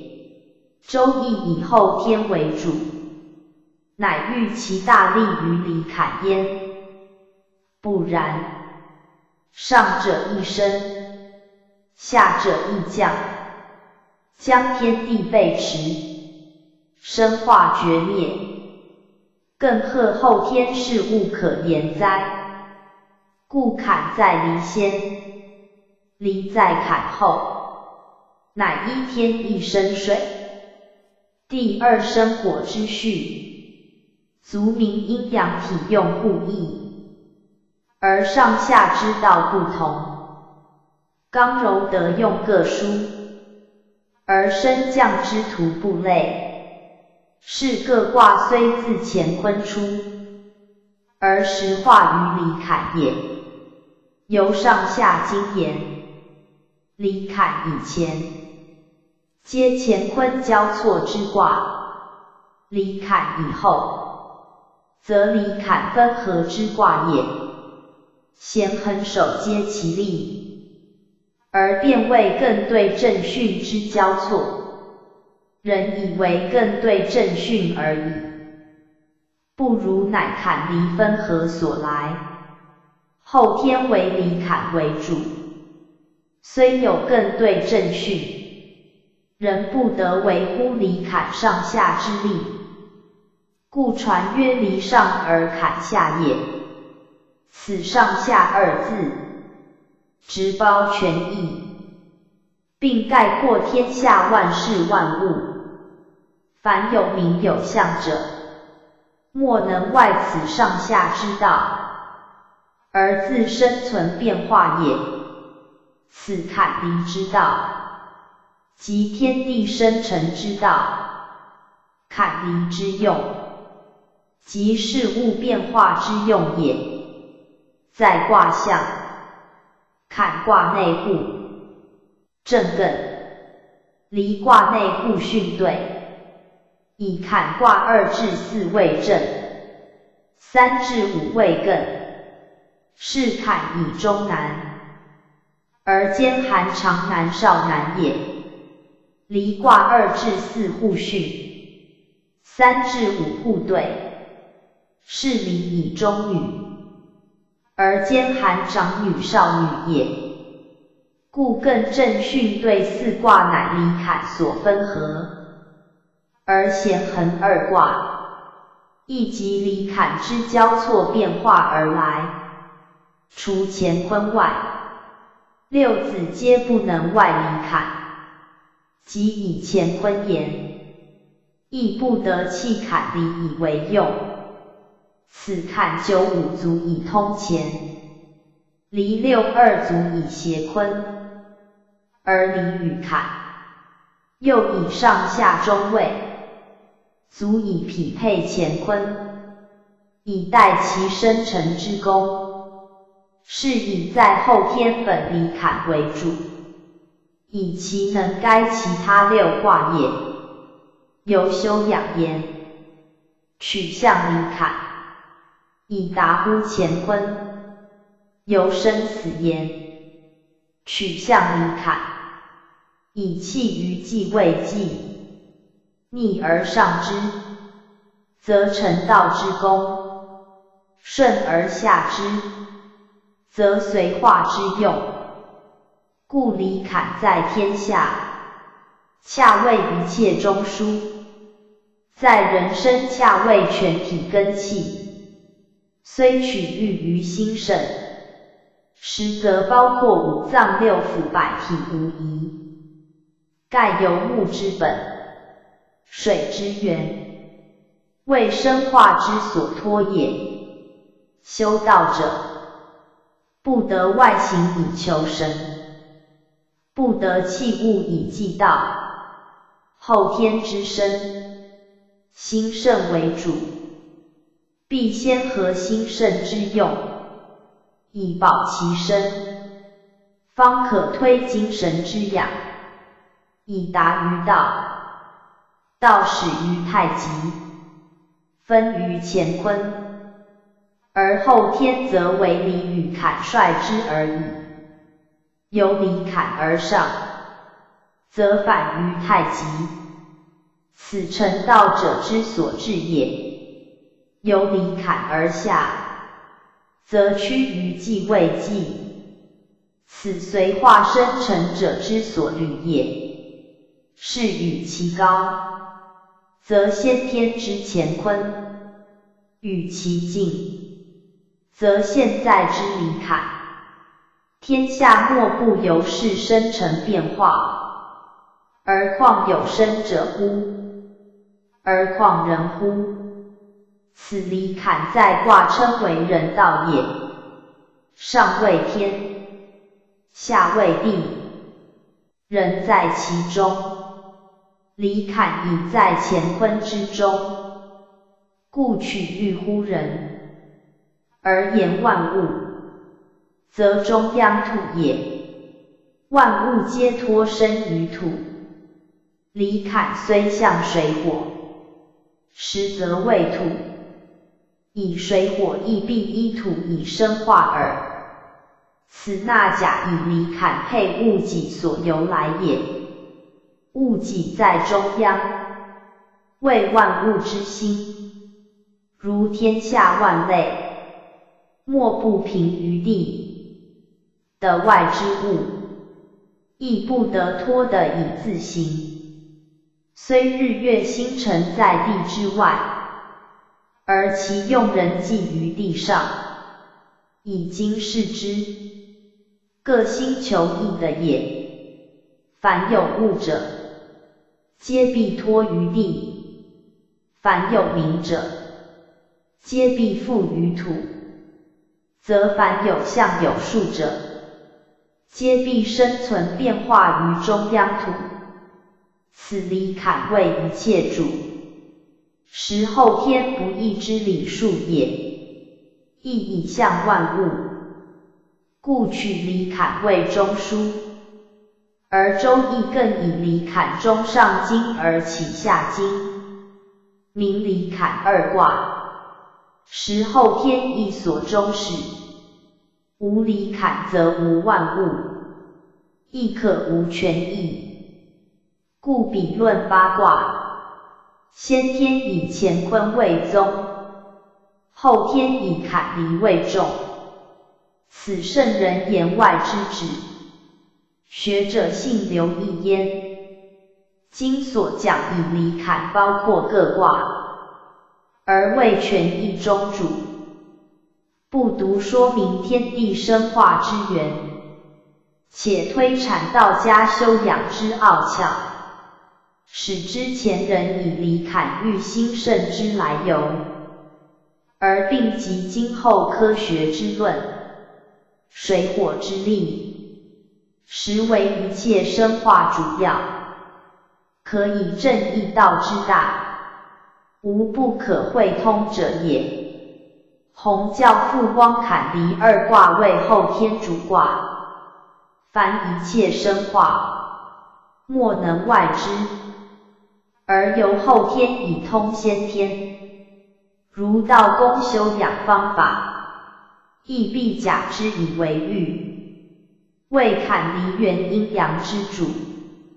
气血之司，心肾之府，精神之门，是不独外包万物，内扩玄微，而其志也，直达乾坤之源，以还于太极，时皆由离坎之神用以治之者，故讲二卦，教他卦位精详。